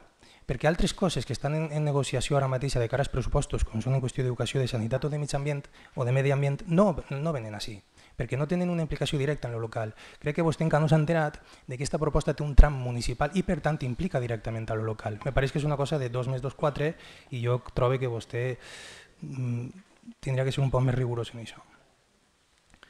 Senyor Ivan, Eh, jo estic d'acord en que declaren també Silla i que tinguem accés a això. Li dic el mateix a aquests recursos de, dels impostos de la gasolina i del tabac. Li dic el mateix que al senyor Navarro. Fem aquesta moció i la, i la votem a favor. Si vol me l'esmena, jo què sé. O sigui, jo no tinc, eh, no tinc cap problema en això. El que no veig el problema és en permetre que tres grans ciutats turístiques de la comunitat valenciana que compleixen les mateixes característiques que, que, altres que tenen aquesta denominació no la tinguen també. O sigui, això jo de... Jo, a nivell cap a dalt no, no alliberen cap a baix, no? És, és un poc la, la mentalitat. I després, l'argument de sense consens no se pot aprovar, eh, entenem que és molt fluix, perquè, clar, que estiga d'acord eh, el sector empresarial que està acumulant beneficis mentre precaritza el treball, que estigui d'acord en aquest impost sobre l'activitat turística, pues seria anar en contra dels seus interessos egoistes, legítims, però explotadors. Entonces, voler el consens com a condició sine qua non per a fer una mesura que millora les classes populars i treballadores me pareix un argument políticament molt fluix per a un partit com el Partit Socialista que a nivell autonòmic se considera, se considera progressista. Perquè això té que veure també en el que eh, el, el senyor Serafín en quina relació, se plantejava vostè, quina relació té aquest impost, que no és una tassa com ha dit el senyor Valentín, aquest impost sobre l'activitat eh, turística, quina relació té això en la, en la precarietat laboral? I té que això que veure el que li està dient el senyor Ivan i el que li vaig dir a vostè era, pues perquè en aquests recursos se pot millorar la inspecció laboral que ara mateixa n'hi ha un de treballadors i treballadores, sobretot les Kelly, són paradigmàtiques en això, que estan en unes condicions laborals infrahumanes, completament il·legals i, explota, i explotades completament i no n'hi ha suficients recursos com per a inspeccionar això correctament i obligar als empresaris que estan pagant impostos però que estan explotant de forma eh, il·legal e injusta Vaig acabar, senyor regidor, que, acabat el temps. que complisquen en les condicions, en les condicions laborals. I això és la connexió d'aquest impost d'activitats econòmiques en la qüestió de la millora de les condicions laborals. Moltes gràcies. Moltes gràcies. Pues com bé comentava vostè i no hi ha ningú inconvenient, anem a tractar els punts per separat i a votar-los per separat. Vots a favor del primer punt? Pues llisca-lo vostè. Vol que li llisca jo? El primer punt és sobre el tema dels municipis turístics. Vots a favor del primer punt. Vots en contra. Abstencions. Moltes gràcies. Vots a favor del segon punt. Vots en contra. Abstencions. Vots a favor del tercer punt. Vots en contra.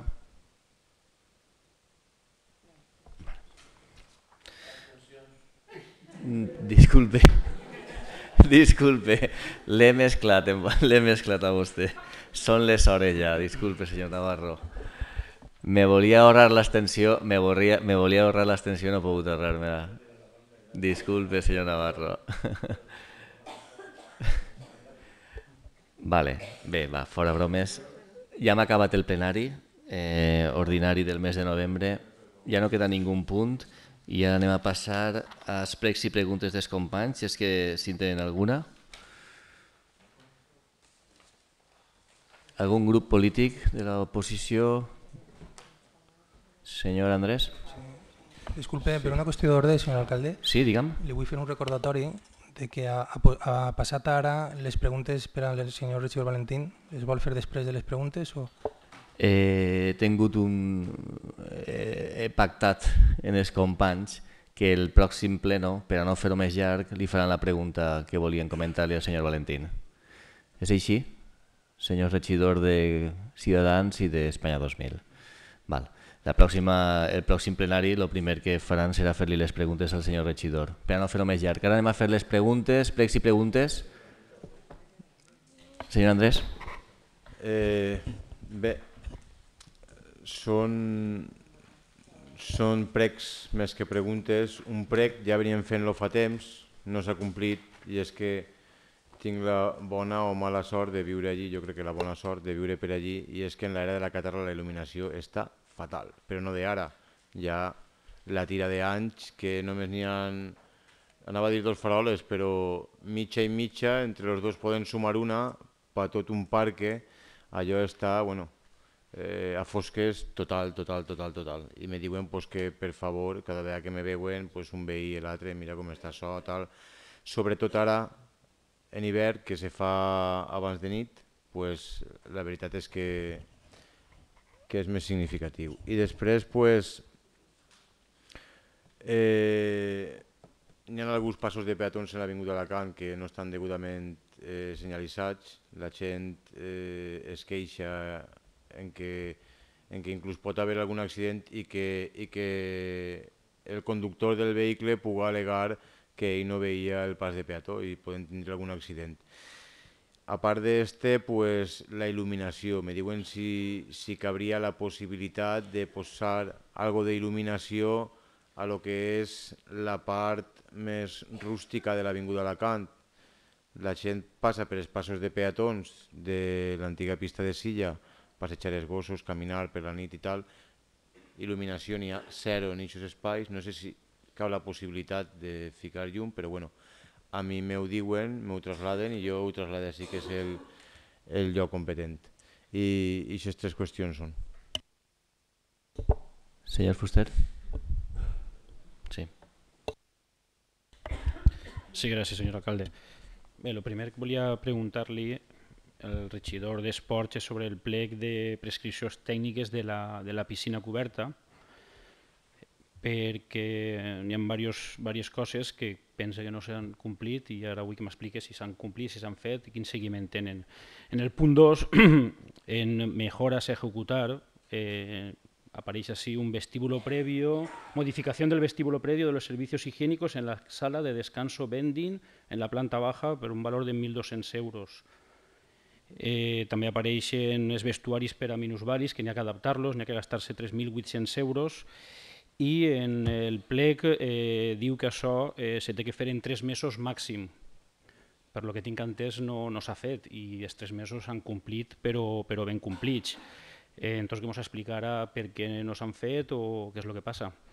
Per altra banda, en el punt 4 del plec eh, parla de l'horari, diu que l'hora de, de tancament és les 23 hores i que això es podrà canviar en un informe de motivació eh, que, que se té que requerir un informe de motivació presentat. Com l'hora s'ha canviat a les 10, eh, li demané que me diga si aquest informe de motivació està i si està, pues, per favor que mos el faig a passar, perquè sí que sé que s'està tancant a les 10 i no sé si hi ha un informe de motivació. I en el punt 5, eh, que parla de la comissió de seguiment, diu que se tenen que fer unes reunions una vegada al mes com a mínim i fer un seguiment del pla de millores. Per això del que parlava de les millores abans, en el que està inclòs esta comissió de seguiment eh, per el senyor Felipe, per dos tècnics de l'Ajuntament. Entonces era veure si tots els mesos han fet aquests seguiments i, i per què no s'han complit aquestes coses. Una altra pregunta que volia fer era, eh, l'han contestat, crec, abans, que era lo del linxable que se va utilitzar l'altre dia per a la consulta, eh, han dit que, se, que costa tot 374 euros. Això és l'inxable o, o tot? i si és tot, que me diga quan costa l'hinxable. Els xocs infantils. I per a últim, eh, volia preguntar, ens han dit que, que la inauguració de la biblioteca és ja la setmana que ve, no sé si és correcte, avui ja dimarts, demà, sí, a les 8, té raó, perdó. Eh, I el que volia preguntar-li és eh, si l'horari que tenim a estar en l'altra biblioteca, que és de 9 a 2 i de 5 a 8, de dilluns a divendres, eh, n'hi ha alguna millora, que és el que en el seu moment se va dir, que el unificar les dos i unificar el personal faria que s'ampliaria l'horari i així pot donar més servei als veïns de Silla. Entonces, que ens diguen quin va ser l'horari a partir d'ara en la nova biblioteca. Gràcies. Moltes gràcies, senyor regidor. Senyor Navarro? Alguna pregunta? Passem a les contestacions. Senyor Valentín, s'ha pres nota vostè?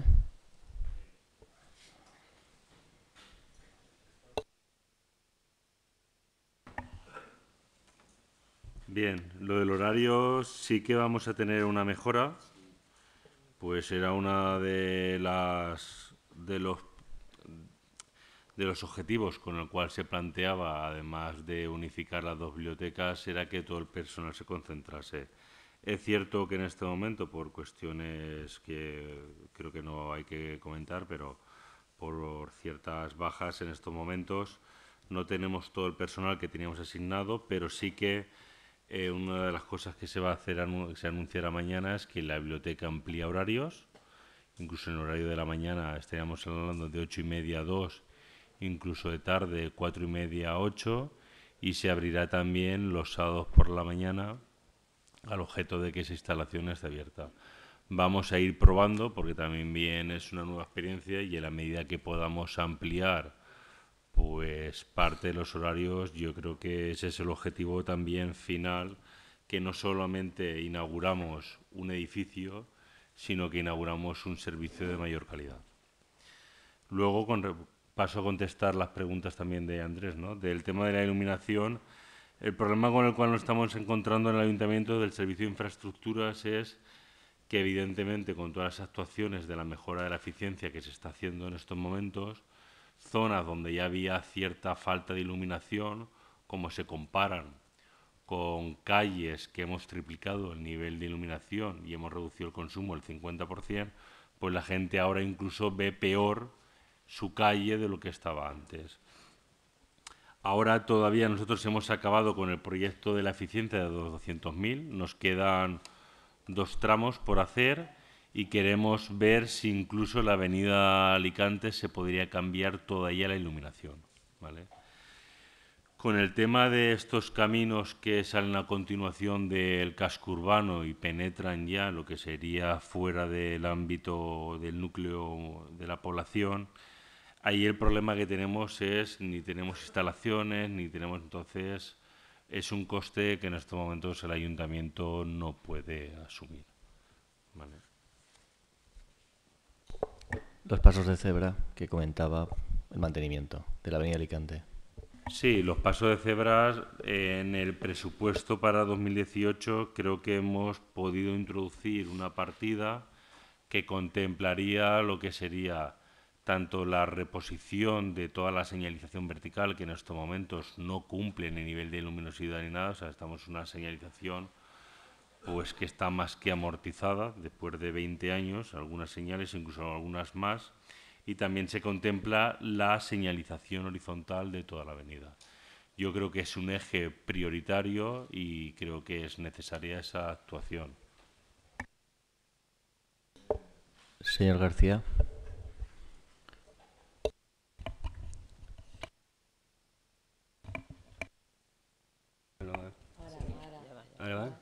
Vale. Eh, senyor Fuster, anem a veure, vaig a contestar-li tot en, en un paquet, en un, vale? les cinc coses.